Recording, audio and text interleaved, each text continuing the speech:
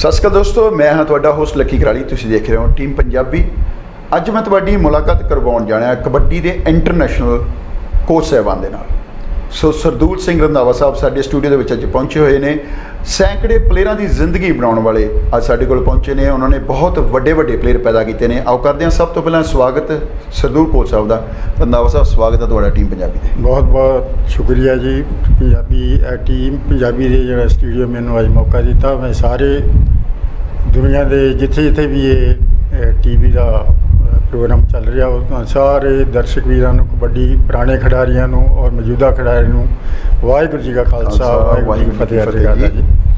ਅੱਛਾ ਕੋਚ ਸਾਹਿਬ ਬੜੇ ਲੰਮੇ ਸਮੇਂ ਤੋਂ ਤੁਸੀਂ ਕਬੱਡੀ ਦੇ ਨਾਲ ਜੁੜੇ ਹੋਏ ਹੋ ਪਹਿਲਾਂ ਖੁਦ ਆਪ ਵੀ ਖੇਡਦੇ ਰਹੇ ਹੋ ਜਾਂ ਵੈਸੇ ਹੀ ਸਿੱਧੇ ਤੁਸੀਂ ਕੋਚ ਸਾਹਿਬਾਨ ਬਣੇ ਹੋ? ਜਾਂ ਕਬੱਡੀ ਨਾਲ ਖੇਡਦੇ ਰਹੇ ਹੋ ਪਹਿਲਾਂ ਕਬੱਡੀ? ਨਹੀਂ ਜਿਹੜਾ ਉਹ ਤੇ ਫਿਰ ਜੇ ਬਗੈਰ ਖੇਡਿਆਂ ਤੋਂ ਤੁਸੀਂ ਇਹ ਗੇਮ 'ਚ ਚੱਲ ਜਾਂਦੇ ਹੋ ਤੇ ਉਹਦੇ ਬਨੌਟੀ ਫਿਰ ਕੋਚ ਹੀ ਹੋ ਗਿਆ ਆਪਾਂ ਕਹਿ ਸਕਦੇ ਜਿਹਨੂੰ ਆਪ ਨਹੀਂ ਖੇਡੀ। ਉਹ ਮੈਂ ਸਮਝਦਾ ਵੀ ਵਧੀਆ ਕੋਚ ਨਹੀਂ ਬਣ ਸਕਦਾ ਉਹ। ਕਈ ਵਾਰੀ ਤੁਸੀਂ ਜਿਹੜੀ ਫੀਲਿੰਗ ਹੈ ਤੁਹਾਡੇ ਅੰਦਰ ਉਹ ਤੁਹਾਡਾ ਕਹਿਣ ਦਾ ਮਤਲਬ ਕਿ ਜਿਹੜੀ ਪ੍ਰੈਕਟੀਕਲੀ ਚੀਜ਼ ਨਿਕਲ ਜਾਂਦੀ ਹੈ ਇਨਸਾਨ ਦੀ ਬਾਡੀ ਦੇ ਵਿੱਚ ਦੀ ਜਦੋਂ ਕਿਸੇ ਨੂੰ ਕੋਚ ਕੋਚਿੰਗ ਦਿੰਦਾ ਟੀਚ ਕਰਦਾ ਤਾਂ ਬੈਟਰ ਕਰ ਸਕਦਾ ਆਮ ਕੋਚ ਦੇ ਨਾਲੋਂ।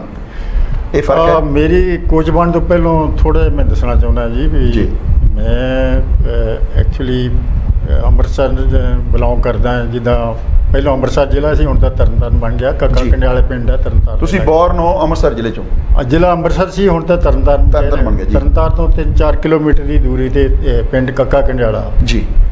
ਉੱਥੇ ਮੈਂ ਬੌਰਨ ਹੋਇਆ ਜੀ 1948 ਦੇ ਵਿੱਚ। ਤੇ ਸਾਡੇ ਘਰਦਿਆਂ ਨੂੰ ਡੰਗਰ ਅ, ਪਸ਼ੂ ਪੂਸੀ ਤੇ ਪਹਿਲਾਂ ਕਾਫੀ ਰੱਖਣ ਦਾ ਸ਼ੌਕ ਸੀ ਮੱਝਾਂ ਮੁੱਝਾਂ ਜੀ। ਉਧਰ ਮਾਝੇ ਸ਼ੌਕ ਵੀ ਆ। ਹੂੰ। ਤੇ ਉਹ ਫਿਰ ਉੱਥੇ ਪਸ਼ੂ ਪੂਸੂ ਕਾਫੀ ਸੀ ਪਹਿਲਾਂ ਤੇ ਪੜਾਉਣ ਦਾ ਖਿਆਲ ਨਹੀਂ ਸੀ ਮਾਪਿਆਂ ਨੂੰ। ਜੀ। ਲੇਕਿਨ ਮੇਰੇ ਵੱਡੇ ਬ੍ਰਦਰ ਸਰਦਾਰ ਸਤਨਾਮ ਸਿੰਘ ਰੰਧਾਵਾ ਆਰਮੀ ਸੀਗੇ। ਜੀ। ਉਹ ਛੁੱਟੀ ਆਏ ਤੇ ਉਹ ਕਹਿੰਦੇ ਵੀ ਮੁੰਡਾ ਪੜਨ ਵਾਲੇ ਤੇ ਤੁਸੀਂ ਇੱਥੇ ਲਾਇਆ ਖੇਤੀਬਾੜੀ ਦੇ ਨਾ। ਜੀ। ਉਹਨਾਂ ਨੇ ਫਿਰ ਮੈਨੂੰ ਆਪਦੀ ਛੁੱਟੀ ਆ ਤੇ ਮੈਨੂੰ ਤਰਨਤਾਰਨ ਲੈ ਗਏ ਕਿਉਂਕਿ ਪਿੰਡ ਸਕੂਲ ਹੈ ਨਹੀਂ ਸੀ ਉਦੋਂ। ਕਿਤੇ. ਕਿਤੇ ਹੀ ਹੁੰਦੇ ਸੀ ਉਦੋਂ ਦੇ। ਐਗਜ਼ੈਕਟ 1956 57 ਦੀ ਗੱਲਾਂ। ਵਾਹ ਜੀ ਵਾਹ। ਉਹ ਫਿਰ ਮੈਨੂੰ ਤਰਨਤਾਰਨ ਲੈ ਗਏ। ਉੱਥੇ ਗੁਰੂ ਅਰਜਨ ਦੇਵ ਜੀ ਦਾ ਪ੍ਰਾਇਮਰੀ ਸਕੂਲ ਸੀਗਾ ਜਿੱਥੇ ਗੁਰੂ ਅਰਜਨ ਦੇਵ ਦਾ ਗੁਰਦੁਆਰਾ ਸਾਹਿਬ ਹੈ ਜੀ ਵੱਡਾ। ਜੀ। ਤਲਾਬ ਹੈ। ਤਲਾਬ ਦੇ ਨਾਲ ਹੀ ਮਨਾਰਾ ਹੈ ਵਿੱਚ ਸ਼ਾਇਦ ਤੁਸੀਂ ਗਏ ਹੋ ਕਦੀ ਜੀ, ਮਨਾਰੇ ਦੇ ਉੱਪਰ ਉੱਥੇ ਸਕੂਲ ਸੀਗਾ।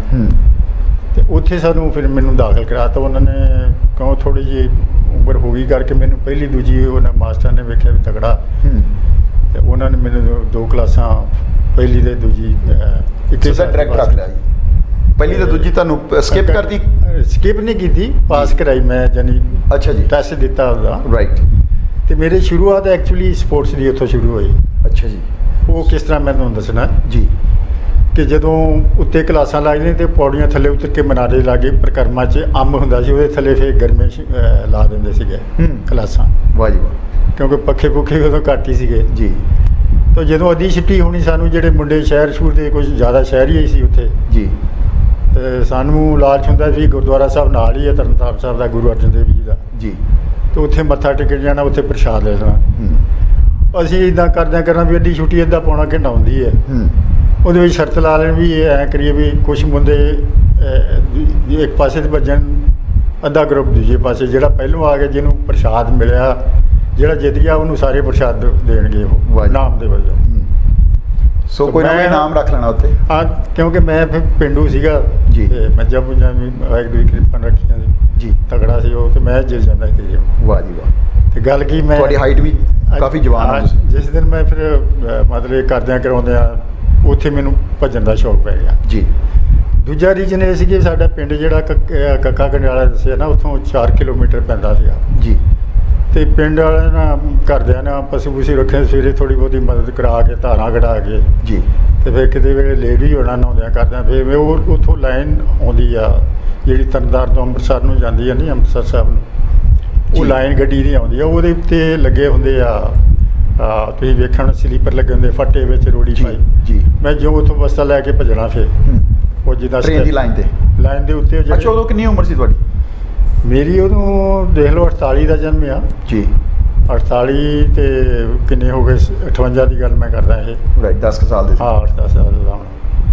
ਉਹ ਮੈਂ ਜਿਹੜੇ ਸਲੀਪਰਾਂ ਦੇ ਸਟੈਪ ਲਾ ਲਾ ਕੇ ਭੱਜਣਾ ਤਾਂ ਕਿ ਮੈਂ ਛੇਤੀ ਸਕੂਲੇ ਪਹੁੰਚ ਜਾਵਾਂ। ਉਹ ਇਸ ਤਰੀਕੇ ਨਾਲ ਮੇਰਾ ਫਿਰ ਕਾਫੀ ਯਾਨੀ ਇੱਕ ਕਿਸਮ ਦਾ ਸ਼ੌਕ ਹੀ ਮੈਨੂੰ ਹੋ ਗਿਆ ਵੀ ਮੈਂ ਪਾ ਸਕਦਾ। ਅੱਛਾ ਉਦੋਂ ਜਦੋਂ ਤੁਸੀਂ ਸਪੋਰਟਸ ਦੇ ਵਿੱਚ ਆਏ ਹੋ ਖੇਡਣਾ ਸ਼ੁਰੂ ਕੀਤਾ ਜਾਂ ਤੁਹਾਡਾ ਮਨ ਕਰਦਾ ਸੀ ਦਿਲ ਹਮੇਸ਼ਾ ਹਰ ਇਨਸਾਨ ਦਾ ਐਕਚੁਅਲੀ ਜੇ ਗੱਲ ਕਰਾਂ ਹਰ ਸਪੋਰਟਸਮੈਨ ਦਾ ਦਿਲ ਕਰਦਾ ਕਿ ਮੈਂ ਕੁਝ ਬਣਾ। ਪਰ ਹੁਣ ਜਿਹੜਾ ਮੀਡੀਆ ਆ ਉਹਦਾ ਬੜਾ ਜ਼ਰੀਆ ਆ ਪਲੇਅਰਾਂ ਤੱਕ ਗੱਲ ਪਹੁੰਚਾਉਣ ਦਾ ਤੇ ਪਲੇਅਰ ਦੇਖ ਲੈਂਦੇ ਨੇ ਸਰਚ ਮਾਰਦੇ ਰਹਿੰਦੇ ਨੇ YouTube ਤੇ ਚਾਹੇ ਟੀਵੀ ਤੇ ਬਹੁਤ ਕੁਝ ਆਉਂਦਾ ਪਰ ਉਹਨਾਂ ਦਿਨਾਂ ਦੇ ਵਿੱਚ ਟੀਵੀ ਵਗੈਰਾ ਦੇਖਦੇ ਸੀ ਤੁਸੀਂ? ਹੁੰਦੇ ਸੀ ਘਰਾਂ ਦੇ ਵਿੱਚ? ਕਿੱਥੋਂ ਤੁਹਾਨੂੰ ਜਿਵੇਂ ਕਿ ਤੁਹਾਨੂੰ ਲੱਗਦਾ ਹੁੰਦਾ ਸੀ ਕਿ ਮੈਂ ਵੱਡਾ ਪਲੇਅਰ ਬਣ ਸਕਦਾ ਇਦਾਂ ਦੇ ਖਾਬ ਤੁਸੀਂ ਦੇਖਦੇ ਰਹੇ ਛੋਟੇ ਹੁੰਦੇ? ਨਹੀਂ ਐਕਚੁਅਲੀ ਇਹ ਘਰ 'ਚ ਗੱਲਾਂ ਹੁੰਦੀਆਂ ਜਿੱਦਾਂ ਮੈਂ ਮੇਰੇ ਚਾਚਾ ਜੀ ਰੈਸਲਰ ਰਹੇ ਤਗੜੇ ਜੀ। ਉਹ ਸਰਦਾਰ ਸਤਨਾਮ ਸਿੰਘ ਬਾਜਵਾ ਜਿਹੜੇ ਅਹ, ਇਸ ਵੇਲੇ ਪ੍ਰਤਾਪ ਸਿੰਘ ਬਾਜਵਾ ਦੇ ਫਾਦਰ ਸਾਹਿਬ ਸੀ ਜੀ। ਉਹ ਤੇ ਮੇਰੇ ਚਾਚਾ ਜੀ ਇਕੱਠੇ ਘੁਲਦੇ ਰਹੇ ਕੇ ਖੜੇ ਸੀ। ਵਾਹ। ਤੇ ਉਹਨਾਂ ਦਾ ਘਰ ਦੇ ਵਿੱਚ ਗੱਲਾਂ ਬਾਤਾਂ ਇਹ ਹੋਣੀਆਂ ਵੀ ਅੱਜ ਉੱਥੇ ਕੁਛ ਢਾਈ ਉੱਥੇ ਢਾਈ ਉਦੋਂ ਦਾ ਥੋੜਾ ਜਿਹਾ ਮੈਨੂੰ ਚਸਕਾ ਲੈ ਗਿਆ ਸੋ ਘਰ ਦੇ ਵਿੱਚ ਸਪੋਰਟਸ ਦੀਆਂ ਗੱਲਾਂ ਹੁੰਦੀਆਂ ਹੁੰਦੀਆਂ ਰਹਿੰਦੀਆਂ ਸੀ। ਸੋ ਉੱਥੋਂ ਫਿਰ ਤੁਹਾਡਾ ਉਹ ਬਿਲਡ ਹੋਇਆ ਜਿਹੜਾ ਮੇਰਾ ਮਤਲਬ ਉਹ ਮਨ ਚ ਮੈਂ ਵੀ ਮੈਂ ਵੀ ਕੋਈ ਬਣਾ ਜੀ ਜੀ। ਤੇ ਉਦੋਂ ਫਿਰ 1958 ਤੁਹਾਨੂੰ ਦੱਸਿਆ ਉੱਥੋਂ ਸਾਡੇ ਲਾਗੋਂ ਦੀ ਰੋਈ ਨਿਕਲੀ ਸਾਡੀ ਮਰਬਾ ਦੀ ਜ਼ਮੀਨ ਸੀਗੀ ਪਿੰਡ ਦੇ ਨਾਲ ਹੂੰ, ਪਿੰਡ ਦੇ ਸਰਪੰਚ ਵੀ ਸੀ ਸਾਡੇ ਮੇਰੇ ਫਾਦਰ ਸਾਹਿਬ। ਜੀ। ਤੇ ਉਹ ਅਸੀਂ ਰੋਈ ਜਿਹੜੀ ਆ ਨਾ ਇਧਰੋਂ ਜੰਡਿਆਲਾ ਗੁਰੂ ਵੱਲੋਂ ਆਉਂਦੀ ਹੈ ਤੇ ਉਹ ਲਾਗੋਂ ਦੀ ਪਿੰਡ ਦੇ ਨਿਕਲ ਕੇ ਗਾਂ ਤਰਨ ਤਰਨ ਦੇ ਲਾਗੋਂ ਦੀ ਅੱਗੇ ਨਿਕਲਦੀ ਹੈ ਉਹ ਸਾਰਾ ਹੀ ਹੜ ਜਿਹੜਾ ਫਸਲ ਬੀਜਦੇ ਸਾਰਾ ਹੜ ਨਾਲ ਮਾਰ ਦਿੰਦੀ ਸੀ। ਜੀ। ਜਿੱਦਾਂ ਅੱਜ ਕੱਲ ਹੂੰ। ਜਾਂ ਸਿਆਲਾਂ ਚ ਬਰਸਾਤ ਹੋਣ ਦੀ ਸਾਰਾ ਪਾਣੀ ਬਾਹਰ ਹੋਣ ਤੇ ਕਰੇਨਾਂ ਪੁੱਟਤੀਆਂ ਕਰੇਨਾਂ ਨਾਲ ਜੀ, ਰੋਈਆਂ। ਜੀ। ਕੰਡੇ ਵੱਜ ਗਏ। ਉਦੋਂ। ਪਾਣੀ ਖੇਤਾਂ 'ਚ ਚੱਲ ਜਾਂਦਾ ਤੇ ਸਾਡੀ ਹਰ ਸਾਲ ਫਸਲ ਮਾਰੀ ਜਾਂਦੀ ਫਿਰ ਭੁੱਖੇ ਮਰਨ ਵਾਲੀ ਗੱਲ ਜੀ। ਇਨ ਦਾ ਮੀਨ ਟਾਈਮ ਇਧਰ ਸਾਡੇ ਚਾਚਾ ਜੀ ਨੂੰ ਇੱਥੇ ਲਾਟ ਹੋਈ ਸੀ ਆਪਣੇ ਸ਼ਾਹਕੋਟ ਬਲਾਕ ਦੇ ਵਿੱਚ ਛੋਟਾ ਅਗਰਪੁਰਾ ਉਹਨੂੰ ਕਹਿੰਦੇ। ਜੀ ਤੇ ਨਾਲ ਹੀ ਸਾੜੀਆਂ ਪਿੰਡਾਂ ਛੋੜਾ ਜਿਹਾ। ਪਰਜੀਆਂ ਦੇ ਲਾਗੇ ਜੀ ਫਿਰ ਸਾਡੇ ਚਾਚੇ ਜੀ ਨੇ ਕਿਹਾ ਵੀ ਤੁਸੀਂ ਇੰਨੀ ਤੁਹਾਡੀ ਜ਼ਮੀਨ ਹੈ ਫਿਰ ਵੀ ਫਸਲ ਕੋਈ ਨਹੀਂ ਹੁੰਦੀ ਤੇ ਚਲੋ ਇੱਥੇ ਲਾਲੇ ਸੀਗੇ ਕੋਈ ਉਹਨਾਂ ਨੇ 25 ਏਕੜ ਜ਼ਮੀਨ ਵੇਚ ਕੇ ਦਿੱਲੀ ਜਾਣਾ ਸੀਗਾ। ਅੱਛਾ ਜੀ। ਉਹਨਾਂ ਫਿਰ ਸੌਦਾ ਕਰਾਤ ਵੀ ਇੱਥੋਂ ਵੇਚੋ ਪਰਾਂ ਖੱਡੋ ਨਾਲੇ ਲਾਗੇ ਹੋ ਜਾਾਂਗੇ। ਤੇ ਨਾਲੇ ਆ ਪਲਾਟ ਇਕੱਠੇ ਦਾ ਇਕੱਠਾ ਆਪਣਾ ਪੂਰਾ ਮਿਲਦਾ ਹੈਗਾ ਬੱਚੇ ਰਾਈਟ ਠੀਕ ਹੈ ਜੀ। ਉਹ ਅਸੀਂ 1958 ਦੇ ਵਿੱਚ ਇੱਥੇ Shift ਹੋ ਗਏ। ਸ਼ਿਫਟ ਹੋ ਗਏ। ਸੋ ਮਹਿਤਪੁਰ ਦੇ ਲਾਗੇ ਤੁਹਾਡਾ ਹੁਣ ਪਿੰਡ ਪੈਂਦਾ ਪਰਜੀਆਂ ਦੇ ਲਾਗੇ? ਪਿੰਡ ਹੈਗਾ ਜੀ ਇਥੋਂ ਨਕੋਦਰ ਨਕੋਦਰੋਂ ਮਹਿਤਪੁਰ। ਮਹਿਤਪੁਰ ਤੋਂ ਫਿਰ ਅੱਗੇ ਪਰਜੀਆਂ ਕਲਾਂ ਨੂੰ ਜਾਂਦੀ ਜੀ। ਬਲੰਦ ਜਿਹੜਾ ਗੁਰਦੁਆਰਾ ਸਾਹਿਬ ਵੀ ਇਸ ਵਕਤ ਬੜੀ ਦੁਨੀਆ ਤੇ ਜੀ। ਬਲੰਦਪੁਰ ਦੇ ਨਾਲ ਹੀ ਸਾਡਾ ਅਗਲਾ ਕਿਲੋਮੀਟਰ ਤੋਂ ਸਾਡੀਆਂ ਪਿੰਡ ਹੈ। ਅੱਗੇ ਫਿਰ 2-3 ਕਿਲੋਮੀਟਰ ਪਰਜੀਆਂ ਕਲਾਂ ਅੱਗੇ ਗਾਂ ਬਜਵਾ ਕਲਾਂ ਬੱਗਾ ਜਿੱਧਰ ਮੰਡੀ ਹੋਣੀ ਹੈ ਅੱਗੇ। ਮੋਗੇ ਨੂੰ ਲਿੰਕ ਕਰ ਦਿੰਦੀ ਹਾਂਜੀ ਹਾਂਜੀ ਹਾਂਜੀ ਸਾਰੇ। ਸੋ ਮੈਂ ਫਿਰ ਆ ਕੇ ਪਰਜੀਆਂ ਦਾਖਲ ਹੋਇਆ ਜੀ ਪਰਜੀਆਂ ਕਲਾਂ। ਇੱਥੇ ਪਾਣਾ ਸ਼ੁਰੂ ਕੀਤਾ। ਇੱਥੇ ਫਿਰ ਮੈਂ ਛੇਵੀਂ ਚ ਲੱਗਾ ਜੀ। ਤੇ ਉਦੋਂ ਫਿਰ ਬਾਈ ਦੀ ਵੇ ਸਾਡੇ ਜਿਹੜੇ ਸਟਾਫ ਮੈਂਬਰ ਸੀਗੇ ਫੌਜੀ ਜਿਹੜਾ ਸੀ ਇੱਥੋਂ ਕਾਨਾ ਢੇਸੀਆਂ ਜਾਂਦੇ ਸੀ ਰਿਟਾਇਰ ਹੋਇਆ ਫੌਜੀ। ਰਾਈਟ ਤੇ ਉਹ ਸਾਨੂੰ ਉਹਨਾਂ ਨੂੰ ਬਹੁਤ ਸ਼ੌਕ ਸੀ ਕਿਉਂਕਿ ਫੌਜੀ ਬੰਦਿਆਂ ਨੂੰ ਤੁਹਾਨੂੰ ਪਤਾ ਹੀ ਹੈ ਵੀ ਐਕਸਰਸਾਈਜ਼ ਦਾ ਬਹੁਤ ਸਾਰਾ। ਜੀ। ਇਹ ਪਰਜੀਆਂ ਕਲਾਂ ਜਿਹੜਾ ਤੁਹਾਨੂੰ ਮੈਂ ਦੱਸ ਰਿਹਾ ਉਹ ਇੰਨਾ ਸਲਵਾੜ ਹੁੰਦਾ ਸੀ ਕਾਨੇ ਸੀ ਉੱਥੇ ਸਾਰੇ। ਤੇ ਤੁਸੀਂ ਵੇਖਿਆ ਵੀ ਸ਼ਾਇਦ ਨਹੀਂ ਸਕੂਲ ਬਿਲਕੁਲ ਜੀ ਬਿਲਕੁਲ। ਉਦੋਂ ਇੱਥੇ ਡੰਡੀਆਂ ਡੁੰਡੀਆਂ ਹੁੰਦੀਆਂ ਉਹਦੇ ਵਿੱਚ ਦੀ ਸਾਨੂੰ ਭਜਾਈ ਫਿਰਨਾ ਇੱਥੋਂ ਗਾਲ ਵੱਡੇ ਜਾਣੇ ਉਹ ਹੂੰ, ਸਲਵਾੜ ਨਾਲ। ਸਲਵਾਰ ਨਾਲ ਹਾਂਜੀ। ਜਨੀ ਉਹਨਾਂ ਨੇ ਫਿਰ ਜਿਹੜੀ ਕਬੱਡੀ ਖੜਵਾਉਣੀ ਲਾਗੇ ਖੇਤਾਂ ਗਰਾਊਂਡ 'ਚ ਨਹੀਂ ਸੀ ਹੁੰਦੀ ਹੂੰ। ਕਿਉਂਕਿ ਸਲਵਾੜ ਹੀ ਸਲਵਾੜ ਸੀ ਉਹਦੇ ਲਾਗੇ ਫਿਰ ਵਾਹਣ ਦੀ ਛੁੱਟੀ ਵੇਲੇ ਹੋਣਾ ਜੀ। ਕਿਸਾਨਾਂ ਦਾ। ਸੋ ਉੱਥੇ ਪ੍ਰੈਕਟਿਸ ਉਹਦੇ ਵਿੱਚ ਫਿਰ ਪ੍ਰੈਕਟਿਸ ਕਰਾਉਣੀ 6ਵੀਂ ਤੋਂ ਮੈਂ ਸ਼ੁਰੂ ਕੀਤੀ ਹੈ। ਵਾਹ ਜੀ ਵਾਹ। ਅੱਛਾ ਤੁਸੀਂ ਪੜ੍ਹੇ ਕਿਹੜੀ ਕਲਾਸ ਤੱਕ ਤੇ ਫਿਰ ਉਸ ਤੋਂ ਬਾਅਦ ਕਾਲਜ ਜਲੰਧਰ ਕੀਤੀ ਜਾਂ? ਨਹੀਂ ਮੈਂ ਦੱਸਦਾ ਨਾ ਜੀ ਮੈਂ 6ਵੀਂ ਤੋਂ ਲੈ ਕੇ 8ਵੀਂ ਤੱਕ ਪਰਜੀਆਂ ਕਲਾਂ 'ਚ ਕਿਉਂਕਿ ਉਦੋਂ ਮਿਡਲ ਸਕੂਲ ਹੀ ਹੁੰਦਾ ਸੀਗਾ। ਜੀ। ਤੇ ਸਾਨੂੰ ਮਿਹਨਤ ਕਾਫੀ ਕਰਵਾਤੀ ਫੁੱਟਬਾਲ ਕਬੱਡੀ ਵਾਲੀਬਾਲ ਗੋਲਾ ਵਗੈਰਾ। ਜੀ। ਇਹ ਮੈਂ 8ਵੀਂ ਤੱਕ ਕਾਫੀ ਮੇਰੇ ਜਾਨ। ਆ ਗਈ ਸੀ। ਤੇ 8ਵੀਂ ਦੇ ਜਦੋਂ ਕੰਪੀਟੀਸ਼ਨ ਹੋਏ ਉਦੋਂ ਨੂੰ, ਜ਼ੋਨ ਦਾ ਟੂਰਨਾਮੈਂਟ ਉਹਨੂੰ ਕਹਿੰਦੇ ਤਹਿਸੀਲ ਲੈਵਲ ਦਾ। ਸਾਡੀ ਤਹਿਸੀਲ ਨਕੋਦਰ ਹੂੰ। ਤੇ ਨਕੋਦਰ ਟੂਰਨਾਮੈਂਟ ਹੋਏ ਤਹਿਸੀਲ ਦੇ। ਜੀ। ਇੱਥੇ ਅਸੀਂ ਵਾਲੀਬਾਲ ਵੀ ਜਿੱਤਿਆ ਫੁੱਟਬਾਲ ਵੀ ਫੁੱਟਬਾਲ 'ਚ ਸੈਕੰਡ ਹੈਗੇ। ਕਬੱਡੀ ਜਿੱਤ ਲਈ। ਨਾਲ ਮੈਂ ਗੋਲਾ ਜਿੱਤ ਲਿਆ। ਵਾਹ ਜੀ ਵਾਹ। ਸੋ ਇਹੋ ਜਿਹੀਆਂ ਆਈਟਮਾਂ ਜਿੱਤ ਲਈਆਂ। ਹੂੰ। ਉਸ ਤੋਂ ਬਾਅਦ ਫਿਰ ਜਦੋਂ ਜਿੱਦਾਂ ਫਲੋਰ ਤਹਿਸੀਲ ਇਹ ਹੋਈ ਫਿਰ ਇੱਧਰਲੇ ਪਾਸੇ ਲਾ ਲਓ ਤੁਸੀਂ ਭੋਗਪੁਰ ਹੋਈ। ਜੀ। ਸਾਰੇ ਜ਼ਿਲ੍ਹੇ ਦੀਆਂ ਤਹਿਸੀਲਾਂ ਤਹਿਸੀਲਾਂ ਦੇ ਆਪਸ ਵਿੱਚ ਕੰਪੀਟੀਸ਼ਨ ਹੁੰਦੇ ਜੀ। ਉਹ ਸਾਡਾ ਉੱਥੋਂ ਜਿੱਤ ਕੇ ਫਿਰ ਅਸੀਂ ਲੈਲਪੁਰ ਖਾਲਸਾ ਸਕੂਲ ਆ ਨਕੋਦਰ ਰੋਡ ਤੇ ਜਲੰਧਰ। ਰਾਈਟ ਇੱਥੇ ਜ਼ਿਲ੍ਹਾ ਹੋਇਆ। ਜੀ। ਇੱਥੋਂ ਹੀ ਫਿਰ ਅਸੀਂ ਉਹ ਕਬੱਡੀ ਜਿਹੜੀ ਫਸਟ ਟਾਈਮ ਤੇ ਉਦੋਂ ਜਦੋਂ ਪਾਕਿਸਤਾਨ ਬਣਿਆ ਵੀ ਉਹ ਸਾਡੇ ਫਰਜ਼ੀਆਂ ਨੇ ਜਿੱਤੀ ਮੇਰੀ ਕੈਪਟਨਸ਼ਿਪ ਤੇ ਥੱਲੇ ਵਾਹ ਜੀ ਵਾਹ ਤੇ ਜਦੋਂ ਚੰਗੀ ਲੱਕ ਹੋਈ ਆਪਾਂ ਕਹਿ ਰਹੀਏ ਕਿ ਕੋਈ ਬਹਾਨਾ ਵਧੀਆ ਬਣ ਜਾਂਦਾ ਕਿਸੇ। ਸੱਜਣ ਮਿੱਤਰ ਦਾ। ਜੀ। ਸਰਦਾਰ ਜੀਤ ਸਿੰਘ ਮਾਲੀ ਉਦੋਂ ਪੀਟੀਆਈ ਆਰੀਆ ਸਕੂਲ ਨਕੋਦਰ ਹੁੰਦੇ ਸੀ ਜੀ। ਇਹ 1900 ਮੈਂ ਅਹ, 63 ਦੀ ਗੱਲ ਕਰਦਾ ਜੀ। ਜੀ ਜੀ। ਤੇ ਇਹਨਾਂ ਨੇ ਮੇਰੇ ਮੈਚ ਮੁਝ ਵੇਖੇ ਸੀ।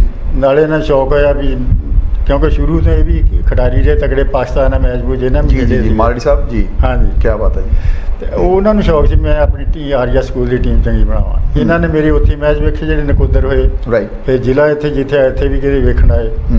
ਜਦੋਂ ਅਸੀਂ ਜਿੱਤ ਕੇ ਗਏ ਵਾਪਸ ਤੇ 8ਵੀਂ ਪਾਸ ਕਰ ਲਈ ਫਿਰ ਇਹ ਸਾਡੇ ਪਿੰਡ ਗਏ ਸਾਈਕਲ ਤੇ ਗਏ। ਉੱਥੋਂ ਸਾਡਾ ਪਿੰਡ ਨਕੋਦਰ ਤੋਂ 15 17 ਕਿਲੋਮੀਟਰ ਪੈਂਦਾ। ਜੀ ਜੀ। ਤੇ ਸਾਈਕਲ ਤੇ ਗਏ ਤੇ ਉੱਥੇ ਮੇਰੇ ਫਾਦਰ ਸਾਹਿਬ ਨੂੰ ਕਹਿੰਦੇ ਵੀ ਇਹ ਮੁੰਡਾ ਮੈਂ ਇੱਥੇ ਤੁਸੀਂ ਪੜ੍ਹਨਾ ਲਾਉਣਾ ਹੀਗਾ ਨੌਵੀਂ ਚ ਵੀ ਮੇਰੇ ਆਰੀਆ ਸਕੂਲੇ ਲਾ ਦਿਓ। ਜੀ। ਤੇ ਉਹ ਕਹਿਣ ਲੱਗੇ ਵੀ ਇਹ ਦੂਰ ਬਹੁਤ ਪੈਂਦਾ ਵੀ ਕੋਈ ਉਦੋਂ ਸਾਈਕਲ ਸੁਕਲ ਵੀ ਘੱਟ ਹੁੰਦੇ ਸੀ। ਐਗਜ਼ੈਕਟ ਕਹਿੰਦੇ ਵੀ ਸਾਈਕਲ ਮੈਂ ਲੈ ਦੂੰਗਾ ਇਹਨਾਂ ਨੂੰ ਸਕੂਲ ਵੱਲੋਂ। ਜੀ। ਤੇ ਫੀਸ ਮਾਫ ਕਰ ਦਾਂਗੇ। ਵਾਹ ਜੀ ਵਾਹ। ਤੇ ਉਹ ਕਹਿੰਦੇ ਵੀ ਦੁਪਹਿਰੇ ਫਿਰ ਸ਼ਾਮ ਨੂੰ ਤੁਸੀਂ ਗੇਮ ਲਾਇਆ ਕਰਨੀ ਆ। ਜੀ। ਤੇ ਦੁਪਹਿਰੇ ਕਹਿੰਦੇ ਕਮਰਾ ਇਹਨਾਂ ਨੂੰ ਫ੍ਰੀ ਲਵਾ ਦਿੰਦੇ ਆ। ਉੱਥੇ ਅਸੀਂ ਖਾਲੀ ਕਰਵਾ ਦਿੰਦੇ ਕਿ ਹਾਲ ਦਰੀਆਂ ਵਿਛਾ ਦਿੰਦੇ ਆ। ਦਰ ਦੁਪਹਿਰੇ ਰੈਸਟ ਕਰ ਲਿਆ ਕਰਨਗੇ। ਹੂੰ। ਇੰਦਾ ਮੀਨ ਟਾਈਮ ਨੰਗਲ ਵੀ ਆ ਜਿੱਥੋਂ ਤਾਂ ਸੰਦੀਪ ਨੰਗਲ ਵੀ ਆ ਜੀ ਇਹ ਖਾਲਸਾ ਸਕੂਲ ਹੁੰਦਾ ਸੀ ਅੱਛਾ। ਸੀਨੀਅਰ ਸੈਕੰਡਰੀ ਸਕੂਲ 11ਵੀਂ ਤੱਕ ਜੀ ਇੱਥੇ ਸਰਦਾਰ ਸਮੁੰਦਰ ਸਿੰਘ ਹੁੰਦੇ ਸੀਗੇ ਪ੍ਰਿੰਸੀਪਲ ਇਹਨਾਂ ਨੂੰ ਬੜਾ ਸ਼ੌਕ ਸੀ। ਆਪਣੀ ਟੀਮ ਬਣਾਉਣ ਦਾ ਜੀ ਇਹਨਾਂ ਨੇ ਫਿਰ ਆਪਦਾ ਇਹ ਜਿਹੜੇ ਡੀਪੀਆਈ ਉੱਥੇ ਕਿ ਮੇਰੇ ਪਿੰਡ ਭੇਜਿਆ ਕਿਉਂਕਿ ਨੰਗਲ ਵੀ ਸਾਡੇ ਕੋਲ 3 ਕਿਲੋਮੀਟਰ ਚਾਰ ਤੇ ਪੈਂਦਾ ਜੀ ਕਹਿੰਦੇ ਵੀ ਇਹਨੇ ਮੁੰਡੇ ਨੂੰ ਦਾਖਲ ਕਰਾ ਦਿਓ ਸਾਡੇ ਤੇ ਇਹਨਾਂ ਨੂੰ ਮਾਫ ਕਰਾਂਗੇ ਫੀਸ ਮਾਫ ਕਰਾਂਗੇ ਕਿਤਾਬਾਂ ਦੇਵਾਂਗੇ। ਉਹਦੇ ਹੀ ਬਹੁਤ ਵੱਡੀ ਗੱਲ ਹੁੰਦੀ ਸੋ। ਦੋ ਪਾਸਿਓਂ ਆਫਰ ਆਈ ਦੋ। ਪਾਸੇ ਆਫਰ ਹੋ ਗਈ। ਹੂੰ।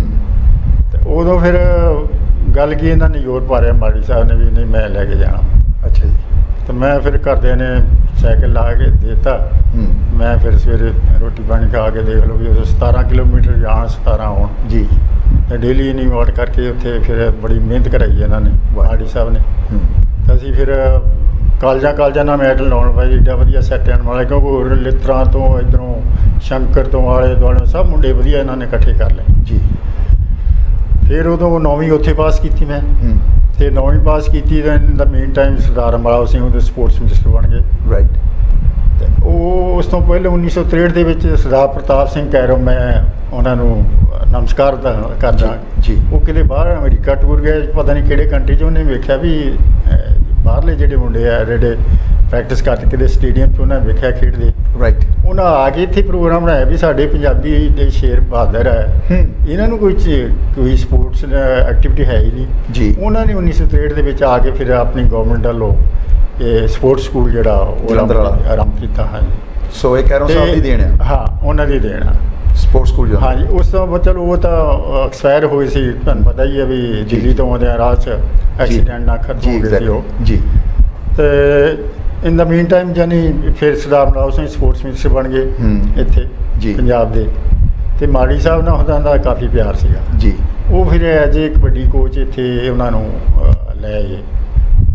ਅਮਰਾਵ ਸਿੰਘ ਜੀ ਉਹ ਸਰਦਾਰ ਸਾਹਿਬ- ਜਲੰਧਰ ਦੇ ਵਿੱਚ ਲੈ ਮਾੜੀ ਸਾਹਿਬ ਮਾੜੀ ਸਾਹਿਬ ਲੈ ਗਿਆ ਕਿ ਉਹਨਾਂ ਦਾ ਪਿੰਡ ਵੀ ਉਧਰ ਹੀ ਲਾਗੇ ਲਾਗੇ ਆ। ਤੇ ਕਾਫੀ ਉਹਨਾਂ ਦਾ ਤਲਕਾਤ ਵਧੀਆ ਸੀਗਾ। ਰਾਈਟ ਉਸ ਤੋਂ ਬਾਅਦ ਫਿਰ ਹੁਣ ਇਹਨਾਂ ਨੇ ਇੱਥੇ ਵੀ ਟੀਮ ਵਧੀਆ ਬਣਾਉਣੀ ਸੀ ਸਪੋਰਟਸ ਸਕੂਲੇ। ਜੀ।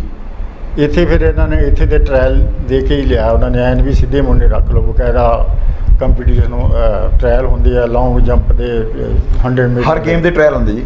ਟ੍ਰਾਇਲ ਨਹੀਂ ਇਸ ਤਰ੍ਹਾਂ ਨਹੀਂ ਉਹ ਫਿਜ਼ੀਕਲ ਟੈਸਟ ਹੁੰਦਾ ਉਹ ਇੱਕ ਪਹਿਲਾਂ ਹੁੰਦਾ ਸੀ 40 ਸੈਕਿੰਡ ਦਾ ਉਹ ਛ- 40 ਸਕਿੰਟ ਦੇ ਵਿੱਚ ਲੌਂਗ ਜੰਪ ਕਰਨਾ ਫਿਰ ਘੋੜੇ ਦੇ ਉਹ ਵੀ ਗੱਲਾਂ ਬਾਤਾਂ। ਕਰਾਂਗੇ ਉਹ ਬਾਅਦ ਚ ਚੱਕਤਾ ਸੀ ਪਰ ਨਹੀਂ, ਨਹੀਂ ਰਹੇ ਹਾਂ, ਚੱਕ- ਅਸੀਂ ਕੀਤਾ ਸੀ ਵੀ ਤੁਸੀਂ ਪੜ੍ਹਦੇ ਰਹੇ ਤੁਸੀਂ ਪਾਸ ਕੀਤਾ ਉਹ ਉਹ ਤੋਂ ਬਾਅਦ। ਅਸੀਂ ਵੀ ਪੜ੍ਹਦੇ ਰਹੇ ਅਸੀਂ ਵੀ ਪਾਸ ਕੀਤਾ ਉਹ ਟੈਸਟ ਉੱਤੇ ਉਸ ਤੋਂ। ਟੈਸਟ ਉਹ ਸਾਰਿਆਂ ਲਈ 40 ਸੈਕਿੰਡ ਦਾ ਹੁੰਦਾ ਉਹ। ਜਿਹੜਾ ਕਲੀਅਰ ਕਰਦਾ ਉਹਦੇ ਬੰਦੇ ਨੂੰ ਚੱਕ ਕੇ ਵੀ ਭੱਜਣਾ ਜੰਪ ਮਾਰਨਾ ਆਪਣੇ weight ਦਾ। ਜਿਹੜਾ ਪਹਿਲਾਂ ਪਹਿਲਾਂ ਤਾਂ ਉਹ ਚੋਂ ਬਹੁਤ ਸ਼ਾਂਤੀ ਲੱਗ ਜਾਂਦੀ ਹੁੰਦੀ ਸੀ ਹਾਂਜੀ ਹਾਂਜੀ ਜੀ, ਨਿਕਲ ਜਾਂਦੇ। ਜਿਹੜੇ ਜੀ ਪ੍ਰੈਕਟਿਸ ਨਹੀਂ ਕੀਤੀ ਹੁੰਦੀ ਜੀ ਗੱਲ ਕੀ ਮੈਂ ਉਦੋਂ ਫਿਰ ਇੱਥੇ ਸਿਲੈਕਟ ਹੋ ਗਿਆ ਤੁਸੀਂ ਵੀ ਸਪੋਰਟਸ ਸਕੂਲ ਜਲੰਧਰ ਪੜ੍ਹੇ ਹੋ ਹਾਂ ਜੀ 1965 ਦੇ ਵਿੱਚ ਮੈਂ ਫਿਰ ਇੱਥੇ ਦਾਖਲ ਹੋਇਆ 10ਵੀਂ ਦੇ ਵਿੱਚ ਮਾਲਡੀ ਸਾਹਿਬ ਦੇ ਅੰਡਰ ਰਹਿ ਕੇ ਤੁਸੀਂ ਕੀਤੀ ਟ੍ਰੇਨਿੰਗ। ਸਪੋਰਟਸ ਸਕੂਲ ਜਲੰਧਰ ਦੇ ਵਿੱਚ।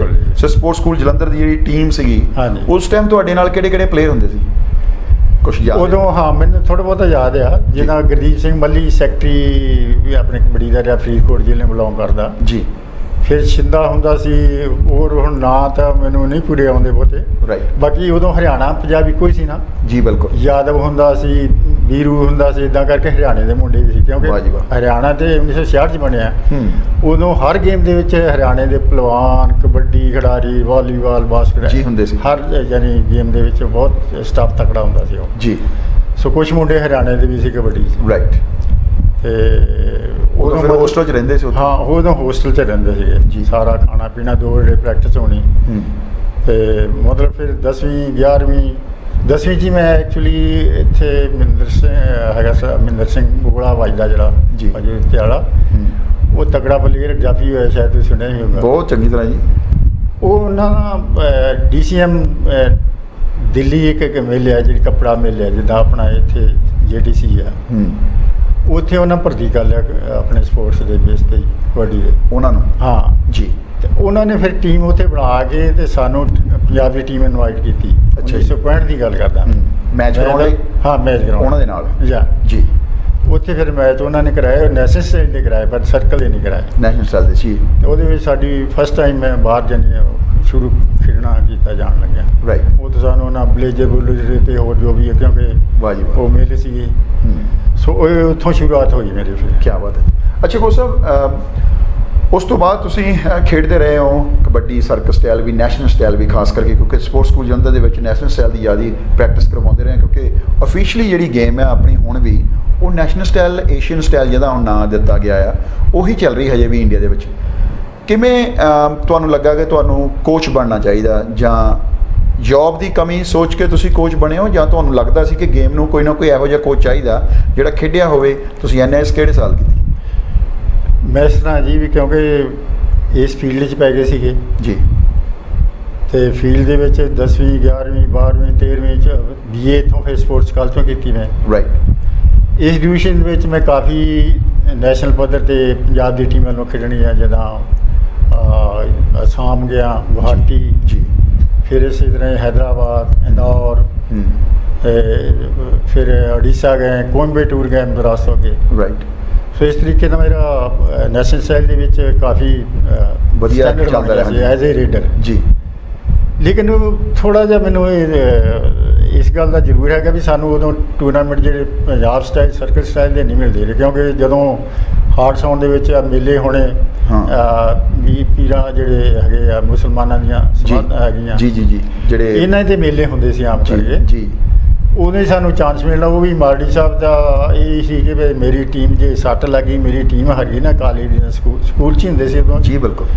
ਤਾਂ ਲੇਕਿਨ ਇਹ ਆ ਵੀ ਮੇਰੀ ਟੀਮ ਜੇ ਜੇ ਸੱਟ ਲੱਗੀ ਤੇ ਵੇਖ ਲਓ ਫਿਰ ਮੈਂ ਟੰਗ ਦੂੰਗਾ ਜੇ ਤੁਹਾਨੂੰ ਪਤਾ ਹੀ ਸੋ। ਬਾਹਰ ਖੇਡਣ ਤੋਂ ਗਰੇਜ ਕਰਦੇ ਰਹੇ ਹੋ ਤੁਸੀਂ ਬੜਾ ਸੱਟ ਨਾ ਲੱਗ ਜਾਏ ਕੇ ਜਾਣਾ ਇੱਥੋਂ ਐਤਵਾਰ ਕਿਤੇ ਮੇਲਾ ਹੋਣਾ ਤੇ ਲੋਕੇ ਜੋ ਖੇਡਣਾ ਤੇ ਉੱਥੇ ਗਰਾਊਂਡ ਵੀ ਉਦੋਂ ਵਾਹਣਾ ਚ ਜਾਂ ਜਦੋਂ ਜਿੱਥੇ ਪੇੜ ਹੁੰਦੇ ਪੇੜ ਦਾ ਤੁਹਾਨੂੰ ਪਤਾ ਹੁਣ ਜੀ, ਫਲੇ। ਚੱਲਦੇ। ਬਿਲਕੁਲ ਜੀ ਬਿਲਕੁਲ ਉਹਦੇ ਵਿੱਚ ਅਗਲਿਆਂ ਨੇ ਮੈਚ ਲਵਾ ਦੇਣਾ ਉਦੋਂ। ਚੈਲੰਜ ਮੈਚ ਹੀ ਹੁੰਦੇ ਸੀ ਬਹੁਤੇ ਹੌਸਪੀਟਲ ਨਾਲ ਉਹਦਾ ਉਹਦੇ ਨਾਲ ਉਹਦਾ ਸ਼ੋ ਮੈਚ ਹੋਣਾ ਹਾਂ ਸ਼ੋ ਮੈਚ ਕੰਪੀਟੀਸ਼ਨ ਵੀ ਹੁੰਦੇ ਲੇਕਿਨ ਬਹੁਤੇ ਸ਼ੋ ਮੈਚ ਚੈਲੰਜ ਮੈਚ ਜਿਹਨੂੰ ਕਹਿੰਦੇ ਰਾਈਟ ਉਹ ਫਿਰ ਹੁਣ ਇਹੋ ਜਿਹੇ ਪਿੰਡ ਦੇ ਵਿੱਚ ਸਖਤਾਂ ਖੇਡਿਆ ਹੋਇਆ ਬੰਦਾ ਤੇ ਰਗੜ ਰੁਗੜ ਤਾਂ ਲੱਗ ਜਾਂਦੇ ਫਿਰ ਆਉਂਦੇ ਇਹਨਾਂ ਨੇ ਮੁਰਗੇ ਬਣਾ ਲੈਣਾ। ਹਾਂ, ਇਹ ਤੁਹਾਨੂੰ ਰੋਕਿਆ ਜਦੋਂ। ਜੀ। ਯਾਨੀ ਕਹਿਣ ਦਾ ਭਾਵੀ ਚੋਰੀ ਛੱਪੀ ਜਿੰਨਾ ਚਿਰ ਸਕੂਲ ਚ ਰਹੇ ਉਹਨਾਂ ਚਿਰ ਚੋਰੀ ਛੱਪੀ ਇਹਨਾਂ ਕੋ ਖੇਡਦੇ ਆ। ਜੀ ਜੀ। ਜਦੋਂ ਫਿਰ ਕਾਲਜ ਚਲੇ ਗਏ ਹੂੰ। ਉਦੋਂ ਫਿਰ ਥੋੜਾ ਜਿਹਾ ਤੁਹਾਨੂੰ ਪਤਾ ਫ੍ਰੀ ਹੋ ਜਾਂਦਾ ਬੰਦਾ ਉਦੋਂ ਫਿਰ ਇਹਨਾਂ ਦਾ. ਸਾਡੇ ਕੋਚ ਬੜੇ ਨਰਮ ਸੀਗੇ ਜੀ। ਨੰਦ ਲਾਲ ਜੀ ਇਥੋਂ ਸੀਗੇ। ਜਲੰਧਰ? ਸ਼ਹਿਰ ਤੋਂ ਹੀ ਹਾਂਜੀ। ਜੀ। ਤੇ ਉਹਨਾਂ ਨੇ ਸਾਨੂੰ ਕਿਹਾ ਕਹਿੰਦੇ ਖੇਡੋ ਤਕੜੇ ਹੋ ਕਿਉਂਕਿ ਫਿਰ ਕਾਲਜਾਂ ਦੇ ਵਿੱਚ ਤੇ ਸਰਕਲ ਸਟਾਈਲ ਵੀ ਖੇਡਣੀ ਪੈਣੀ ਸੀ ਨਾ। ਜੀ ਬਿਲਕੁਲ ਜੀ ਬਿਲਕੁਲ। ਜੀ। ਉਹਦੇ ਵਿੱਚ ਜਦੋਂ ਸਰਕਲ ਸਟਾਈਲ ਦੇ ਵਿੱਚ ਉਦੋਂ ਪੰਜਾਬ ਹਰਿਆਣਾ ਇੱਕੋ ਹੀ ਸੀਗਾ। ਹੂੰ। ਪੰਜਾਬ ਯੂਨੀਵਰਸਿਟੀ ਚੰਡੀਗੜ੍ਹ ਸਾਰਾ ਕੰਟਰੋਲ ਸੀ ਹਰਿਆਣੇ ਤੇ ਵੀ। ਰਾਈਟ ਤਾਂ ਅਸੀਂ ਚਰਖੀ ਦਾਦਰੀ ਵਾਣੀਪਤ ਕਰਨਾਲ ਜਿਹੜੇ ਵੀ ਹਰਿਆਣੇ ਕਾਲਜ ਸੀ ਉਹਨਾਂ ਨਾਲ ਜਿੱਥੇ ਇੱਥੇ ਮੈਚ ਹੈ ਸਾਡੇ ਟਾਈ ਪਈ ਹੋਣੀ। ਰਾਈਟ ਤੇ ਉਹਦੇ ਨਾਲ ਖੇਡਦੇ ਰਹੇ ਸਰਕਲ ਸਟਾਈਲ ਦੇ। ਜੀ। ਜਿਸ ਦਿਨ ਹਰਿਆਣਾ ਪੰਜਾਬ ਬਣਿਆ ਹੂੰ। 1900 ਪਹਿਲੀ ਨੂੰ 1966 ਨੂੰ ਅੱਛਾ ਜੀ। ਅਸੀਂ ਮਾਲੇ ਮੈਚ ਲਾਉਂਦੇ ਸੀ ਗਾਂਧੀ ਕਾਲੇ ਨਾਲ ਉਹਦਾ ਰਾਈਟ ਉੱਥੇ ਸੀ ਉਹਦਾ ਪੰਜਾਬ ਤੋਂ ਵੱਖਰਾ ਕੀਤਾ ਜਦੋਂ ਹਰਿਆਣਾ। ਹਾਂਜੀ ਹਾਂ ਹੂੰ। ਲੇਕਿਨ ਪੰਜਾਬ ਯੂਨੀਵਰਸਿਟੀ ਸਾਰਾ ਕੰਟਰੋਲ ਉਦੋਂ ਉਹਦਾ ਹੀ ਸੀ ਗੁਰੂ ਨਾਨਕ ਤਾਂ ਹੁਣ ਬਾਅਦ ਚ ਬਣੀ ਹੈ ਨਾ। ਜੀ। ਇਸ ਕਰਕੇ ਫਿਰ ਉਦੋਂ ਸਰਕਸ ਸਟਾਈਲ ਦਾ ਕਾਫੀ ਪ੍ਰੈਕਟਿਸ ਸੀ ਟ੍ਰਾਇਲ ਲੈ ਕੇ ਨੇ ਮੁੰਡੇ ਕੁਝ ਮਾਲਵੇ ਤੋਂ ਸੀ ਕੁਝ ਮਤਲਬ ਸਾਰੇ ਪੰਜਾਬ ਤੋਂ ਸੀ ਕੋਈ ਹਰਿਆਣੇ ਤੋਂ ਸੀ ਜਿਹੜਾ ਸਾਡੀ sports college team right right ਸਾਡਾ ਬਹੁਤ ਵਧੀਆ ਸੈੱਟ ਸੀ ਅੱਛਾ ਕੋਚ ਕਿਵੇਂ ਬਣੇ ਹੋ ਤੁਸੀਂ? ਸੋਚਿਆ ਕਿ ਮੇਰਾ question ਇਹ ਹਾਂ, ਸੀ ਮੈਂ ਉੱਧਰ ਨੂੰ ਹੀ ਕਿ। ਕਿਵੇਂ ਤੁਸੀਂ ਕੋਚ ਤੁਹਾਨੂੰ ਕਿਵੇਂ ਤੁਹਾਨੂੰ ਇਹ ਸੋਚ- ਇਹ ਸੋਚਣਾ ਪਿਆ ਕਿ ਮੈਂ ਕੋਚ ਬਣਨਾ ਚਾਹੁੰਦਾ? ਜਾਂ ਵੈਸੇ ਹੀ ਜੌਬ ਦਾ ਕਰਕੇ ਤੁਸੀਂ ਬਣੇ ਹੋ ਕੋਚ ਨਹੀਂ ਇਦਾਂ ਨਹੀਂ ਹੈਗੀ।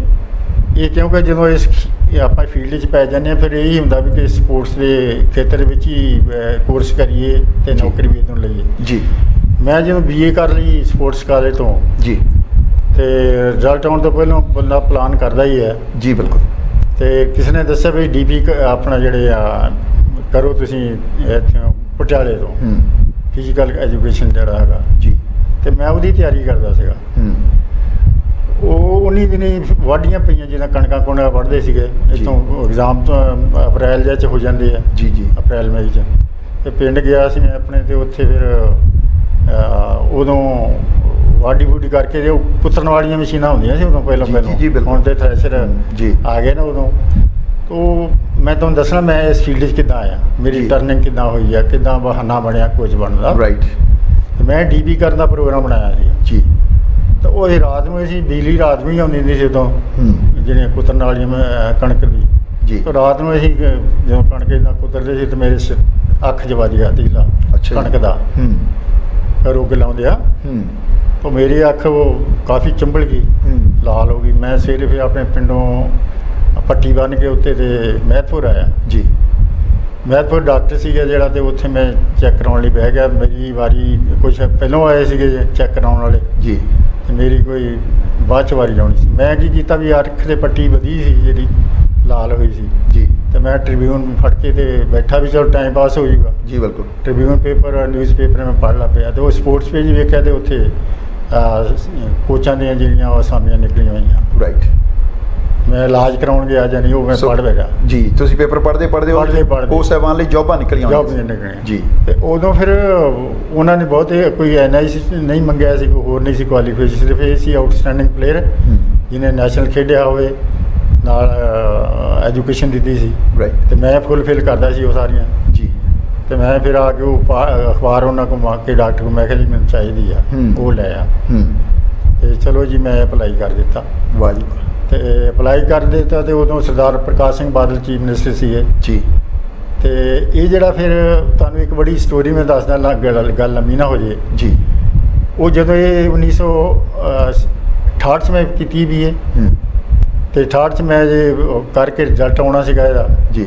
ਤੇ ਮੈਂ ਤੁਹਾਨੂੰ ਦੱਸਿਆ ਮੈਂ ਇਦਾਂ ਕਰਕੇ ਉਹ ਜਾਣੀ ਉਹ ਜਦੋਂ ਅਹ, ਭਰੀਆਂ ਅਰਜ਼ੀਆਂ ਮੇਰੀਆਂ ਹੂੰ।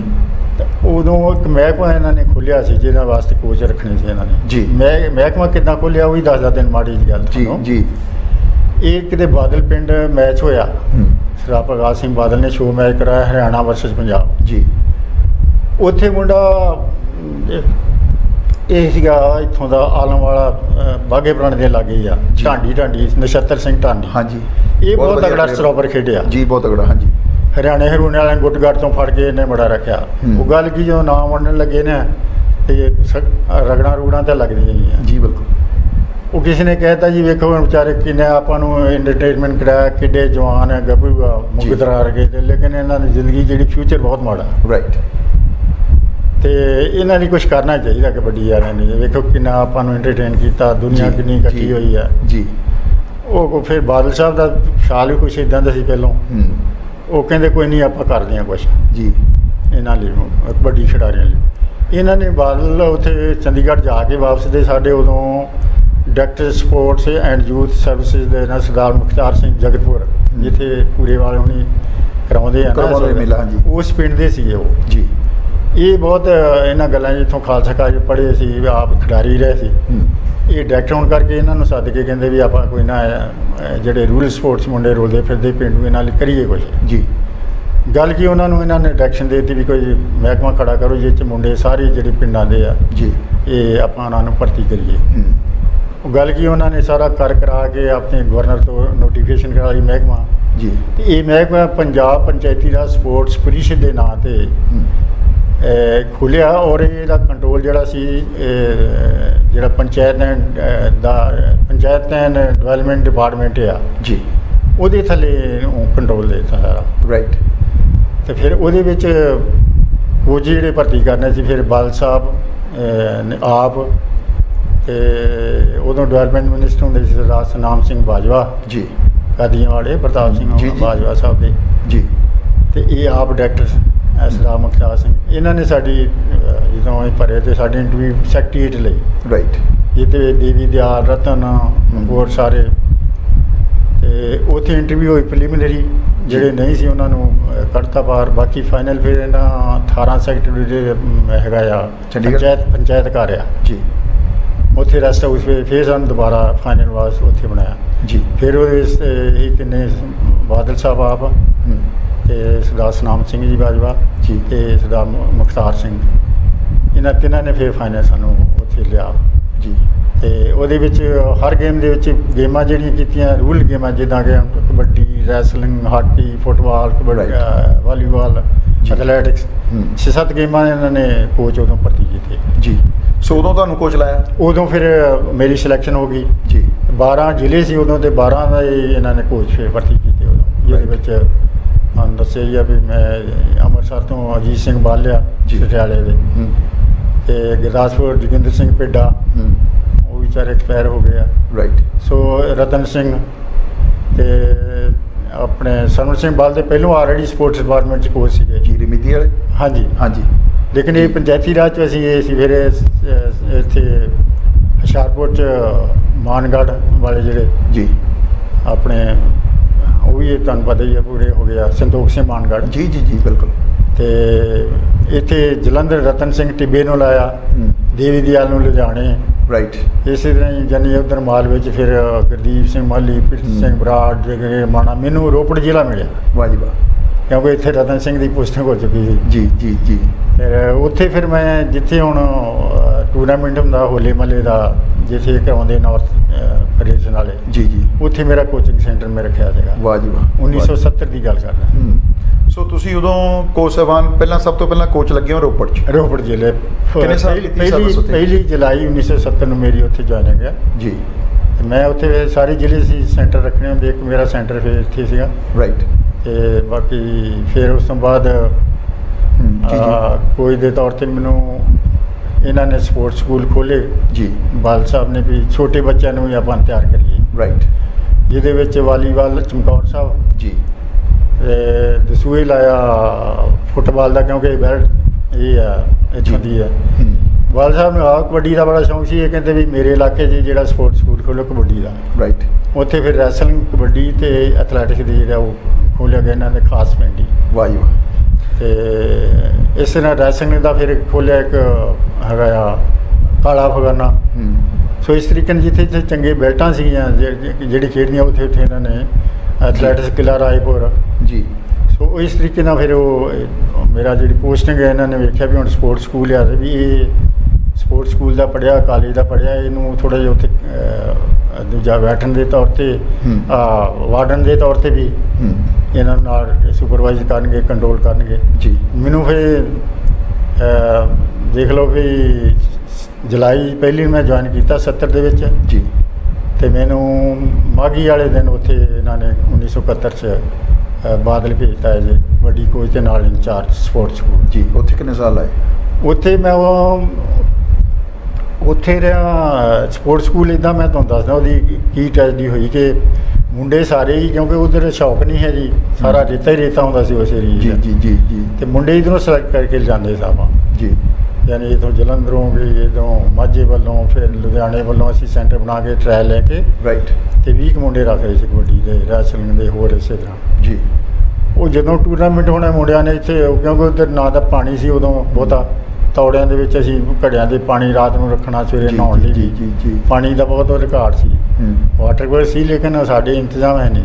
ਜੀ। ਗੱਲ ਕੀ ਮੁੰਡੇ ਹੁਣ ਇਧਰੋਂ ਥੋੜੇ ਜੇ ਡਿਵੈਲਪ ਏਰੀਏ ਚੋਂ ਗਏ ਹੁੰਦੇ ਆ ਇਹਨਾਂ ਨੇ ਜੋ ਉੱਥੇ ਮੈਚ ਖੇਡਣੇ ਸਕੂਲਾਂ ਦੇ ਟੂਰਨਾਮੈਂਟ ਹੋਣੇ ਮੁੜ ਕੇ ਜਾਣਾ ਨਾ। ਗੱਲ ਕੀ ਉਹ ਉਹ ਬੈਕਵਰਡ ਡਿਵੈਲਪਮੈਂਟ ਹੋਣ ਕਰਕੇ ਤੇ ਮੁੰਡੇ ਲਾਈਕ ਨਹੀਂ ਸੀ ਕਰਦੇ ਜਾਨੀ। ਸੋ ਉਹ ਜਿਹੜਾ ਸੈਂਟਰ ਬਣਾਇਆ ਗਿਆ ਉਹ ਕਾਮਯਾਬ ਨਹੀਂ ਹੋਇਆ। ਯਾਨੀ ਕਿ ਮੇਨ ਕਾਮਯਾਬ ਦੀ ਹੋਈ ਮੁੰਡਿਆਂ ਦੇ ਸਿਰ ਤੇ ਹੋਣਾ। ਮੁੰਡੇ ਰਹਿੰਦੇ ਨਹੀਂ ਸੀ। ਹਾਂ ਮੁੰਡੇ ਰਹਿੰਦੇ ਨਹੀਂ ਸੀ। ਅੱਛਾ ਉੱਥੇ ਕਿੰਨੇ ਸਾਲ ਲਾਏ ਤੁਸੀਂ?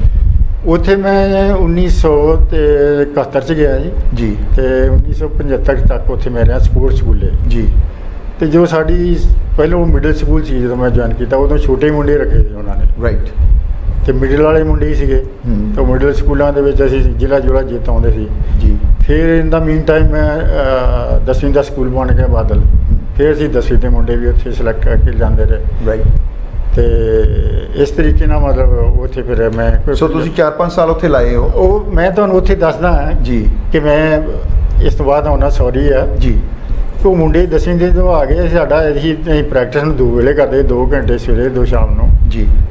ਤੇ ਅਸੀਂ ਲਾਗੇ ਲਾਗੇ ਟੂਰਨਾਮੈਂਟ ਹੁੰਦੇ ਸੀ ਲੰਬੀ ਸਿੱਖ ਵਾਲਾ ਪਰਾਂ ਮਲੋੜ ਵਾਲੇ ਪਾਸੇ ਜਿੱਧਰ ਵੀ ਹੋਣਾ ਟੂਰਨਾਮੈਂਟ ਰਾਈਟ ਤੇ ਸਾਡੇ ਮੁੰਡਿਆਂ ਨੇ ਜਿੱਤ ਲੈਣਾ ਜੀ। ਹੁਣ ਦਸਵੀਂ ਦੇ ਮੁੰਡੇ ਜਿਹੜੇ ਸੀਨੀਅਰ ਮੁੰਡਿਆਂ ਨੂੰ ਜੇ ਜਾਂਦੇ ਆ ਤੇ ਨੈਚੁਰਲੀ ਫਿਰ ਉਹ ਲਾਗੇ ਲਾ ਲਾ ਲਾ ਲਾ ਹੋ ਗਈ ਵੀ ਹੈ ਉਹ ਤਾਂ ਹੋਣੀ ਹੈ ਹਾਂਜੀ ਬਿਲਕੁਲ ਜੀ। ਤੇ ਉਹ ਇਸ ਤਰੀਕੇ ਨਾਲ ਫਿਰ ਮਤਲਬ ਸਪੋਰਟਸ ਸਕੂਲ ਦਾ ਨਾਂ ਤਾਂ ਚੰਗਾ ਬਣ ਗਿਆ ਉੱਥੇ। ਐਗਜ਼ੈਕਟਲੀ ਤੇ ਫਿਰ ਲੇਕਿਨ ਅਫਸੋਸ ਦੀ ਇਹ ਗੱਲ ਹੈ ਕਿ ਮੁੰਡੇ ਉੱਥੇ ਰਹਿਣਾ ਲਾਇਕ ਨਹੀਂ ਸੀ ਕਰਦੇ। ਜੀ ਜੀ। ਹਾਂਜੀ। ਸੋ ਦੂਰ ਹੋਣ ਦਾ ਕਰਕੇ ਵੀ ਹੋ ਸਕਦਾ ਕਿਉਂਕਿ ਜਦੋਂ ਜਾਂਦੇ ਆ ਪਰ ਜੇ ਗੱਲ ਕਰੀਏ ਆਪਾਂ ਸਪੋਰਟਸ ਸਕੂਲ ਜਲੰਧਰ ਦੀ ਸਪੋਰਟਸ ਸਕੂਲ ਜਲੰਧਰ ਦੇ ਵਿੱਚ ਵੀ ਤੁਸੀਂ ਕੋਚ ਲੱਗੇ ਰਹੇ ਹੋ। ਜਦੋਂ ਮੈਂ ਵੀ ਉੱਥੇ ਪੜ੍ਹਦਾ ਹੁੰਦਾ ਸੀ ਤੁਸੀਂ ਉਦੋਂ ਕੋਚ ਸੀ ਉੱਥੇ। ਇੱਥੋਂ ਕਿਉਂ ਨਹੀਂ ਬੱਚੇ ਨਿਕਲਦੇ ਰਹੇ? ਕਿਉਂਕਿ ਇੱਥੋਂ ਇੱਥੇ ਤਾਂ ਬੱਚੇ ਬੜੇ ਖੁਸ਼ ਹੁੰਦੇ ਸੀ ਆ ਕੇ ਸਪੋਰਟਸ ਸਕੂਲ ਜਲੰਧਰ ਈਵਨ ਹਰਿਆਣੇ ਦੇ ਯੂਪੀ ਦੇ ਠੀਕ ਹੈ ਜੀ? ਮੱਧ ਪ੍ਰਦੇਸ਼ ਤੱਕ ਰਾਜਸਥਾਨ ਤੋਂ ਠੀਕ ਹੈ? ਪੰਜਾਬ ਦੇ ਇਕੱਲੇ ਇਕੱਲੇ ਕੋਨੇ ਜੋ ਕਰੀਮ ਇਕੱਠੀ ਕਰਕੇ ਟ੍ਰਾਇਲ ਲੈ ਕੇ ਸਾਰੇ ਕੋਚ ਸਾਹਿਬਾਨ ਮਲਟੀ ਗੇਮਸ ਹੁੰਦੀਆਂ ਸੀਗੀਆਂ ਇੱਥੇ ਰੱਖਦੇ ਸੀ। ਇੱਥੋਂ ਤਾਂ ਪਲੇਅਰ ਨਹੀਂ ਕਦੇ ਵੀ ਨਿਕਲ ਕੇ ਗਿਆ ਕਿ ਦੂਰ ਪੈਂਦਾ ਸਾਨੂੰ। ਰੀਜ਼ਨ ਕੀ ਸੀ? ਤੁਸੀਂ ਖੁਦ ਵੀ ਕੋਚ ਰਹੇ ਹੋ ਨਹੀਂ sports ਮੈਂ। ਦੱਸਦਾ ਤੁਹਾਨੂੰ ਉੱਥੇ ਹੁਣ ਤੁਹਾਨੂੰ ਮੈਂ ਦੱਸਿਆ ਹੀ ਹੈ। ਜੀ। ਕਿ ਇੱਥੋਂ ਜੋ ਸਵੇਰ ਤੋਂ ਚੜਨਾ ਬੱਸੇ ਬੱਸਾਂ ਕਿਤੇ ਟਾਮੀਆਂ ਟਾਮੀਆਂ ਜਾਂਦੀਆਂ ਸੀ ਉਦੋਂ। ਉੱਥੇ ਹੋਸਟਲ ਸੀ ਰਹਿਣ ਲਈ? ਆ ਹੋਸਟਲ ਇੱਕ ਸਟੇਡੀਅਮ ਦੇ ਵਿੱਚ ਹੀ ਕਮਰੇ ਸੀਗੇ। ਜੀ। ਤੇ ਰਾਤ ਨੂੰ ਹੁਣ ਮੈਂ ਸਪੋਰਟਸ ਕਾਲਜ ਰਿਹਾ ਸੀਗਾ। ਜੀ। ਤੇ ਮੈਨੂੰ ਪਤਾ ਇੱਥੇ ਕਿੱਦਾਂ ਬੈਟਿੰਗ ਕਰਨੀ ਕਿਵੇਂ ਮੁੰਡਿਆਂ ਨੂੰ ਰੱਖਣਾ ਕਿਵੇਂ ਉਹਦਾ। ਐਗਜ਼ੈਕਟਲੀ ਅਸੀਂ ਰਾਤ ਨੂੰ ਕੀ ਕਰਨਾ ਜਦੋਂ ਮੁੰਡਿਆਂ ਨੂੰ ਨਾ ਜਿਹੜੀਆਂ ਪੌੜੀਆਂ ਬਣੀਆਂ ਉੱਤੇ ਪਲੇਨ ਇਹ ਹੁੰਦਾ ਥਾਂ ਉੱਥੇ ਮੰਜੇ ਢਵਾ ਦੇਣੇ। ਜੀ। ਤੇ ਸਵੇਰੇ ਉੱਠਣਾ ਤੇ ਨਹੀਂ ਨਹੀਂ ਰੇਤ ਪਈ ਹੋਣੀ ਮੁੰਡਿਆਂ ਦੇ ਮੂੰਹਾਂ ਤੇ ਵੀ ਹੋਰ ਮੂੰਹ। ਤੇ ਪ੍ਰੈਕਟਿਸ ਕਰਾਉਣੀ ਚਲੋ। ਕਹਿਣ ਦਾ ਭਾਵ ਇਹ ਹੈ ਕਿ ਵਾਤਾਵਰਣ ਸਹੀ ਸੀ ਫੈਸਿਲਿਟੀ ਨਹੀਂ ਨਹੀਂ ਐਸ ਗੱਲ ਨਹੀਂ ਮੁੰਡੇ ਵੀ ਤਗੜੇ ਸੀਗੇ ਜੀ ਕੋਚਿੰਗ ਦੇ ਪੱਖੋਂ ਵੀ ਮੈਂ ਰੈਗੂਲਰ ਸੀ ਪੂਰਾ ਉਹਨਾਂ ਨੂੰ ਤੁਹਾਨੂੰ. ਦੱਸਿਆ ਲੱਗੇ ਲੱਗੇ ਨਾਮ ਬਣ ਗਿਆ ਸੀ. ਬਾਦਲ ਦਾ ਲੇਕਿਨ ਅੱਜ ਫੈਸਿਲਿਟੀ ਹੈ ਨਹੀਂ ਸੀ ਤਾਂ ਹੁਣ ਪਾਣੀ ਨਹਾਉਣ ਨੂੰ ਹੈ ਨਹੀਂ ਪੀਣ ਨੂੰ ਹੈ ਨਹੀਂਗਾ ਤੌੜਿਆਂ ਦਾ ਪਾਣੀ ਘੜਿਆਂ ਦਾ ਪੀਣਾ. ਉਹ ਵੀ ਵਾਟਰ ਬਕਸ ਦਾ। ਫਿਰ ਉੱਥੇ ਜਿਹੜੀ ਸਮਾਨ ਹੈ ਲਾਗੇ ਕੋਈ ਚੀਜ਼ ਨਹੀਂ ਲੈ ਸਕਦਾ ਕਿਉਂਕਿ ਪਿੰਡ ਸੀ ਉਹ। ਡੱਬ ਵਾਲੀ ਜਾਣਾ ਪੈਂਦਾ। ਜੇ ਫਿਰ ਫੈਸਿਲਿਟੀਆਂ ਘੱਟ ਸੀ ਯਾਨੀ ਇਸ ਤਰੀਕੇ ਨਾਲ ਜਿਹੜਾ ਨਾ ਫੈਸਿਲਿਟੀ ਹੈ ਨਹੀਂ ਸੀ ਉਦੋਂ। ਜੀ। ਹੁਣ ਤੇ ਉੱਥੇ ਬਣਿਆ ਬਾਹਰ ਜਿਸ ਬਣਿਆ ਪਿਆ। ਆਬਵੀਅਸਲੀ ਜੀ ਹੁਣ ਤਾਂ ਬਹੁਤ ਜ਼ਿਆਦਾ ਐਡਵਾਂਸ ਹੋ ਗਿਆ ਹਾਂ, ਸਾਰਾ ਕੁਝ ਹਾਂ। ਅੱਛਾ ਸਪੋਰਟਸ ਸਕੂਲ ਜਲੰਧਰ ਜੀ ਆਪਾਂ ਗੱਲ ਕਰੀਏ। ਤੁਸੀਂ ਖੁਦ ਵੀ ਉੱਥੇ ਕੋਚ ਲੱਗੇ ਰਹੇ ਹੋ ਪਹਿਲਾਂ ਖੇਡਦੇ ਰਹੇ ਹੋ। ਮੈਂ ਕਹਿੰਦਾ ਹੁੰਦਾ ਕਿ ਜਦੋਂ ਆਪ ਖੇਡਦੇ ਹੋ ਫਿਰ ਕੋਚ ਬਣ ਜਾਣਾ। ਹੂੰ। ਇੱਕ ਸੋਨੇ ਦੇ ਸੁਹਾਗੇ ਵਾਲੀ ਗੱਲ ਆ। ਪਰ ਉਸੇ ਕਾਲਜ ਸਕੂਲ ਵਿੱਚ ਪੜ੍ਹ ਕੇ ਮੁੜ ਕੇ ਕੋਚ ਬਣ ਕੇ ਗਏ ਹੋ? ਕਿਹੋ ਜਿਹਾ ਮਹਿਸੂਸ ਹੋਇਆ ਜਦੋਂ ਤੁਸੀਂ ਕੋਚ ਲੱਗੇ ਉੱਥੇ? ਆ ਕੋਚ ਇਸ ਤਰ੍ਹਾਂ ਜੀ ਮੈਂ ਇੱਥੇ 1993 ਚ ਆਇਆ ਇਸ ਕਰਕੇ ਪਹਿਲੋਂ ਮੈਂ ਤੁਹਾਨੂੰ ਦੱਸਿਆ ਵੀ ਉੱਥੇ ਰਿਹਾ। ਜੀ ਜੀ। ਮੈਂ 10 ਸਾਲ ਰਿਹਾ 1980 ਤੱਕ ਉੱਥੇ ਨਾ ਉਸ ਏਰੀਏ 'ਚ। ਜੀ। ਸਕੂਲ ਜਦੋਂ ਟੁੱਟ ਗਿਆ ਫਿਰ ਮੈਨੂੰ ਜ਼ਿਲ੍ਹੇ ਦੇ ਲੈਵਲ ਜਿਹੜਾ ਜਾਣਾ ਸਾਨੂੰ ਸੈਂਟਰ ਕੱਟਣ ਪੈਂਦੇ। ਰਾਈਟ ਜਦੋਂ ਪਹਿਲਾਂ ਜਦੋਂ ਮੈਂ 1971 ਚ ਗਿਆ ਉਦੋਂ ਜ਼ਿਲ੍ਹਾ ਫਿਰੋਜ਼ਪੁਰ ਹੀ ਸੀ ਉਹ ਸਾਰਾ। ਜੀ। ਜਿਹੜਾ ਬਾਦਲ ਪਿੰਡ ਫਿਰੋਜ਼ਪੁਰ ਜ਼ਿਲ੍ਹੇ 'ਚ ਸੀਗਾ। ਰਾਈਟ ਉਸ ਤੋਂ ਬਾਅਦ ਫਰੀਦਕੋਟ ਬਣ ਗਿਆ ਉਹਦੇ ਵਿੱਚੋਂ। ਪਾਰਟ ਬਣ ਕੇ ਜ਼ਿਲ੍ਹਾ। ਬਣ ਗਿਆ। ਜੀ ਜੀ। ਤੇ ਮੈਂ ਜ਼ਿਲ੍ਹਾ ਫਰੀਦਕੋਟ ਦੇ ਵਿੱਚ ਮੈਨੂੰ ਜ਼ਿਲ੍ਹਾ ਕਬੱਡੀ ਕੋਚ ਲਾਤਾ ਜੀ। ਇਹਦੇ ਵਿੱਚ ਫਿਰ ਸਾਰੇ ਅਸੀਂ ਸੈਂਟਰ ਰੱਖਣੇ ਜਿੱਥੇ ਇੱਥੇ ਕਾਲਜ ਹੁੰਦੇ ਆ ਸਾਰਾ ਜਿੱਦਾਂ ਟੂਡੀਏ ਕਾਲਜ ਇੱਧਰਲੇ ਪਾਸੇ ਗੁਰੂ ਨਾਨਕ ਕਾਲਜ ਮੋਗਾ। ਰਾਈਟ ਹੋਰ ਇੱਧਰ ਫਰੀਦਕੋਟ ਵਾਲੇ ਪਾਸੇ। ਹੂੰ। ਤੋ ਜਿੱਥੇ ਇੱਥੇ ਚੰਗੇ ਸੈਂਟਰ ਸੀ ਗੁਰੂ ਨਾਨਕ ਕਾਲਜ ਡੱਬ ਵਾਲੀ। ਜੀ। ਇਸੇ ਤਰੀਕੇ ਨਾਲ ਅਸੀਂ ਸੈਂਟਰ ਸਾਰੇ ਜ਼ਿਲ੍ਹੇ ਰੱਖਣੇ ਆ। 15 ਦਿਨ ਦਾ ਕੋਚਿੰਗ ਦੇ ਕੇ ਫਿਰ ਅਗਲੇ 15 ਦਿਨ ਉਠਾਂ ਤਾਂ ਗਵਰਨਮੈਂਟ ਨੂੰ ਅਸੀਂ ਦੱਸ ਦਿੰਦੇ ਸੀ ਵੀ ਅਗਲੇ ਦਿਨ ਜਿਹੜੇ ਦੋ ਹਫ਼ਤੇ ਫਲਾਣੇ ਥਲਾਉਣੇ. ਤਾਂ ਕਿ ਚੈੱਕ ਕਰ। ਗੱਲ ਕਰਦੇ ਹਾਂ ਕਿ ਮੈਂ ਉੱਥੋਂ ਕਰਕੇ 1980 ਦੇ ਵਿੱਚ ਜੀ। ਟ੍ਰਾਂਸਫਰ ਕਰਾ ਲਈ ਫਿਰ ਇੱਥੇ ਆਪਣੇ ਜਲੰਧਰ ਜੀ। ਤੇ ਜਲੰਧਰ ਦੇ ਵਿੱਚ ਅਸੀਂ ਜਿਵੇਂ ਆਇਆ ਉਦੋਂ ਫਿਰ ਸਾਡਾ ਪੰਚਾਇਤੀ ਰਾਜ ਹੀ ਚੱਲਦਾ ਸੀ ਹਲੇ। ਜੀ। ਇੱਥੇ ਫਿਰ ਕਰਦਿਆਂ ਕਰਾਉਂਦੇ ਸੀ ਸਾਰੇ ਰੌਲਾ ਪੈ ਗਿਆ ਵੀ ਤਿੰਨ ਮਹਿਕਮੇ ਚੱਲਦੇ ਇੱਕ ਐਜੂਕੇਸ਼ਨ ਡਿਪਾਰਟਮੈਂਟ ਜਾਂ ਸਪੋਰਟਸ ਨੂੰ ਡੀਲ ਕਰਦਾ। ਜਿਹਦੇ ਵਿੱਚ ਸਪੋਰਟਸ ਸਕੂਲ ਸੀ। ਇੱਕ ਸਪੋਰਟਸ ਡਿਪਾਰਟਮੈਂਟ ਕਰਦਾ ਇੱਕ ਖੇਡ ਪੁਲਿਸ ਕਰਦਾ ਤਿੰਨ ਮਹਿਕਮੇ ਕੀ ਮਤਲਬ ਕੋਈ ਕੋਈ ਸੈਂਸ ਤਾਂ ਨਹੀਂ ਨਾ ਬਣਦੀ ਇੱਕ ਰਾਈਟ ਜੀ। ਉਹ ਗੱਲ ਕੀ ਵੀ ਅਸੀਂ ਕਿਉਂਕਿ ਸਾਡਾ ਸੈਮੀ ਗਵਰਨਮੈਂਟ ਸੀ ਅਸੀਂ ਚਾਹੁੰਦੇ ਸਾਡਾ ਪੈਨਸ਼ਨ ਏਅਰਬਿਲ ਵੀ ਮਹਿਕਮਾ ਬਣ ਜੇ। ਅਸੀਂ ਮੂੰਡ ਚਲਾ ਕੇ ਸਾਰੇ ਸਰਦਾਰ ਬੇਅੰਤ ਸਿੰਘ ਹੁਣੀ ਉਦੋਂ ਚੀਫ ਮਿਨਿਸਟਰ ਬਣ ਗਏ। ਤੇ ਦੋ ਤਿੰਨ ਐਮਐਲਏ ਜਿਹੜੇ ਖਿਡਾਰੀ ਬਣੇ ਜਿਹੜਾ ਹਰਮੰਦਰ ਜੱਸੀ ਆ ਬਠਿੰਡੇ ਤੋਂ ਮੇਰੇ ਕੋਲ ਖੇਡਿਆ ਉੱਥੇ ਡੱਬ ਵਾਲੀ। ਜੀ। ਉਹਨਾਂ ਨੂੰ ਅਸੀਂ ਲੈ ਕੇ ਨਾਲ ਤੇ ਇਹਨਾਂ ਮੂਵਮੈਂਟ ਕਰਾਈ ਵੀ ਇੱਕ ਮਹਿਕਮਾ ਬਣਾਓ ਜੀ ਤਿੰਨ ਲੋਕਾਂ ਜਦੋਂ ਕੋਈ ਖਿਡਾਰੀ ਖੇਡ ਆਉਂਦਾ ਹੂੰ। ਮੈਡਲ ਲਾਉਂਦਾ ਉਹ ਕਹਿੰਦਾ ਜੀ ਮੈਂ ਤਿਆਰ ਕੀਤਾ ਦੂਜਾ ਕਹਿੰਦਾ ਦੂਜਾ ਮੈਂ ਕਹਿੰਦੇ ਮੈਂ ਕਰਾਉਂਦਾ। ਕੀਤਾ। ਖਰਚਾ ਇੰਨਾ ਹੋ ਰਿਹਾ ਤੇ ਗੱਲ ਬਣਦੀ ਨਹੀਂ। ਜੀ। ਉਹ ਗੱਲ ਕੀ ਸਰਦਾਰ ਬੇਅੰਤ ਸਿੰਘ ਉਹਨਾਂ ਦੇ ਦਿਲ 'ਚ ਬਹਿ ਗਈ ਗੱਲ। ਜੀ। ਉਹ ਫਿਰ ਮਹਿਕਮੇ ਸਾਰੇ ਤਿੰਨੇ ਉਦੋਂ ਇਕੱਠੇ ਕਰਤੇ ਤੇ ਸਾਨੂੰ ਇਹ ਖੇਡ ਵਿਸ਼ੇ ਦੇ ਵਿੱਚ ਇਹ ਕਾਨੂੰਨ ਸੀ ਉਹਨਾਂ ਬਣਾਇਆ ਸੀ ਕਿ ਜਿਹੜਾ ਕੋਚ ਆ ਉਹ ਕੋਚਿੰਗ ਸੈਂਟਰ ਸ਼ਹਿਰ ਦੇ ਵਿੱਚ ਨਹੀਂ ਰੱਖ ਸਕਦਾ। ਤੇ ਸਾਨੂੰ ਫਿਰ ਪਹਿਲਾਂ ਅਸੀਂ ਪਿੰਡਾਂ ਪੁੰਡਾਂ 'ਚ ਹੀ ਰੱਖਦੇ ਹਾਂ ਸਾਰਾ। ਜੀ। ਫਿਰ ਜਦੋਂ ਮਹਿਕਮੇ ਇਕੱਠੇ ਹੋ ਗਏ 1993 'ਚ ਤਾਂ ਫਿਰ ਮੈਨੂੰ ਇਹਨਾਂ ਨੇ ਸਪੋਰਟਸ ਸਕੂਲ 'ਚ ਪੋਸਟਿੰਗ ਕਰਤੀ। ਉਸ ਤੋਂ ਬਾਅਦ ਫਿਰ ਨਾਲ ਹੀ ਇੱਥੇ ਸਰਾਬੋਧ ਸਿੰਘ ਆ ਗਏ। ਤੇ ਮੈਨੂੰ ਸਪੋਰਟਸ ਕਾਲਜ ਦੇਤੀ ਪੋਸਟ ਮੇਰਾ ਕੁਐਸਚਨ ਸੀ ਤੁਹਾਨੂੰ ਕਿਵੇਂ ਲੱਗਾ ਜਦੋਂ ਸਪੋਰਟਸ ਨਹੀਂ ਮੈਂ ਦੱਸ ਦਿੰਦਾ ਵਾਂ। ਤੁਹਾਨੂੰ ਕਿਵੇਂ ਫੀਲਿੰਗ ਹੋਈ? ਕਿਉਂਕਿ ਤੁਸੀਂ ਉੱਥੇ ਪੜ੍ਹੇ ਸੀ feel ਇਸ ਤਰ੍ਹਾਂ ਖੇਡਦੇ ਰਹੇ ਹੋ। ਫਿਰ ਉੱਥੇ ਜਾ ਕੇ ਕੋਚ ਲੱਗੇ ਹੋ। ਕਿਵੇਂ ਫੀਲ ਹੋਇਆ ਉਦੋਂ? ਫੀਲ ਤੇ ਇੰਨਾ ਪ੍ਰਾਊਡ ਹੋਇਆ ਕਿ ਮੈਂ ਜਿੱਥੋਂ ਦੀ ਪਦੈਸ਼ ਆ ਜੀ। ਜਿੱਥੋਂ ਮੈਂ ਬਣਿਆ ਉੱਥੇ ਅੱਜ ਮੈਂ ਕੋਚ ਲੱਗ ਗਿਆ। ਜੀ ਬਿਲਕੁਲ। ਐਦੋਂ ਵੱਡੀ ਕੀ ਚੰਗੀ. ਕਿਸਮਤ ਹੋ ਸਕਦੀ ਹੈ? ਕਿੰਨਾ ਪ੍ਰਾਊਡ ਹੁੰਦਾ ਸੀ ਬੋਧ ਸਿੰਘ ਜੀ ਤੁਹਾਡੇ ਨਾਲ ਰਹੇ ਨੇ ਉੱਥੇ ਕੋਚ ਹਾਂ ਬੁੱਧ ਸਿੰਘ ਸਕੂਲ ਚ ਹੋ ਸੀਗੀ ਮੈਂ। ਫਿਰ ਸਪੋਰਟਸ ਕਾਲਜ ਚਲਾ ਗਿਆ। ਜੀ ਜੀ। ਤੇ ਉੱਥੇ ਤੁਹਾਨੂੰ ਪਤਾ ਹੀ ਹੈ ਜਿਹੜੇ ਮੁੰਡੇ ਮੁੰਡੇ ਜੇ ਕਹੋ ਤੇ ਮੈਂ ਗਣਾ ਵੀ ਦੇਣਾ ਹਾਂਜੀ ਹਾਂਜੀ ਬਿਲਕੁਲ ਜੀ ਜਿਹੜੇ ਜਿਹੜੇ ਪਲੇਅਰ ਤੁਹਾਡੇ ਕੋਲ ਪ੍ਰੈਕਟਿਸ ਕਰਦੇ ਰਹੇ ਨੇ ਬਾਹਰ ਨਿਕਲੇ ਨੇ ਜੌਬਾਂ ਤੇ ਵੀ ਨੇ ਅੱਜ ਕੁਝ ਬਾਹਰ ਸੈੱਟ ਹੋ ਗਏ ਨੇ ਐਨ ਆਰ ਆਈ ਬਣ ਗਏ ਉਹ ਤੇ ਨੇ ਦੇਖੋ ਜਿਹੜੇ ਓਪਨ ਖੇਡਦੇ ਰਹੇ ਸ਼ੋ ਮੈਚ ਜਾਂ ਜ਼ਿਲ੍ਹੇ ਵੱਲੋਂ ਖੇਡਦੇ ਰਹੇ ਉਹ ਤੇ ਹੈਗੇ ਵੱਖਰੇ। ਜਿਹੜੇ। ਸਪੋਰਟਸ ਕਾਲਜ ਸੀ ਉਦੋਂ ਸੈੱਟ ਹੀ ਸੀਗਾ ਜੀ। ਵੀ ਦਲਜਿੰਦਰ ਕਾਕੂ ਸੀਗਾ ਹੂੰ। ਉਦੋਂ। ਜੀ, ਬੁਝਿਆਲ। ਬਲਜੀਤ ਘੋੜਾ। ਜੀ। ਤੇ ਨਾਲ ਸਾਨਾ। ਜੀ। ਤੇ ਕੁਝ ਮੋਗੇ ਦੇ ਸੀ ਮੁੰਡੇ ਮਿੰਟ ਮੁੰਡੇ ਹੋਣੀ ਸਾਰੇ। ਰਾਈਟ ਇੱਕ ਗਾਮਾ ਮੁੰਡਾ ਬਹੁਤ ਤਗੜਾ ਖਿਡਾਰੀ ਸਾਡਾ। ਹਾਂਜੀ ਲਿਖਦਾ ਵੀ ਰਿਹਾ ਉਹ। ਹਾਂ ਲਿਖਾਰੀ ਵੀ ਰਿਹਾ ਹੁਣ ਐਕਸਪਾਇਰ ਹੋ ਗਿਆ ਥੋੜਾ ਜਿਹਾ। ਅਫਸੋਸ ਦੀ ਗੱਲ ਹੋਈ। ਜੀ। ਸੋ ਇਹ ਐਡਾ ਵਧੀਆ ਸੈਟ ਸੀ ਸਾਡਾ ਵੀ ਗੱਲ ਛੱਡ ਦਿਓ। ਅਸੀਂ ਫਿਰ ਨਾ ਨਾਰਥ ਯੂਨੀਵਰਸਿਟੀ ਜੀ। ਪਹਿਲਾਂ ਯੂਨੀਵਰਸਿਟੀ ਗਏ ਗੁਰੂ ਨਾਨਕ ਯੂਨੀਵਰਸਿਟੀ ਜਿੱਤੀ। ਜੀ। ਫਿਰ ਨਾਰਥ ਯੂਨੀਵਰਸਿਟੀ ਹੁੰਦੀ ਆ। ਨਾਰਥ ਜ਼ੋਨ ਜੀ। ਸ਼ਿਮਲੇ ਇੱਥੇ ਹੋਈ ਸੀ ਹਿਮਾਚਲ 'ਚ। ਹੂੰ। ਉਹ ਜਿੱਤੀ ਸਾਡੇ ਸਪੋਰਟਸ ਕਾਲਜ ਦੀ ਟੀਮ ਨੇ। Right. ਉਹ ਫਸਟ ਟਾਈਮ ਸੀ ਜਦੋਂ ਅਸੀਂ ਮਤਲਬ ਇਸ ਪੋਜੀਸ਼ਨ ਤੱਕ ਆਏ ਹਾਂ। ਜੀ। ਤੇ ਉਹ ਮੁੰਡੇ ਫਿਰ ਗਾਂ ਓਪਨ ਵੀ ਜ਼ਿਲ੍ਹੇ ਵੱਲੋਂ ਖੇਡਦੇ ਰਹੇ ਆ। ਜੀ ਜੀ। ਸੋ ਇਸ ਤਰੀਕੇ ਨਾਲ ਮੈਂ ਬੜੀ ਪ੍ਰਾਊਡ ਫੀਲ ਕਰਦਾ ਕਿ ਸਾਡਾ ਇਹ ਜਿਹੜਾ ਸਪੋਰਟਸ ਕਾਲਜ ਉਦੋਂ ਕਾਫੀ ਸਟੈਂਡਰਡ ਤੇ ਉੱਪਰ ਚਲਾ ਗਿਆ ਸੀ। ਜੀ ਐਗਜ਼ੈਕਟਲੀ ਅੱਛਾ ਕੋ ਸਾਹਿਬ ਸਰਕਸ ਸੈਲ ਕਬੱਡੀ ਨੇ ਬਹੁਤ ਥਾਵਾਂ ਤੇ ਮੈਂ ਵੀ ਰੋਜ਼ ਕਵਰੇਜ ਵੀ ਕਰਦੇ ਰਹੀਦਾ ਗੱਲਾਂ ਬਾਤਾਂ ਵੀ ਕਰਦੇ ਰਹੀਦਾ ਤੁਹਾਡੇ ਵਰਗੇ ਬੁੱਧੀਮਾਨ ਜੀਵਾਂ ਦੇ ਨਾਲ। ਸਰਕਸ ਸੈਲ ਕਬੱਡੀ ਨੇ ਕਹਿੰਦੇ ਤਰੱਕੀ ਬਹੁਤ ਕੀਤੀ ਹੈ। ਤੁਹਾਨੂੰ ਲੱਗਦਾ ਸਰਕਸ ਸੈਲ ਕਬੱਡੀ ਨੇ ਤਰੱਕੀ ਕੀਤੀ ਹੈ ਨੈਸ਼ਨਲ ਸੈਲ ਕਬੱਡੀ ਨਾਲੋਂ ਜ਼ਿਆਦਾ ਜਾਂ ਘੱਟ? ਤਰੱਕੀ ਕਿਸ ਵੇ ਪੁਆਇੰਟ ਆਫ ਨਾਲ ਤੁਸੀਂ ਪੁੱਛਦੇ ਹੋ? ਨਹੀਂ ਮੇਰਾ ਕੁਐਸਚਨ ਨਹੀਂ ਹੈ। ਮੈਨੂੰ ਤਾਂ ਪਤਾ ਕਿੰਨੀ ਕੁ ਤਰੱਕੀ ਕੀਤੀ ਹੈ ਕਿਉਂਕਿ ਸਵਾਈ ਐਨ ਆਰ ਆਈ ਵੀਰਾਂ ਤੋਂ ਬਗੈਰ ਸਰਕਸ ਸਟਾਈਲ ਕਬੱਡੀ ਦਾ ਕੋਈ ਬੇਸ ਨਹੀਂ ਹੈ ਦੁਨੀਆ ਤੇ ਜੇ ਉਹ ਕੱਲ ਨੂੰ ਵੀ ਬੰਦ ਕਰ ਦੇਣ ਐਨ ਆਰ ਆਈ ਵੀਰ ਕਬੱਡੀ ਕਰਾਉਣੇ ਤਾਂ ਏਡੇ ਏਡੇ ਇਨਾਮ ਜਿਹੜੇ ਆ ਉਹ ਇਹ ਪੰਜਾਬ ਦੇ ਜਿਹੜੇ ਲੋਕ ਰਹਿ ਰਹੇ ਨੇ ਵਿਸ਼ਨ ਦੇ ਉਹ ਨਹੀਂ ਪੈਦਾ ਕਰ ਸਕਦੇ ਜਿਹੜੇ ਜਿਹੜੇ ਇਨਾਮ ਐਨ ਆਰ ਆਈ ਵੀਰ ਦਿੰਦੇ ਨੇ। ਮੇਰਾ ਕੁਐਸਚਨ ਇਹ ਆ ਕਿ ਹੁਣ ਜਦੋਂ ਮੈਂ ਕਿਸੇ ਕੋਲ ਗੱਲ ਕਰਦਾ ਉਹ ਕਹਿੰਦੇ ਜੀ ਸਰਕਸ ਸਟਾਈਲ ਕਬੱਡੀ ਦਾ ਗ੍ਰਾਫ ਬਹੁਤ ਵੱਡਾ ਹੋ ਗਿਆ। ਜਿਹੜੇ ਪ੍ਰਮੋਟਰ ਨੇ ਉਹ ਵੀ ਗੱਲਾਂ ਕਰਦੇ ਨੇ ਹਾਂ ਜੀ ਬੜੀ ਤਰੱਕੀ ਕੀਤੀ ਕਬੱਡੀ ਨੇ। ਤੁਹਾਨੂੰ ਲੱਗਦਾ ਤਰੱਕੀ ਕੀਤੀ ਹੈ ਕਬੱਡੀ ਨੇ ਜੇ ਗ੍ਰਾਫ ਥੱਲੇ ਗਿਆ ਅੱਗੇ ਨਾਲੋਂ? ਦੇਖੋ ਤੁਹਾਡੇ ਟਾਈਮ ਇਹ ਸਰਕਸ ਸਟਾਈਲ ਕਬੱਡੀ ਨੂੰ ਮਾਨਤਾ ਮਿਲ ਗਈ ਸੀ ਭਲਾ? ਪੰਜਾਬ ਦੇ ਵਿੱਚ। ਮਾਨਤਾ ਮਿਲ ਗਈ ਸੀ ਹੁਣ ਹੁਣ ਸਕੂਲਾਂ 'ਚ ਕਿਉਂ ਨਹੀਂ ਹੋ ਰਹੀ? ਹੁਣ ਇਸੇ ਤਰੀਕੇ ਨਾਲ ਵੀ ਅੱਗੇ ਟੈਸਟ ਕਾਫੀ ਲੈਂਦੇ ਸੀ ਸਕੂਲਾਂ ਦੇ ਪ੍ਰਿੰਸੀਪਲ। ਵੀ ਡੀਪੀ ਪੀਟੀਆਈ ਰਾਈਟ ਲੇਕਿਨ ਹੁਣ ਮੈਂ ਦੇਖਦਾ ਵੀ ਕੋਈ ਇੰਟਰਸਟ ਨਹੀਂ ਲੈਂਦਾ ਜਾਂ ਤਾਂ ਉਹਨਾਂ ਕੋਲ ਬਜਟ ਹੈ ਨਹੀਂ ਜਾਂ ਫੰਡ ਹੈ ਨਹੀਂ। ਜੀ। ਰੱਬ ਜਾਣੇ ਕੀ ਗੱਲ ਹੈ ਨਹੀਂ ਤੇ ਅੱਗੇ ਤੁਹਾਨੂੰ ਪਤਾ ਹੀ ਆ ਸਾਰੇ ਪੰਜਾਬ 'ਚ ਮੈਨੂੰ ਪਤਾ ਵੀ ਜਿਹੜੇ ਡੀਪੀਪੀਟੀ ਜਾਂ ਉਹਨਾਂ ਦੇ ਪ੍ਰਿੰਸੀਪਲ ਬਹੁਤ ਸਿਰ ਧਰਤੀ interest ਬਾਜੀ ਲਾਉਂਦੇ ਸੀ ਜੀ, ਜੀ, ਬਿਲਕੁਲ। ਅਸੀਂ ਅੱਜ ਜ਼ਿਲ੍ਹਾ ਜਿੱਤਣਾ ਅੱਜ ਸਟੇਟ Exactly. ਜਿੱਤਣਾ ਹਨਾ ਹੂੰ ਉਹ ਕੰਪੀਟੀਸ਼ਨ ਦੀ ਜਿੰਨਾ ਚਿਰ ਕੋਈ ਚੀਜ਼ ਨਹੀਂ ਆਉਂਦੀ ਮੁਕਾਬਲੇ ਦੀ ਭਾਵਨਾ ਨਹੀਂ ਆਉਂਦੀ ਉਹਨਾਂ ਚਿਰ ਡਿਵੈਲਪਮੈਂਟ ਹੀ ਨਹੀਂ ਹੋ ਸਕਦੀ ਹੂੰ।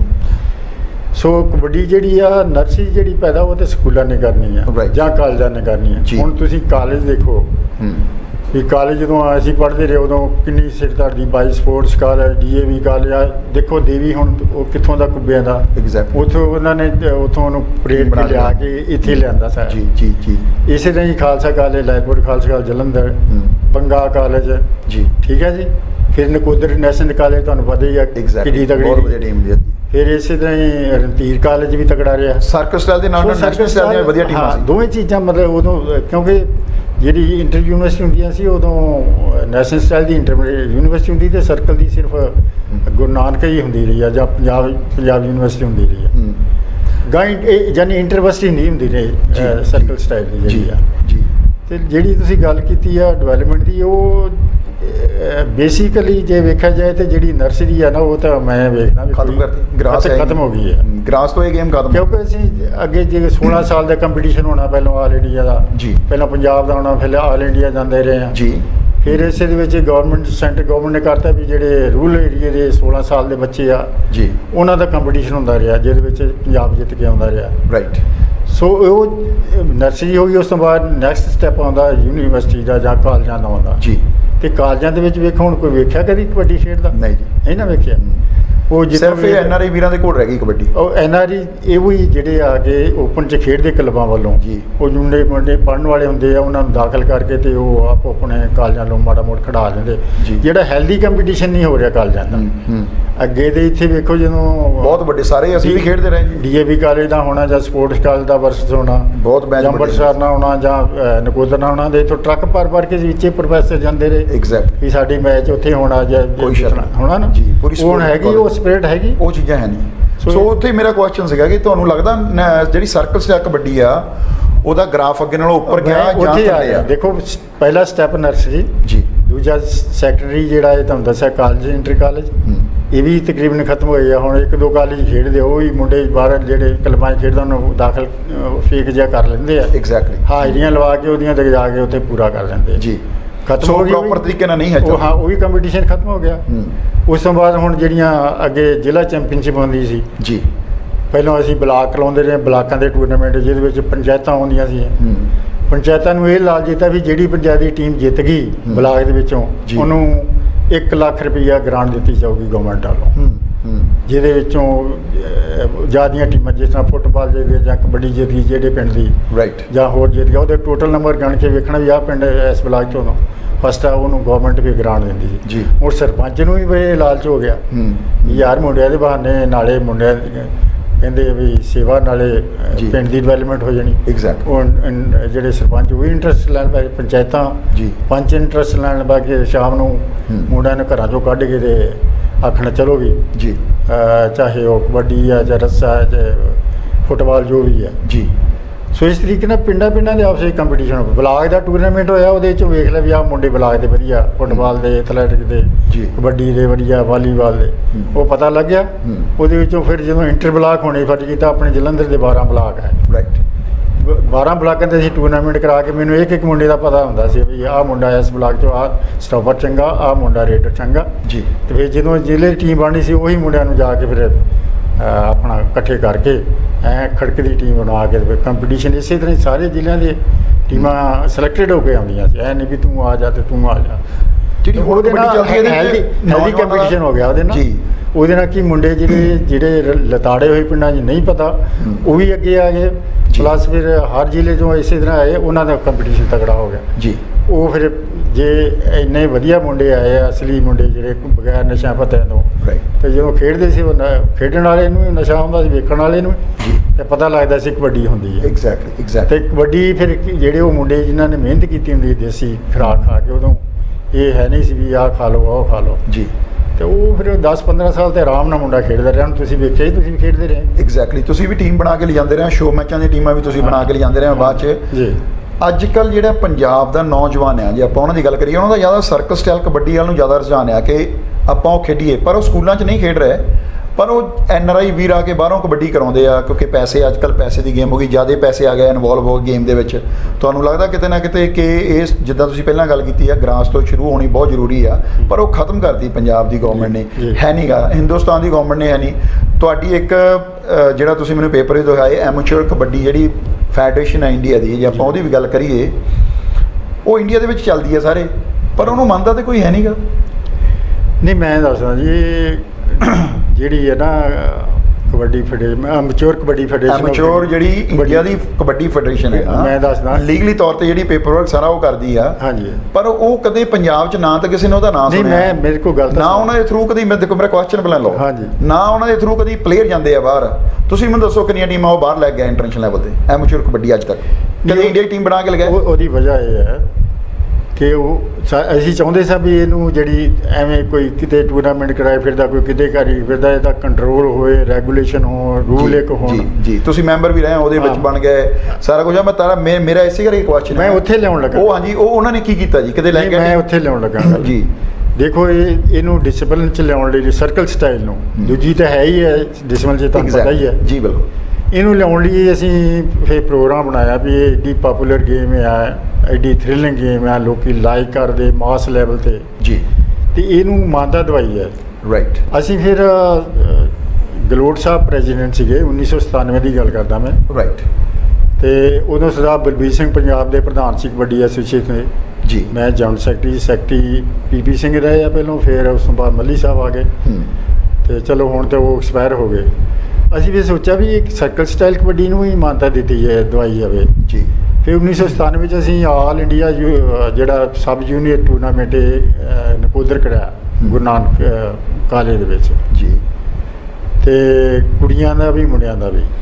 ਉੱਥੇ ਫਿਰ ਜਿਹੜਾ ਪ੍ਰੈਜ਼ੀਡੈਂਟ ਇੰਡੀਆ ਦਾ ਆ ਹੂੰ। ਮਿਸਟਰ ਗਲੋਟ। ਉਹਨੂੰ ਅਸੀਂ ਬੁਲਾਉਣਾ ਹੀ ਸੀ ਕਿਉਂਕਿ ਉਹ। ਪ੍ਰਧਾਨ ਸੀ। ਹੂੰ। ਉਹਨੂੰ ਫਿਰ ਅਸੀਂ ਰਾਤ ਨੂੰ ਮਨਾਇਆ ਵੀ ਇਦਾਂ ਕਰਕੇ ਉਹ ਸਾਡੀ ਬੜੀ ਗੇਮ ਉਹਨਾਂ ਨੇ ਵੇਖੀ ਵੀ ਸੀ ਗੇਮ ਜੀ। ਇਹ ਬਹੁਤ ਥ੍ਰਿਲਿੰਗ ਗੇਮ ਆ ਲੋਕ ਲਾਈਕ ਕਰਦੇ ਆ। ਰਾਈਟ ਉਹਨੂੰ ਮਨਾ ਕੇ ਤੇ ਅਸੀਂ ਕਿਹਾ ਵੀ ਸਵੇਰੇ ਹੁਣ ਤੁਸੀਂ ਪ੍ਰਾਈਜ਼ ਡਿਸਟ੍ਰੀਬਿਊਸ਼ਨ ਹੋਣਾ ਤੇ ਉੱਥੇ ਡਿਕਲੇਅਰ ਕਰੋ ਇਹਨੂੰ। ਰਾਈਟ ਉਹਨੇ ਫਿਰ ਆਪਣੀ ਸਪੀਚ ਦੇ ਵਿੱਚ ਕਿਹਾ ਵੀ ਅੱਜ ਤੋਂ ਮੈਂ ਜਿਹੜੀ ਕਬੱਡੀ ਨੈਸ਼ਨਲ ਸਟਾਈਲ ਆ ਜੀ। ਇਹਦਾ ਇੱਕ ਦੂਸਰਾ ਵਿੰਗ ਸਰਕਲ ਸਟਾਈਲ ਦਾ ਵਿੰਗ ਬਣਾਉਣ ਅੱਜ ਡਿਕਲੇਅਰ ਕਰਦਾ। ਮਾਨਤਾ ਦੇਣਾ ਤੇ ਇਹਦਾ ਚੇਅਰਮੈਨ ਸਰਦਾਰ ਬਲਬੀਰ ਸਿੰਘ ਨੂੰ ਨਿਯੁਕਤ ਕਰਦਾ ਮੈਂ। ਰਾਈਟ ਇਸ ਗੇਮ ਨੂੰ ਜਿਹੜਾ ਉਹ ਡਿਵੈਲਪ ਕਰਨਗੇ ਜਿਸ ਤਰ੍ਹਾਂ ਵੀ ਕਰਨਾ ਹੈਗਾ। ਗੱਲ ਕੀ ਫਿਰ ਉਹ ਉਹਨਾਂ ਨੇ ਬਕਾਇਦਾ ਲੈਟਰ ਇਸ਼ੂ ਕੀਤਾ ਤੋਂ ਸਰਦਾਰ ਬਲਬੀਰ ਸਿੰਘ ਨੂੰ ਵੀ ਤੁਹਾਨੂੰ ਅੱਜ ਤੋਂ ਅਸੀਂ ਚੇਅਰਮੈਨ ਨਿਯੁਕਤ ਕਰ ਦਿੱਤਾ। ਰਾਈਟ ਇਸ ਕਬੱਡੀ ਨੂੰ ਮਾਨਤਾ ਦਿੱਤੀ ਜਾਂਦੀ ਹੈ ਅਫੀਸ਼ੀਅਲੀ ਤੇ ਇਹਨੂੰ ਤੁਸੀਂ ਡਿਵੈਲਪਮੈਂਟ ਕਰ ਲਈ ਇਹਦੇ ਰੂਲ ਰੈਗੂਲੇਸ਼ਨ ਸਾਰੇ ਇੰਡੀਆ ਦੇ ਵਿੱਚ ਭੇਜੋ। ਜੀ ਉਹਦੇ ਵਿੱਚ ਫਿਰ ਮੈਨੂੰ ਵੀ ਉਹਨਾਂ ਮੈਂਬਰ ਲਿਆ ਸੀ ਇੱਕ ਰੂਲ ਬੁੱਕ ਬਣਾ ਕੇ ਅਪਰੂਵ ਕਰਾ ਕੇ ਤੇ ਸਾਰੇ ਸਟੇਟਾਂ ਦੇ ਵਿੱਚ ਉਹ ਭੇਜਿਆ ਵੀ ਆ ਇਸ ਤਰ੍ਹਾਂ ਖੇਡੀ ਜਾਂਦੀ ਆ ਦੇ ਰੂਲ ਹੋਣਗੇ ਇਦਾਂ ਰੂਲ ਰੈਗੂਲੇਸ਼ਨ ਤੁਸੀਂ ਲਿਖੇ ਉਹਦੇ ਵਿੱਚ ਹਾਂ ਹਾਂਜੀ ਆ ਬੁੱਕ ਵੀ ਬਣੀ ਵਗੈਰਾ। ਤੇ ਲੇਕਿਨ ਉਹ ਟੂਰਨਾਮੈਂਟ ਤੋਂ ਬਾਅਦ ਫਿਰ ਇੱਕ ਦੋ ਥਾਂ ਤੇ ਟੂਰਨਾਮੈਂਟ ਕਰਾਏ ਵੀ ਆ ਜਿਸ ਤਰ੍ਹਾਂ ਅਸੀਂ ਕਹਿ ਲਈਏ ਵੀ ਸਾਨੇਵਾਲ ਇੱਕ ਹੋਇਆ ਸੀ ਕਰਾਇਆ ਅਫੀਸ਼ੀਅਲੀ ਜੀ। ਬਾਹਰੋਂ ਟੀਮਾਂ ਖਾਸ ਕਰਕੇ ਹਿਮਾਚਲ ਜੰਮੂ ਕਸ਼ਮੀਰ। ਆਪਣਾ ਪੰਜਾਬ ਹਰਿਆਣਾ ਦਿੱਲੀ। ਯੂਪੀ ਕਿਹੜੇ ਸਾਲ ਦੀ ਗੱਲ ਹੈ ਜੀ ਇਹ ਹੈਗੀ ਆ ਮੈਂ 1900 ਤੇ 98 ਕੁ ਦੀ ਗੱਲ ਹੀ ਆ। ਉਦੋਂ ਹੀ ਇਹ ਇਮੀਡੀਏਟ ਜਦੋਂ ਡਿਕਲੇਅਰ ਹੋ ਗਈ ਇਹ। ਜੀ 97 98 ਜੀ। ਹਾਂ। ਉਦੋਂ ਕਦੇ ਫਿਰ ਅਸੀਂ ਬਣਾ ਕੇ ਰੂਲ ਤੇ ਉਹ ਕਰਾਈ ਟੂਰਨਾਮੈਂਟ ਇਸ ਤੋਂ ਪਹਿਲਾਂ ਵੀ ਇਹਨੂੰ ਮਾਤਾ ਦੇਣ ਦੀ ਕੋਸ਼ਿਸ਼ ਕੀਤੀ ਜਿਹਦੇ ਵਿੱਚ ਸਰਦਾਰ ਪੀਪੀ ਸਿੰਘ ਜਿਹੜੇ ਕਬੂਰਥਲੇ ਵਾਲੇ ਸੀ। ਜੀ। ਪੰਜਾਬ ਕਾ ਡੀਐਸਸੀ ਹੁੰਦੇ ਸੈਕਟਰੀ ਵੀ ਰਹੇ ਆ। ਬਲਵੀਰ ਸੋਨਾ ਨਾਲ। ਇਹਨਾਂ ਨੇ ਆਪਣੀ ਸਰਕਲ ਸਾਈਜ਼ ਬਣਾ ਕੇ ਫਿਰ ਤਿੰਨ ਟੂਰਨਾਮੈਂਟ ਲਗਾਤਾਰ ਹੀ ਰਾਜਸਥਾਨ ਕਰਾਉਂਦੇ ਰਹੇ ਆ। ਜੀ। ਇੱਕ ਹਰਿਆਣੇ ਕਰਾਇਆ। ਹੂੰ। ਰਾਜਸਥਾਨ ਜਿੱਦਾਂ ਕਰਨਪੁਰ ਮੰਡੀ ਹੈ ਫਿਰ ਸਿੰਘਪੁਰੀ ਹੈਗਾ ਹੈ, ਫਿਰ ਗੰਗਾਨਗਰ ਹੂੰ। ਉਧਰ ਜੀਂਦ ਕਰਾਇਆ ਹਰਪੂਲ ਸਿੰਘ ਹੁੰਦੇ ਸੀਗੇ ਜੀ ਯਾਨੀ ਇਹਨੂੰ ਕੋਸ਼ਿਸ਼ ਕੀਤੀ ਪੁਸ਼ਅਪ ਕਰਕੇ ਤੇ ਗਾਂ ਲੈ ਕੇ ਕਿਉਂ ਨਹੀਂ ਹੋਈ ਕਾਮਯਾਬ ਕਾਮਯਾਬ ਇਸ ਕਰਕੇ ਨਹੀਂ ਹੋਈ ਕਿ ਜਿਹੜੀ ਆਰਗੇਨਾਈਜੇਸ਼ਨ ਆ। ਉਹਦੇ ਵਿੱਚ ਖਿੱਚੋਤਾਣ ਆ ਗਈ ਵੀ ਇਹ ਕਿਉਂ ਪ੍ਰਧਾਨ ਬਣ ਗਿਆ ਉਹ ਕਿਉਂ ਬਣ ਗਿਆ ਆ ਕਿਉਂ ਬਣ ਗਿਆ। ਉਹ ਗੱਲ ਕੀ ਉਹਨਾਂ ਚ ਨੂੰ ਪੀਪੀ ਸਿੰਘ ਦੀ ਵੀ ਡੈਥ ਹੋ ਗਈ। ਜੀ। ਸਰਦਾਰ ਬਲਬੀਰ ਸਿੰਘ ਉਹਨਾਂ ਦੀ ਵੀ ਡੈਥ ਹੋ ਗਈ। ਉਸ ਤੋਂ ਬਾਅਦ ਜੀ ਉਹ ਠੱਪ ਹੋ ਗਈ। ਠੱਪ ਹੋ ਗਈ। ਉਸ ਤੋਂ ਬਾਅਦ ਸਰਦਾਰ ਮਲੂ ਸਿਕੰਦਰ ਸਿੰਘ ਮਲੂਕਾ ਬਣੇ ਪ੍ਰੈਜ਼ੀਡੈਂਟ। ਜੀ। ਇਹਨਾਂ ਨੇ ਵੀ ਕੋਸ਼ਿਸ਼ ਕੀਤੀ ਆ ਲੇਕਿਨ ਮੈਨੂੰ ਕਿਉਂਕਿ ਮੈਂ ਕਾਮਯਾਬ ਨਹੀਂ ਹੋਏ ਹੋਗੀ। ਮੈਨੂੰ ਤਾਂ ਐਂ ਹੀ ਲੱਗਦਾ ਮੈਂ ਤਾਂ ਲਾਈਵ ਕੈਮਰੇ ਤੇ ਸਾਰੇ ਕਬੱਡੀ ਪ੍ਰੇਮੀਆਂ ਨੂੰ ਦੱਸਣਾ ਚਾਹੁੰਦੇ ਆ ਜੇ ਫੈਡਰੇਸ਼ਨ ਇਸ ਟਾਈਮ ਕਾਮਯਾਬ ਆ ਹੁਣ ਦੇਖੋ ਮੇਜਰ ਲੀਗ ਕਬੱਡੀ ਇੱਕ ਸਾਲ ਦੇ ਵਿੱਚ ਕਾਮਯਾਬ ਹੋ ਗਈ। ਕਿਉਂ? ਤੁਸੀਂ ਅਫੀਸ਼ੀਅਲੀ ਚਲਾ ਰਹੇ ਹੋ ਇੰਨੇ ਚਿਰ ਦੇ ਫੈਡਰੇਸ਼ਨ ਉਹ ਕਾਮਯਾਬ ਨਹੀਂ ਹੋਈਆਂ। ਕਿਵੇਂ ਹੋ ਗਈ ਮੇਜਰ ਲੀਗ ਕਬੱਡੀ ਇੱਕ ਸਾਲ ਚ ਕਾਮਯਾਬ? ਕਿਉਂਕਿ ਉਹਨਾਂ ਕੋਲ ਪ੍ਰਮੋਟਰ ਵੀ ਨੇ ਪਲੇਅਰ ਵੀ ਨੇ। ਠੀਕ ਹੈ ਪਲੇਅਰਾਂ ਸਿਰ ਤੇ ਗੇਮ ਹੈ। ਉਸ ਤੋਂ ਪਹਿਲਾਂ ਦੀ ਗੱਲ ਕਰੀਏ ਨਾਰਥ ਇੰਡੀਆ ਕਬੱਡੀ ਫੈਡਰੇਸ਼ਨ ਪਿਛਲੇ 20 ਸਾਲ ਤੋਂ ਚੱਲਦੀ ਆ ਰਹੀ ਹੈ ਔਰ ਕਾਮਯਾਬ ਫੈਡਰੇਸ਼ਨ ਹੈ. ਪੰਜਾਬ ਜਿਹੜੀ ਅਕੈਡਮੀ ਐਸੋਸੀਏਸ਼ਨ ਜਿਹੜੀ ਬਣੀ ਹੋਈ ਆ ਆਲਰੇਡੀ ਟੋਨੀ ਭਾਜੀ ਕਾਲਕ ਤੋਂ ਉਹਦੇ ਪ੍ਰੈਜ਼ੀਡੈਂਟ ਨੇ ਕਾਮਯਾਬ ਹੈ। ਫੈਡਰੇਸ਼ਨ ਬਹੁਤ ਵਧੀਆ ਚੱਲ ਰਹੀ ਬੜੇ ਸਾਲਾਂ ਤੋਂ ਉਹ ਵੀ।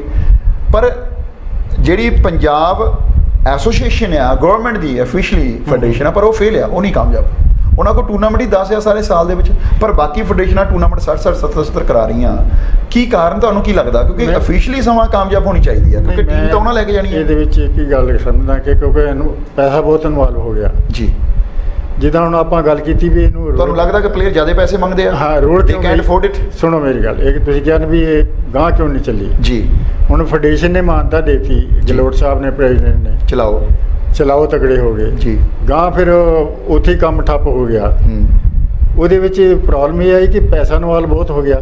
ਹੁਣ ਜਿਹੜੀ ਸਰਕਾਰੀ ਹੈ ਪੰਜਾਬ ਕਬੱਡੀ ਐਸੋਸੀਏਸ਼ਨ ਹੈ ਜਿਹੜੀ ਮਾਨਤਾ ਪ੍ਰਾਪਤ ਆ ਜੀ। ਉਹਨਾਂ ਕੋਲ ਪੈਸਾ ਕਿੱਥੇ ਆ? ਹੂੰ।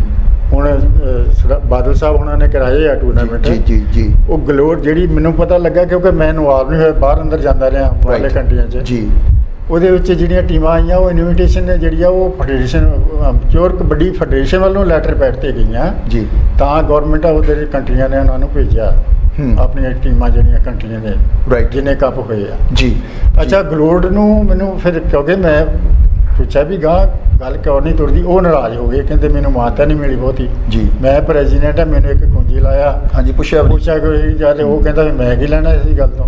ਉਹਦੀ ਨੈਸ਼ਨਲ ਸਟਾਈਲ ਦੇ ਵਿੱਚ ਕਿੰਨੀ ਪੁੱਛ ਗਈ ਸੀ ਜੀ ਜੀ ਬਹੁਤ। ਠੀਕ ਹੈ ਨਾ? ਜੀ। ਉਹਨੇ ਫਿਰ ਵੇਖਿਆ ਵੀ ਮੈਨੂੰ ਇੱਧਰ ਮੇਰਾ ਨਹੀਂ ਦਾਲ ਕੱਢਣੀ।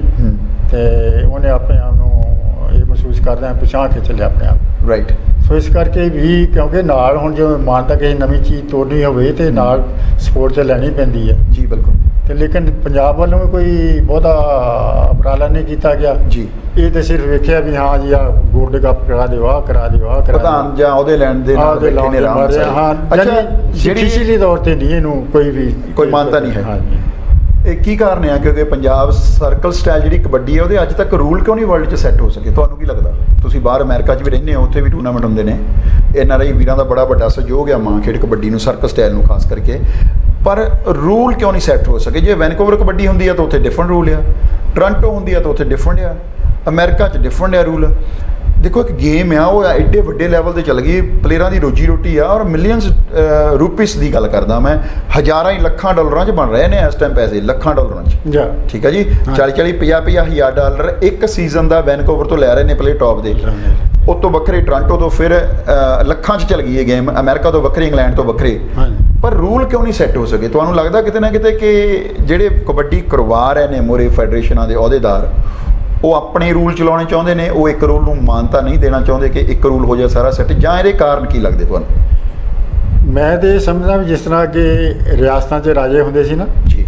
ਪਟਿਆਲਾ ਰਿਆਸਤ ਜੀ। ਕਪੂਰਥਲਾ ਰਿਆਸਤ ਜੀਂਦ ਰਿਆਸਤ ਜੀ। ਇਹ ਰਿਆਸਤਾਂ ਬਣੀਆਂ ਕਬੱਡੀ ਕੋਈ ਮੈਂ ਨਹੀਂ ਸਮਝਦਾ ਵੀ ਇੱਕ ਅੰਬਰੇਲੇ ਥੱਲੇ ਖੇਡੀ ਜਾ ਰਹੀ ਹੈ। ਰਾਈਟ ਜਿਹੜੀ ਵੀ ਕੋਈ ਫੈਡਰੇਸ਼ਨ ਮੈਨੂੰ ਤਾਂ ਐਂ ਲੱਗਦਾ ਇੱਕ ਅੱਧੀ ਭਾਵੇਂ ਰਜਿਸਟਰਡ ਹੋਵੇ ਗਵਰਨਮੈਂਟ ਨਾਲ ਜਿੱਦਾਂ। ਇਹ- ਰਜਿਸਟਰਡ ਹੁੰਦੀਆਂ। ਐਕਟ 'ਚ ਹੁੰਦਾ ਸੁਸਾਇਟੀ ਹਾਂਜੀ ਹਾਂਜੀ। ਰਜਿਸਟਰਡ ਫੈਡਰੇਸ਼ਨ ਆ। ਰਜਿਸਟਰ ਹੋਣੀ ਹੈ ਮੈਂ ਲੇਕਿਨ ਇਹ ਫਿਰ ਇਸੇ ਕਰਕੇ ਕਹਿੰਦੇ ਵੀ ਅਸੀਂ ਆਪਣੀ ਫੈਡਰੇਸ਼ਨ ਬਣਾਈਆਂ ਅਸੀਂ ਜੋ ਸਾਨੂੰ ਚੰਗੇ ਰੂਲ ਲੱਗਦੇ ਆ ਉਹ ਆਪੇ ਬਣਾ ਕੇ ਬਹਿ ਜਾਂਦੇ ਆ। ਦੂਜੀ ਫੈਡਰੇਸ਼ਨ ਜਿਹੜੀ ਉਹ ਕਹਿੰਦੀ ਮੈਨੂੰ ਆਹ ਚੰਗਾ ਲੱਗਦਾ ਉਹ ਬਣਾ ਲੈਂਦੇ। ਮੈਂ ਇਹਦੇ ਵਿੱਚ ਪਤਾ ਇੱਕ ਵਾਰੀ ਮੈਨੇ ਐਜ਼ ਅ ਰੈਫਰੀ ਇਸ ਤਰ੍ਹਾਂ ਤੁਸੀਂ ਕਰਦੇ ਰਹਿੰਦੇ ਹੋ ਆਮ ਟੂਰਨਾਮੈਂਟ ਦੇ ਰੈਫਰੀ ਬਾਹਰ ਵੀ? ਮੈਂ ਉੱਥੇ ਟ੍ਰਾਂਟੋ ਕਰ ਰਿਹਾ ਸੀ ਇਦਾਂ ਕਰਕੇ ਤੇ ਉਹ ਜਿਹੜਾ ਟਚਿੰਗ ਰੂਲ ਆ ਫਸਟ ਟੱਚ ਵਾਲਾ ਹਾਂਜੀ ਹਾਂਜੀ ਹਾਂਜੀ। ਉਹ ਪਹਿਲੋਂ ਇਹ ਚੱਲਿਆ ਨਹੀਂ ਕਿਉਂਕਿ ਜਦੋਂ ਆਪਾਂ ਖੇਡਦੇ ਕਬੱਡੀ ਖੇਡਦੇ ਆ ਜੀ।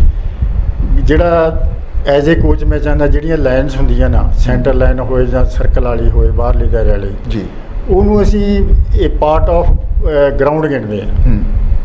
Line is a part of ground line ਤੋਂ ਬਾਹਰ ਜਿਹੜਾ ਬੰਦਾ ਹੋ ਗਿਆ ਉਹ ਬਾਹਰ ਹਾਂ ਹੈ ਉਹ ਆਊਟ ਆ। ਜੀ। ਇਹ ਲਾਈਨ ਟੱਚ ਨੂੰ ਆਊਟ ਨਹੀਂ ਮੰਨਿਆ ਇਹ ਨਹੀਂ ਮੰਨਦੇ। ਰਾਈਟ ਕਿਉਂਕਿ ਜਦੋਂ ਹੁਣ ਫਰਜ਼ ਕੀਤਾ ਸੋ ਐਟਲੀਸਟ ਅੱਧਾ ਪੈਰ ਬਾਹਰ ਹੋਵੇ। ਮੈਂ ਦੱਸ ਦਿੰਦਾ ਤੁਹਾਨੂੰ ਟੈਕਨੀਕਲੀ ਹੂੰ, ਜਦੋਂ ਬਾਹਰ ਫਰਜ਼ ਕੀਤਾ ਅਸੀਂ ਤੁਹਾਨੂੰ ਲੈ ਕੇ ਜਾਂਦੇ ਰਹੇ ਖੇਡਣ ਜਾਂ ਖੜਾਉਂਦੇ ਰਹੇ ਆ। ਜੀ। ਜਦੋਂ ਅਸੀਂ ਇੱਕ ਇੱਕ ਲਾਈਨ ਨੂੰ ਪਾਰਟ ਆਫ ਗਰਾਊਂਡ ਮੰਨ ਲੈਂਦੇ ਆ. ਹਿੱਸਾ ਮੰਨ ਲੈਂਦੇ ਆ ਹੂੰ। ਤੇ ਫਿਰ ਉਹਦੇ ਹਿੱਸਾ ਗਰਾਊਂਡ ਦਾ ਹੀ ਹੈ ਨਾ। ਜੇ ਪੈਰ ਗਰਾਊਂਡ ਤੇ ਹੈਗਾ ਤੇ ਇਟ ਮੀਨਸ ਵੀ ਉਹ ਖਿਲਾੜੀ ਅਜੇ ਗਰਾਊਂਡ 'ਚ ਆ। ਜੀ। ਉਦੋਂ ਇਹ ਹੁੰਦਾ ਸੀ ਕਿ ਜੇ ਜਦੋਂ ਸਟਰਗਲ ਹੋਣਾ ਬਾਹਰਲੇ ਪਾਸੇ ਚਾਹੇ ਸੈਂਟਰ ਲਾਈਨ ਤੇ ਜਿਹੜਾ ਵੀ ਖਿਡਾਰੀ ਬਾਹਰ ਚਲਾ ਗਿਆ ਚਾਹੇ ਰੇਡਰ ਸਟਾਪਰ ਉਹਦੀ ਕੋਸ਼ਿਸ਼ ਹੁੰਦੀ ਵੀ ਇਹਦਾ ਮੈਂ ਲਿੰਕ ਜਿਹੜਾ ਗਰਾਊਂਡ ਨੂੰ ਛੜਾ ਕੇ ਇਹਨੂੰ ਵੀ ਬਾਹਰ ਕੱਢ ਲਵਾਂ। ਤਾਂ ਕਿ ਪੁਆਇੰਟ ਕਰ ਦਿਆਂ ਜੀ। ਉਹ ਬਾਹਰ ਹੁੰਦਾ ਸੀ ਅੰਦਰ ਉਹ ਦੁੱਧ ਵਧਾਣੀ ਖਿੱਚੋ ਤੂੰ ਹੈ ਕਿੱਡਾ ਵਧੀਆ ਪਹਿਲਾਂ ਇਹ rule ਸੀਗਾ। ਆ ਗਈਰਾਂ ਹੱਥ ਥੱਲਿਓਂ ਦੀ ਪਾ ਕੇ ਉਹਨੂੰ ਵੀ ਸੁੱਟਣਾ ਦੇ ਨਾਲ ਆ ਤਾਂ ਕਿ ਕਾਮਨ ਹੋ ਜੇ। ਹੁਣ ਤੇ ਮਾੜਾ ਜਿਹਾ ਤੁਸੀਂ ਸ਼ਾਇਦ ਉਦੋਂ ਆਏ ਨਹੀਂ ਹੋਣੇ 1999 ਅਹ, 300 ਸਾਲ ਖਾਲਸਾ ਮੈਂ ਗਿਆ ਸੀ ਹਾਂਜੀ, ਅਨੰਦਪੁਰ ਸਾਹਿਬ, ਹਾਂਜੀ। ਗਏ ਸੀ ਨਾ। ਉੱਥੇ ਹੁਣ ਜਦੋਂ ਪਾਕਿਸਤਾਨ ਦੀ ਟੀਮ ਆਈ ਆ। ਉਹ ਫਸਟ ਟੱਚ ਖੇਡਦੇ ਆ। ਹਾਂ ਤੁਹਾਨੂੰ ਦੱਸਿਆ ਨਾ। ਤੇ ਉੱਥੇ ਜਦੋਂ ਆਪਣਾ ਮੁੰਡਾ ਉਹਨਾਂ ਨੂੰ ਫੜੇ ਜੀ। ਮੁੰਡੇ ਹੁਣ ਉਹ ਸਾਰੇ ਪਾਕਿਸਤਾਨੀ ਤੁਹਾਨੂੰ ਪਤਾ ਕਿੱਡੇ ਰਜ਼ਾਨੇ ਹੁੰਦੇ ਆ। ਜੀ। ਉਹ ਜਦੋਂ ਸਟਰਗਲ ਜਾ ਕੇ ਉਹਨਾਂ ਨੇ ਖਿੱਚ ਧੂਏ ਜਾ ਕੇ ਉਹਦਾ ਇੱਥੋਂ ਗੁੱਟ ਫੜਨ ਤੇ ਬਾਹਰ ਟੱਚ ਮਾਰ ਲਿਆ। ਉਹ ਸਾਰਾ ਜਿੰਨਾ ਸਟਰਗਲ ਵੇਖਣ ਵਾਲਿਆਂ ਦਾ ਵੀ ਸਵਾਦ ਗਿਆ ਤੇ ਖੇਡਣ ਵਾਲੇ ਜਿਹਨੇ ਫੜਿਆ ਉਹਦਾ ਵੀ ਖਤਮ ਹੋ ਗਿਆ। ਜੀ। ਕਿਉਂਕਿ ਰੂਲ ਬਣਾਇਆ ਫਸਟ ਟੱਚ ਜਿਹੜਾ ਬਾਹਰ ਚਲਾ ਗਿਆ। ਬਾਹਰ ਹੱਥ ਲੱਗ ਗਿਆ। ਆਪਣੇ ਉਦੋਂ ਲਿੰਕ ਹੁੰਦਾ ਸੀ ਪਰ ਹੁਣ ਤਾਂ ਫਸਟ ਟੱਚ ਹੀ ਚੱਲਦਾ ਇੱਥੇ। ਪਰ ਉਹਦਾ ਜਿਹੜਾ ਦੇਖੋ ਹੁਣ ਆਪਾਂ ਕਬੱਡੀ ਤੇ ਇੱਕ ਅੱਛਾ ਇੱਕ ਇੱਥੇ ਮੇਰਾ ਕੁਐਸਚਨ ਹੈ ਤੁਹਾਨੂੰ ਲੱਗਦਾ ਕਿ ਕਾਮਨ ਨੰਬਰ ਹੁੰਦਾ ਕਿਸੇ ਗੇਮ ਦੇ ਵਿੱਚ ਹੋਰਾਂ 'ਚ ਵੀ? ਅੱਜ ਇਹਦੇ ਇਸ ਨੰਬਰ ਦਾ ਕੋਈ ਫੈਸਲਾ ਨਹੀਂ ਉਹ ਨੰਬਰ ਕਿਵੇਂ ਹੋ ਸਕਦਾ? ਕਾਮਨ ਕਿਵੇਂ ਹੋ ਸਕਦਾ ਨਹੀਂ ਨਹੀਂ ਨਹੀਂ ਇੱਕ minute minute. At a time ਜਦੋਂ ਕੋਈ ਜਦੋਂ ਆਪਾਂ ਰੂਲ ਕੋਈ ਬਣਾ ਲੈਨੇ ਆ। ਉੱਥੇ ਕੰਸੀਡਰ ਕਰਦੇ ਆ ਵੀ ਇਹਨੂੰ ਕਾਮਨ ਕਰਨਾ ਨਹੀਂ ਕਰਨਾ ਕਿੰਨੇ ਇਹ ਤੇ ਡਿਪੈਂਡ ਅਪਨ ਕਰਦਾ ਜਿਹੜੀ ਕਮੇਟੀ ਬਣੀ ਰੂਲ ਉਹਨੇ ਕੀ। ਬਣਾਇਆ। ਪਰ ਕੋਈ ਵੀ ਦੁਨੀਆ ਦੀ ਗੇਮ ਆ। ਉਹਦੇ ਚ ਕਾਮਨ ਨੰਬਰ ਹੁੰਦਾ ਨਹੀਂ। ਨੰਬਰ ਨਹੀਂ। ਦਾ ਫੈਸਲਾ ਹੋਣਾ। ਨਹੀਂ ਦੇਖੋ। ਜਾਂ ਬਾਹਰ ਜਾਵੇ ਜਾਂ ਅੰਦਰ ਆਵੇ। ਨਹੀਂ ਮੈਂ ਦੱਸਦਾ ਤੁਹਾਨੂੰ। ਇਹਦੇ ਚ ਵੀ ਤੇ ਇਹ ਚੀਜ਼ ਆ ਜਿਹਦਾ ਹੁਣ ਫਰਜ਼ ਕੀਤਾ ਆ ਜੀ। ਵੀ ਮੁੰਡਾ ਨਹੀਂ ਹੁਣ ਇੱਕ ਬੰਦੇ ਨੇ ਦੇਖੋ ਦੋ ਦੋ ਰੇਡਾਂ ਆ ਗਈਆਂ। ਕੁਐਸਚਨ ਸਮਝੋ ਮੇਰਾ। ਦੋ ਰੇਡਾਂ ਇਸ ਟੀਮ ਨੇ ਪਾਉਣੀਆਂ ਦੋ ਉਹਨਾਂ ਨੇ। ਇੱਕ ਬੰਦੇ ਨੇ ਦੋਨੇ ਕਾਮਨ ਕਰਤੇ। ਨੰਬਰ ਤਾਂ ਕਿਸੇ ਨੂੰ ਮਿਲਿਆ ਹੀ ਨਹੀਂ। ਫੈਸਲਾ ਕੀ ਹੋਇਆ ਉਹਦਾ? ਨੇ ਫੈਸਲ ਜਿਹੜੇ ਪਹਿਲੇ ਸਟੈਂਡ ਕਰਦੇ ਉੱਤੇ ਹੋਊਗਾ। ਨਹੀਂ ਪਰ ਜਦੋਂ ਕਾਮਨ ਇੱਕ ਬੰਦਾ ਰੇਡਰ ਆਇਆ ਦੇਖੋ ਹੁਣ ਗੱਲ ਸੁਣੋ ਉਹਨੇ ਜਿਹੜੀ 65 ਦੀ ਗਰਾਊਂਡ ਆ ਜੀ ਜਾਂ 70 ਦੀ ਲਾ ਲਓ 72 ਦੀ। ਲਾ ਲਓ origignal ਜਿਹੜੀ ਆ ਉਹ ਤੋਂ ਭੱਜ ਕੇ ਆ ਰਿਹਾ ਇੱਕ ਸਿਰਫ 1 ਫੁੱਟ ਦੇ ਦਾਇਰੇ ਤੇ ਉਹ ਖੜੇ ਆ। ਆ ਫੁੱਟ ਦੀ ਲਾਈਨ ਤੋਂ ਦੂਰ ਜਾਫੀ ਚਾਰ ਖੜੇ ਆ। ਹਾਂਜੀ। ਇੱਕ ਰੇਡਰ ਆ ਰਿਹਾ 70 ਤੋਂ ਭੱਜ ਕੇ। ਹੁਣ ਰੇਡਰ ਹੱਥ ਲਾਉਂਦਾ ਉਹ ਚੱਕ ਕੇ ਲੈ ਜਾਂਦਾ ਬਾਹਰ ਕੈਂਚੀ ਪਾਈ ਆ ਕੈਂਚੀ ਪਾਈ ਨੂੰ ਬਾਹਰ ਲੈ ਜਾਂਦਾ। ਹੁਣ ਉਹ ਜਾਫੀ ਦੀ ਜਿਹੜੀ ਮਿਹਨਤ ਕੀਤੀ ਹੋਈ ਆ ਉਹਨੇ ਫੜਿਆ ਹੋਇਆ ਉਹਨੂੰ ਉਹ। ਕਾਮਨ ਕਿੱਦਾਂ ਹੋ ਸਕਦਾ ਨੰਬਰ ਗਰਾਊਂਡ ਦਾ ਹਿੱਸਾ ਤਾਂ ਗਰਾਊਂਡ ਹੋ ਗਈ। ਚਲੋ ਲਿੰਕ ਮੈਂ ਮੰਨ ਲਿਆ ਤੁਹਾਡੀ ਗੱਲ। ਪਰ ਕਾਮਨ ਨੰਬਰ ਨਾਲ ਮੈਂ ਐਗਰੀ ਨਹੀਂ। ਨਹੀਂ ਹੁਣ ਹੈ ਨਹੀਂ ਵੈਸੇ ਕਾਮਨ ਨੰਬਰ ਕਬੱਡੀ ਗੱਲ ਸੁਣੋ ਮੇਰੀ ਇਹ ਇੰਟਰਟੇਨਿੰਗ ਗੇਮ ਆ ਜੀ ਇਹ ਜਦੋਂ ਬਾਹਰ ਦੁਨੀਆ ਵੇਖ ਆਡੀਅנס ਜਿਹੜੀ ਹੁੰਦੀ ਆ। ਤਾਂ ਹੀ ਦੁਨੀਆ ਵੇਖਣ ਆਉਂਦੀ ਵੀ ਇੱਥੇ ਸਟਰਗਲ ਬਹੁਤ ਵਧੀਆ ਹੁੰਦਾ ਕੋਈ ਵਿੱਚੇ ਰੈਸਲਿੰਗ ਹੁੰਦੀ ਆ ਜੀ ਜੀ ਜੀ ਕਈ ਆ ਜੀ ਸਾਰੇ ਸਾਰੀ ਗੇਮ। ਐਂਟਰਟੇਨਮੈਂਟ ਹੈ ਜੀ ਉਹਦੇ 'ਚ ਕੋਸ਼ਿਸ਼ ਹੁੰਦੀ ਹੈ ਜਿਹੜਾ ਜਿਹਨੇ ਰੇਡਰ ਦੀ ਖਾਸ ਕਰਕੇ ਜਦੋਂ ਉਹਨੂੰ ਗ੍ਰਿਪ ਹੋ ਜਾਂਦਾ ਤਗੜਾ ਉਹਨੂੰ ਪਤਾ ਲੱਗਦਾ ਵੀ ਮੈਂ ਏਡੀ ਦੂਰ ਕਿੱਦਾਂ ਪਹੁੰਚਣਾ ਜੀ। 20 ਸਕਿੰਟਾਂ ਦੇ ਵਿੱਚ ਜੀ ਜੀ। ਜੀ ਉਹ ਫਿਰ ਕੋਸ਼ਿਸ਼ ਕਰਦਾ ਬਾਹਰ ਦੀ।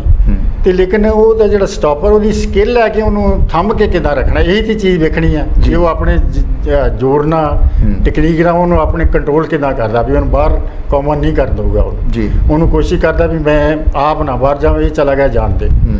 ਸੋ ਉਹਦੇ ਵਿੱਚ ਇਦਾਂ ਫਿਰ ਜਿਹੜੀ ਆ ਸਟਰਗਲ ਬਹੁਤ ਵਧੀਆ ਬਣਦਾ ਤੇ ਕਿਉਂਕਿ ਉਹ ਅੰਦਰ ਰੱਖਣ ਦੀ ਕੋਸ਼ਿਸ਼ ਕਰਦਾ ਇੰਟਰਸਟਿੰਗ ਗੇਮ ਕਰਨ ਲਈ ਇਹ ਨੰਬਰ ਤੁਸੀਂ ਰੱਖਿਆ ਸੀ ਕਾਮਨ ਪਰ ਹੁਣ ਗੇਮਾਂ ਦੇ ਵਿੱਚ ਇਹ ਹੈ ਨਹੀਂਗਾ ਨੰਬਰ ਜੀ ਜਿਹੜੇ ਜਿੰਨੀਆਂ ਵੀ ਟੂਰਨਾਮੈਂਟ ਹੁੰਦੇ ਨਾ ਹੁਣ ਹੁਣ ਉਹਨਾਂ ਚੱਕਦੇ ਸਾਰੇ ਫਸਟ ਟੱਚ ਕਰਤਾ ਜਿਹੜਾ ਬੰਦਾ ਬਾਹਰ ਬਾਹਰ ਕਿਉਂਕਿ ਗਰਾਊਂਡ ਦਾ ਇੱਕ ਦਾਇਰਾ ਆ ਇੱਕ ਗਰਾਊਂਡ ਆਪਾਂ ਮੰਨਦੇ ਆ ਜੀ ਕੋਈ ਵੀ ਗੇਮ ਲਾ ਲਓ ਹਾਕੀ ਲਾ ਲਓ। ਕੋਈ ਸਾਕਰ ਲਾ ਲਓ ਫੁੱਟਬਾਲ ਲਾ ਲਓ ਕ੍ਰਿਕਟ ਲਾ ਲਓ ਜਿਹੜਾ ਬੰਦਾ ਬਾਹਰ ਆ ਗਰਾਊਂਡ ਤੋਂ ਬਾਹਰ ਆ ਚਾਹੇ ਟੱਚ ਆ ਚਾਹੇ ਬਾਹਰ ਆ ਆਊਟ ਆ ਕਿਉਂਕਿ ਇੱਕ ਗਰਾਊਂਡ ਆਪਾਂ ਲੈ ਲਈ ਨਾ ਜਦੋਂ ਤੁਹਾਡੇ ਟਾਈਮ ਜਿੱਦਾਂ ਸੀਗੀ ਤੁਸੀਂ ਵਧੀਆ ਰੂਲ ਬਣਾਏ ਚੱਲਦੇ ਵੀ ਰਹੇ ਅਸੀਂ ਖੇਡੇ ਉਹ ਰੂਲ। ਮੈਂ ਖੁਦ ਕਾਮਨ ਕਰਦਾ ਨੰਬਰ ਲਿੰਕ 'ਚ ਵੀ ਹੁੰਦੇ ਸੀ। ਪਰ ਹੁਣ ਫਸਟ ਟੱਚ ਰਹਿ ਗਿਆ ਜੀ ਲਿੰਕ ਆਊਟ ਜਿਹੜਾ ਬੰਦਾ ਬਾਹਰ ਉਹ ਬਾਹਰ ਹੁਣ ਇਦਾਂ ਚੱਲਦਾ। ਨਹੀਂ ਨਹੀਂ ਪਰ ਕਾਮਨ ਜਿਹੜਾ ਨੰਬਰ ਆ ਵੈਸੇ ਬੇਸਿਕਲੀ ਉਦੋਂ ਵੀ ਮੈਂ ਸੋਚਦਾ ਹੁੰਦਾ ਸੀ। ਕਿ ਇੱਕ ਹੁਣ ਬੰਦੇ ਨੇ ਫਿੱਡੂ ਵਰਗੇ ਰੇਡਰ ਨੂੰ ਹਰਜੀਤ ਵਰਗੇ ਰੇਡਰ ਨੂੰ ਕਿਸੇ ਬੰਦੇ ਦੀ ਚਾਰ ਰੋਟੀ ਚਾਰ ਛਿੱਲੜ ਬਾਣੇ ਉਹਨੂੰ ਫੜ ਕੇ ਉਹਨਾਂ ਟਾਈਮਾਂ 'ਚ। ਜੀ। ਜੀ ਉਦੋਂ ਕੀ ਕਰਦੇ ਸੀ? ਉਹ ਚੱਕ ਕੇ ਬਾਹਰ ਲੈ ਜਾਂਦੇ ਸੀ। ਨਹੀਂ ਨਹੀਂ ਸਾਰੇ ਤਾਂ ਨਹੀਂ ਬਾਲ ਜਾਂਦੇ ਰਹੇ। ਕੌ- ਜਦੋਂ ਕਾਮਨ ਹੀ ਕੋਸਾ ਰੱਖ ਲਿਆ ਚੱਕ ਕੇ ਬਾਹਰ ਲੈ ਜਾਣਾ ਉਹਨਾਂ ਲੈ ਜਾਂਦੇ ਰਹੇ ਬਹੁਤ ਵੱਡੇ ਵੱਡੇ ਰੇਡਰ। ਹੁਣ ਮਸੀਂ ਉਹ ਕਿਤੇ ਫੜ ਹੁੰਦਾ ਸੀ ਉਹ ਬੰਦੇ ਨੇ ਚੱਕ ਕੇ ਬਾਹਰ ਲੈ ਜਾਣਾ। ਹੁਣ ਨੰਬਰ ਉਹ ਕਿਸੇ ਦਾ ਵੀ ਨਹੀਂ। ਅਗਲਾ ਕਹਿੰਦਾ ਜੀ ਸੁਣੋ ਮੇਰੀ ਗੱਲ। ਮੇਰੇ ਵਰਗਾ ਪੁੱਛਦਾ ਉਹ ਕਹਿੰਦਾ ਜੀ ਕਿੰਨੇ ਜੱਫੇ ਲੱਗੇ? ਅਗਲਾ ਕਹਿੰਦਾ ਕੋਈ ਜੱਫਾ ਵੀ ਨਹੀਂ। ਯਾਰ ਤੈਨੂੰ ਫੜਿਆ ਤੁਸੀਂ। ਹੁਣ ਬੇਸਿਕਲੀ ਤਾਂ ਬੰਦੇ ਨੇ ਫੜ ਲਿਆ ਉਹ ਬੰਦੇ ਨੂੰ। ਨਹੀਂ ਦੇਖੋ ਗੱਲ ਜਦੋਂ ਰੂਲ ਚੇਂਜ ਹੁੰਦਾ ਨਾ ਕੋਈ ਜੀ। ਜਦੋਂ ਉਹਦਾ ਕੋਈ ਲਾਸ ਹੁੰਦਾ ਕਿਸੇ ਚੀਜ਼ ਦਾ ਆਪਾਂ ਕਾਨੂੰਨ ਗਵਰਨਮੈਂਟ ਬਣਾਉਂਦੀ ਆ। ਰਾਈਟ ਉਹਨੇ ਕਾਨੂੰਨ ਬਣਾਤਾ। ਜੀ। ਉਹਦੇ 'ਚ ਵੇਖਿਆ ਵੀ ਇਹ 'ਚ ਖਾਮੀਆਂ ਬਹੁਤ ਹੈ ਨੁਕਸਾਨ ਹੋ ਰਿਹਾ ਪਬਲਿਕ ਨੂੰ। ਜੀ। ਉਹ ਮੈਂਡ ਕਰ ਦਿੰਦੇ ਆ। ਜੀ ਚੇਂਜ ਹੁੰਦੇ ਰਹਿੰਦੇ ਆ। ਇਸੇ ਕਰਕੇ ਇਹ ਚੇਂਜ ਕੀਤਾ ਵੀ ਉਹ ਸਾਰਾ ਹੀ ਫਿਰ ਸਵਾਲ ਰਾਈਟ ਰਾਈਟ ਰਾਈਟ ਉਹ ਸਾਰਾ ਉਹਦੇ ਬੈਨੀਫਿਟ ਜਿਹੜਾ ਜ਼ਿਆਦਾ ਰੇਡਰ ਨੂੰ ਸੀ। ਰੇਡਰ ਨੂੰ ਸੀਗਾ। ਕਿਉਂਕਿ ਉਹ ਦੇਖੋ ਹੁਣ ਪਹਿਲਾਂ ਜੋ ਸਾਹ ਦੀ ਕਬੱਡੀ ਚੱਲਦੀ ਸੀਗੀ। ਜੀ। ਉਦੋਂ ਰੇਡਰ ਨੇ ਉੱਥੇ ਜੱਫਾ ਮਾਰਨਾ ਤੇ ਅੱਧ ਜੇ ਜਦੋਂ ਡੀ ਦੇ ਪਰਾਂ ਹੀ ਅਜੇ ਸਟਰਗਲ ਹੁੰਦਾ ਤੇ ਜੋ ਮਾਰ ਮਾਰ ਕੇ ਰਗੜੇ ਉਹਦਾ ਛਿੱਲਾ ਛਿੰਦਨ ਤੇ. ਕਬੱਡੀ ਬੋਲੀ ਜਾਣੀ। ਜੀ। ਕਬੱਡੀ ਸ- ਪਾਉਂਦੇ ਸੀ ਲੇਕਿਨ ਸਾਹ ਬਦਲ ਬਦਲ ਕੇ ਕਬੱਡੀ ਕਬੱਡੀ ਕਹੀ ਜਾਂਦੇ ਤੁਹਾਨੂੰ ਪਤਾ ਹੀ ਹੋਣਾ। ਜੀ ਜੀ ਬਿਲਕੁਲ। ਉੱਥੋਂ ਫਿਰ 30 ਸਕਿੰਟ ਦਾ ਚੱਕਰ 30 ਚੱਲਿਆ ਸਕਿੰਟ ਰੂਲ ਬਣਾਇਆ। ਜੀ। ਕਿਹੜੇ ਸਾਲ ਆਇਆ ਜੀ 30 ਸਕਿੰਟ ਦਾ ਰੂਲ ਜਿਹੜਾ 30 ਸਕਿੰਟ ਇਹ ਸੀਗਾ। 93 ਦੇ ਵਿੱਚ ਤੁਸੀਂ ਸਾਨੂੰ ਇੱਕ ਮੈਚ ਖਿਲਾਇਆ ਸੀ ਫੁੱਲਰੀਵਾਲ ਉੱਥੇ ਤੁਸੀਂ ਸਾਨੂੰ ਇਹ ਰੂਲ ਦੱਸੇ ਸੀਗੇ ਉਦੋਂ। ਵੀ ਹਾਂਜੀ। ਹੁਣ ਅਸੀਂ ਜਿਹੜੀ ਗਵਰਨਮੈਂਟ ਆ ਉਹ ਲਿਆ ਰਹੀ ਆ ਜੀ ਇਹ ਰੂਲ ਰੈਗੂਲੇਸ਼ਨ ਤੇ 30 ਸਕਿੰਟ ਜੀ ਤੁਹਾਨੂੰ ਖੇਡਣਾ ਪੈਣਾ। ਤੁਸੀਂ ਸਾਨੂੰ ਉੱਥੇ ਸਮਝਾਇਆ ਉੱਥੋਂ। ਸ਼ੁਰੂ ਕੀਤੀ 30 Yeah. ਸਕਿੰਟ 93 ਦੀ ਗੱਲ ਮੈਂ ਕਰ ਹਾਂਜੀ ਉਸ ਤੋਂ ਪਹਿਲਾਂ ਇਹ ਰੂਲ ਆ ਗਿਆ ਸੀ? ਨਹੀਂ ਉਹਦੇ ਰੌਲਾ ਇਹੀ ਪੈਣ ਲੱਗ ਪਿਆ। ਐਕਚੁਅਲੀ ਜਿਹੜੀ ਨੈਸੈਸਰੀ ਕਬੱਡੀ ਆ ਨਾ ਜੀ ਜੀ। ਤੁਸੀਂ ਵੇਖਿਆ ਹੋਣਾ ਇੱਥੇ ਹੁਣ ਲੀਗ ਹੁੰਦੀ ਲੀਗ ਚੱਲਦੀ ਹੈ ਜੀ ਬੰਬੇ ਹਾਂਜੀ। ਉਹ ਕਿੰਨਾ ਕਿੰਨਾ ਚਾਰ ਕਬੱਡੀ ਕਬੱਡੀ ਕਰਦੇ। ਮਤਲਬ ਸਾਹ ਨਾਲ ਜਿੱਦਾਂ ਬੀਨ ਵਜਾਉਣ ਵਾਲਾ ਲਾਉਂਦਾ ਨਾਲ ਦੀ ਨਾਲ ਸਾਹ ਲਈ ਜਾਂਦੇ। ਰਾਈਟ ਇੱਥੇ ਵੀ ਲੋਕੀ ਮੁੰਡੇ ਜਿਹੜੇ ਖਿਡਾਰੀ ਉਹ ਸਿੱਖ ਗਏ।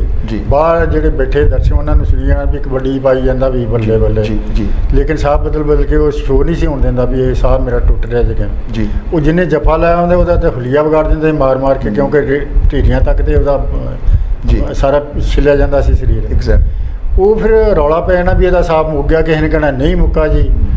ਬਾਹਰਲੇ ਦਰਸ਼ਕਾਂ ਨੇ ਕਹਿਣਾ ਜੀ ਉਹਦਾ ਤੇ ਸਾਨੂੰ ਸਾਹ ਸੁਣਦਾ ਸੀ ਕਿਉਂ ਟੁੱਟਾ?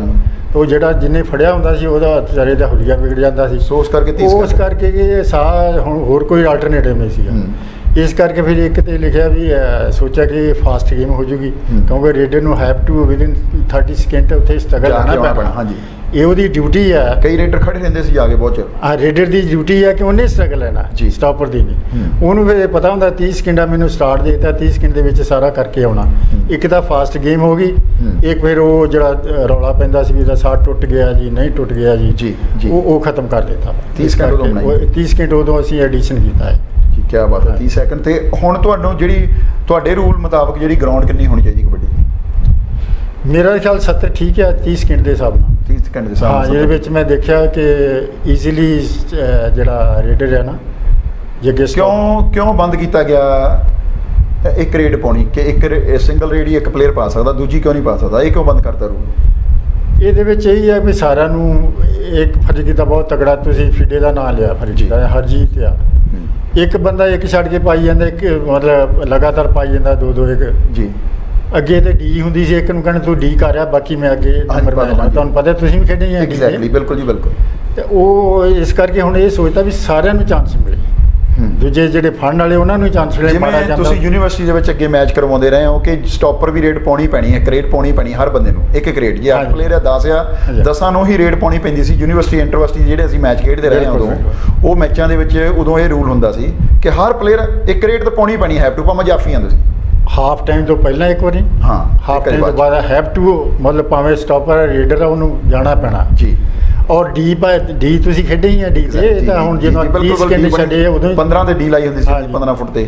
ਉਹ ਫਿਰ ਉਦੋਂ ਇਹ ਸੀ ਵੀ ਜਿਹੜੇ ਮਾੜਾ ਪਲੇਅਰ ਜਿਹੜਾ ਸਟਾਪਰ ਫਰਜ਼ ਕੀਤਾ ਰੇਡ ਚੱਲਿਆ। ਜੀ। ਤੇ ਦੂਜੇ ਸਟਾਪਰਾਂ ਨੂੰ ਪਤਾ ਲੱਗ ਗਿਆ ਵੀ ਇਹਨਾਂ ਦਾ ਸਟਾਪਰ ਆਉਣ ਲੱਗ ਇਹਨੂੰ ਡੀ ਤੇ ਘੇਰ ਲਓ। ਰਾਈਟ ਹਨਾ? ਜੀ। ਤੋ ਜਿਨ੍ਹਾਂ ਦੇ ਨੰਬਰ ਘੱਟ ਹੁੰਦੇ ਉਹ ਭੱਜ ਕੇ ਡੀ ਤੇ ਆ ਕੇ ਫਿਰ ਥੋੜੀ ਇੰਟਰਸਟਿੰਗ ਬਣਦੀ ਸੀ game। ਇੰਟਰਸਟਿੰਗ ਗੇਮ ਬਣਦੀ ਸੀ ਜੀ ਜੀ ਜੀ ਜੀ ਬਹੁਤ ਬਾਹਰਲਿਆਂ ਦਾ ਵੀ ਜ਼ੋਰ ਲੱਗਣਾ ਵੀ ਲੈ ਗਿਆ ਨਾ ਲੈ ਗਿਆ ਕਿਉਂਕਿ ਡੀ ਤੇ ਸਟਰਗਲ ਹੁੰਦਾ ਸੀਗਾ। ਜੀ। ਸੋ ਇਸ ਕਰਕੇ ਉਹ ਉਹ ਜਿਹੜੀ ਸਿੰਗਲ ਰੇਟ ਦਾ ਚੱਕਰ ਚੱਕਿਆ ਪਿੰਡਾਂ ਦੇ ਮੈਚਾਂ 'ਚੋਂ ਵੀ ਬਾਕੀ ਵੀ ਹਾਂ, ਚੱਕਦਾ। ਹੁਣ ਇੰਟਰਨੈਸ਼ਨਲ ਲੈਵਲ ਤੇ ਵੀ ਨਹੀਂ ਪਾਉਣ ਦਿੰਦੇ ਇੱਕ ਰੇਟ ਇੱਕ ਹੀ ਪਾ ਸਕਦਾ। ਹਾਂ ਆਲਟਰਨੇਟਿਵ ਉਹਦਾ ਕਾਰਨ ਇਹ ਸੀਗਾ ਤੁਹਾਨੂੰ ਲੱਗਦਾ ਕਿ ਇੱਕ ਬੰਦਾ ਹੀ ਮੈਚ ਜਿੱਤਦਾ ਡੋਮੀਨੇਟ ਕਰਦਾ ਸਾਰੀ ਟੀਮ ਨੂੰ। ਹੂੰ। ਹਰਜੀ ਦਾ ਤਗੜਾ ਰੇਡਰ ਦੂਜਿਆਂ ਨੂੰ ਹੁਣ ਇੰਨਾ ਟੂਰਨਾਮੈਂਟ ਲੋਕੀ ਵੇਖਣ ਆਏ ਹੁੰਦੇ ਆ ਇਕੱਲਾ ਬੰਦਾ ਹੀ ਉਹ ਡੋਮੀਨੇਟ ਕਰਕੇ ਜਿੱਤ ਜਾਂਦਾ ਤੇ ਫਿਰ ਉਹ ਇੰਟਰਸਟ ਵੀ ਨਹੀਂ ਰਹਿੰਦਾ। ਜੀ। ਜਿੱਦਾਂ ਹੁਣ ਮਾੜਾ ਪਲੇਅਰ ਗਿਆ ਉਹਨਾਂ ਦਾ ਸਟਾਪਰ ਗਿਆ ਰੇਡ ਕਰਨਾ ਉਹਨਾਂ ਨੂੰ ਕੰਪਲਸਰੀ ਇੱਕ ਵਾਰੀ ਰੇਡ ਪਾਉਣਾ ਡੀ ਕ੍ਰਾਸ ਕਰਨੀ। ਜੀ। ਉਹ ਭੱਜ ਕੇ ਜਿਵੇਂ ਉਹਨਾਂ ਦੇ ਦੂਜੇ ਆਪੋਨੈਂਟ ਦੇ ਉਹ ਸਟਾਪ ਨੂੰ ਫੜਨ ਆਉਂਦੇ ਸੀ ਉਦੋਂ ਕਿੱਡੀ ਲਾਲਾ ਲਾਲਾ ਹੋ ਜਾਂਦੀ ਸੀ। ਇੰਟਰਸਟਿੰਗ ਗੇਮ ਸੀ ਨਾ ਲੋਕੀ ਇੰਜੋਏ ਕਰਦੇ ਸੀ। ਜਿੱਥੇ ਅਸੀਂ ਖੇਡ ਨੂੰ ਡਿਵੈਲਪ ਕਰਾਂ ਨਾਲ ਲੋਕਾਂ ਦੀ ਇੰਟਰਟੇਨਿੰਗ ਵੀ ਕਰਨੀ ਹੈ ਗੇਮ ਤਾਂ ਹੀ ਲੋਕ ਵੇਖਣ ਆਉਂਦੇ ਨੇ। ਅੱਛਾ ਤੁਸੀਂ ਪ੍ਰੈਕਟਿਸ ਕਰਵਾਉਂਦੇ ਰਹੇ ਹੋ ਬੜੇ ਪਲੇਅਰ ਪੈਦਾ ਕੀਤੇ ਤੁਸੀਂ ਆਪਣੀ ਜ਼ਿੰਦਗੀ ਦੇ ਵਿੱਚ। ਕਿਹੋ ਜੀ ਪ੍ਰੈਕਟਿਸ ਹੋਣੀ ਚਾਹੀਦੀ ਹੈ ਕਬੱਡੀ ਪਲੇਅਰ ਲਈ?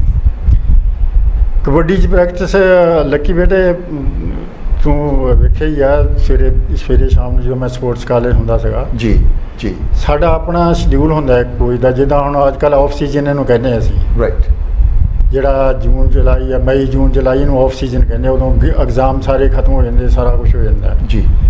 ਉਦੋਂ ਫਿਰ ਆਫ ਸੀਜ਼ਨ ਵਿੱਚ ਸਟੈਮਿਨਾ ਡਿਵੈਲਪ ਕਰਨ ਵਾਸਤੇ ਅਸੀਂ ਮਤਲਬ ਸ਼ਡਿਊਲ ਦਿੰਨੇ ਆ। ਹੂੰ। ਵੀ ਅੱਜ ਜਿਹੜਾ ਖਾਸ ਕਰਕੇ cross country long distance learning ਹੂੰ। ਇਹਦੇ ਵਿੱਚ ਹੀ ਨਾਲ ਫਿਟਨੈਸ ਹੁੰਦਾ ਵੇਟ ਟ੍ਰੇਨਿੰਗ ਹੁੰਦਾ। ਇਸੇ ਦਿਨ ਹੀ ਹੁੰਦਾ ਪੌੜੀਆਂ ਚੜ੍ਹਨੀਆਂ ਇਸੇ ਸੀਜ਼ਨ ਦੇ ਵਿੱਚ ਹੀ sprint work right dodging work ਜੀ। ਗ੍ਰਿਪਿੰਗ ਵਰਕ ਰੱਸਾ ਚੜਾ ਕੇ। ਮਤਲਬ ਇਹ ਸਾਡੇ ਕੋਲ ਸੀਜ਼ਨ ਹੁੰਦਾ ਇਹ ਆਫ ਸੀਜ਼ਨ ਇਹਨੂੰ ਕਹਿੰਦੇ। ਇਹਦੇ ਵਿੱਚ ਅਸੀਂ ਮੁੰਡੇ ਨੂੰ ਪੂਰਾ ਜਾਨੀ ਜਦੋਂ ਮੈਚ ਸ਼ੁਰੂ ਹੋਣੇ ਜਾਂ ਬਾਹਰ ਜਾਣੇ ਆ ਜੀ। ਹੁਣ ਅਹ, ਤੁਹਾਡੇ ਇੰਗਲੈਂਡ 'ਚ ਛੇਤੀ ਹੋ ਜਾਂਦੇ ਆ ਜੀ। ਸੀਜ਼ਨ ਦਾ ਮਿਲਦਾ ਹੀ ਨਹੀਂ ਮੁੰਡਿਆਂ ਨੂੰ। ਜੀ ਜੀ। ਇਧਰੋਂ ਖਤਮ ਹੁੰਦੇ ਪੰਜਾਬ 'ਚ ਤੇ ਨਾਲ ਹੀ ਗਾਂ ਉਧਰ ਹਾਂਜੀ ਇੰਗਲੈਂਡ ਕੈਨੇਡਾ ਜੀ ਸ਼ੁਰੂ ਮੁੰਡਿਆਂ ਦੇ ਸੱਟਾਂ ਸੁੱਟਾਂ ਲੱਗੀਆਂ ਮਸਾਂ ਠੀਕ ਹੁੰਦੀਆਂ। ਜੀ। ਲੇਕਿਨ ਅਸੀਂ ਜਦੋਂ ਕਾਲਜਾਂ ਦੇ ਵਿੱਚ ਇਹ ਗੱਲ ਕਰਾਉਂਦੇ ਉਦੋਂ ਆਫ ਸੀਜ਼ਨ ਬਕਾਇਦਾ ਕੈਂਪ ਲਾਉਣੇ ਜਿਸ ਤਰ੍ਹਾਂ ਸ਼ਿਮਲੇ ਲਾ ਲਿਆ ਸ਼੍ਰੀਨਗਰ ਲਾ ਲਿਆ ਹਿਲ ਸਟੇਸ਼ਨ ਤੇ। ਜੀ। ਜਾਂ ਉਸ ਤੋਂ ਬਾਅਦ ਚਲੋ ਇਹ ਸਾਰੇ ਇੱਥੇ ਹਾਲਾਤ ਇਹੋ ਜਿਹੇ ਹੋ ਗਏ ਨਹੀਂ ਹੋ ਸਕਿਆ। ਫਿਰ ਇਹ ਇੱਥੇ ਕੁੱਲੂ ਮਨਾਲੀ ਵੱਲ ਲਾਉਣ ਲੱਗ ਪਏ। ਤਾਂ ਕਿ ਇਹਨਾਂ ਨੂੰ ਬੱਚਿਆਂ ਦੀ ਜਿਹੜੀ ਸਾਹ ਦੀ ਹਾਈਟ ਤੇ ਤਾਂ ਲਈਦਾ ਕਿ ਆਕਸੀਜਨ ਇਹਨਾਂ ਨੂੰ ਘੱਟ ਮਿਲੇ। ਜ਼ੋਰ ਜ਼ਿਆਦਾ ਲੱਗੇ। ਇਹਨਾਂ ਦਾ ਦਮ ਪੱਕੇ। ਦਮ ਪੱਕੇ ਤਾਂ ਕਿ ਜਿਹੜਾ ਜਦੋਂ ਕੰਪੀਟੀਸ਼ਨ ਡੇ ਆਉਣੇ ਆ ਗਾਂ ਸਿਆਲ ਦੇ ਵਿੱਚ ਨਵੰਬਰ ਦਸੰਬਰ 'ਚ ਜੀ। ਉਹਦੇ ਇਹਨਾਂ ਨੂੰ ਫੀਲ ਨਾ ਹੋਵੇ ਵੀ ਸਾਹ ਕੀ ਚੀਜ਼ ਹੁੰਦੀ ਸਾਹ ਚੜਦਾ ਜੀ। ਸੋ ਅਸੀਂ ਅਕੋਰਡਿੰਗਲੀ ਜੇ ਸੀਜ਼ਨ ਜਿੱਦਾਂ ਹੁਣ ਲਾਗੇ ਕੰਪੀਟੀਸ਼ਨ ਡੇਜ਼ ਆ ਗਏ ਆ। ਉਦੋਂ ਅਸੀਂ ਉਹ ਫਿਰ ਲਾਈਟ ਕਰ ਦਿੰਦੇ ਆ ਉਦੋਂ ਸਕਿੱਲ ਵਰਕ ਜ਼ਿਆਦਾ ਕਰਾਈਦਾ। ਤਾਂ ਕਿ ਮੁੰਡਿਆਂ ਨੂੰ ਗ੍ਰਿਪ ਕਿਦਾਂ ਟੈਕਨੀਕ ਦੱਸੀ ਦੀ ਆ। ਜੀ। ਸੋ ਡਿਪੈਂਡ ਕਰਦਾ ਤੁਹਾਡੇ ਸੀਜ਼ਨ ਦੇ ਮੁਤਾਬਕ। ਰਾਈਟ ਕੰਪੀਟੀਸ਼ਨ ਦੇ ਦੇਖਣੇ ਵੱਖਰੇ ਆਫ ਸੀਜ਼ਨ ਵੱਖਣਾ ਫਿਰ ਉਹਦੀ ਸਟਰੈਂਥ ਕਦੋਂ ਤਕੜੀ ਕਰਨੀ ਕਿਵੇਂ ਕਰਨੀ ਆ। ਜੀ। ਜਿਸ ਤਰ੍ਹਾਂ ਹੁਣ ਮੈਂ ਇੱਕ ਹਫਤਾ ਲੈ ਲਿਆ ਫਰੀ ਕੀਤਾ। ਜੀ।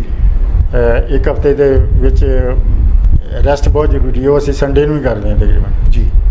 ਤੇ ਅਸੀਂ 6 ਦਿਨ ਲਾਉਨੇ ਆ ਇਦਾਂ ਕਰਕੇ। ਹੂੰ। ਸੈਚਰਡੇ ਵੀ ਮਾਰਨਿੰਗ ਲਾ ਕੇ ਸ਼ਾਮ ਨੂੰ ਆਫ ਕਰ ਲਈਦੀ ਕਿਉਂਕਿ ਮੁੰਡੇ ਘਰਾਂ ਕੋਲ ਜਾਣਾ। ਰਾਈਟ ਸੋ ਇਸ ਕਰਕੇ ਜਿਹੜਾ ਐਤਵਾਰ ਤੋਂ ਬਾਅਦ ਜਿਹੜਾ ਹੁੰਦਾ ਸ਼ਡਿਊਲ ਸਾਡਾ। ਮਾਰਨਿੰਗ ਟਾਈਮ ਤੇ ਉਹ ਹਾਰਡ ਹੁੰਦਾ। ਹੂੰ। ਪਿੱਛੇ ਕਿਲੋਮੀਟਰ ਦੀ ਰਨਿੰਗ ਹੋ ਗਈ ਹੈ ਨਾਲ ਫਿਰ ਵਿੱਚ ਸੈਂਡ ਵਰਕ ਸੈਂਡ ਵਰਕ ਮਤਲਬ ਵਾਹਣ ਆ ਤਾਂ ਜੇ ਉਹ ਆ ਤੇ ਤਾਂ। ਜੀ ਟਾਇਰ ਵੀ ਖਿੱਚਦੇ ਪਲੇਨ ਨੂੰ ਖਿੱਚਣਾ ਚਾਹੀਦਾ ਟਾਇਰ ਜਿਹੜਾ ਪਾ ਕੇ ਲੱਕ ਨੂੰ। ਉਹਦੇ ਵਿੱਚ ਜੀ। ਜੇ ਫਰਕੀ ਦਾ ਸੈਂਡ ਨਹੀਂ ਹੈ ਤੁਹਾਡੀ।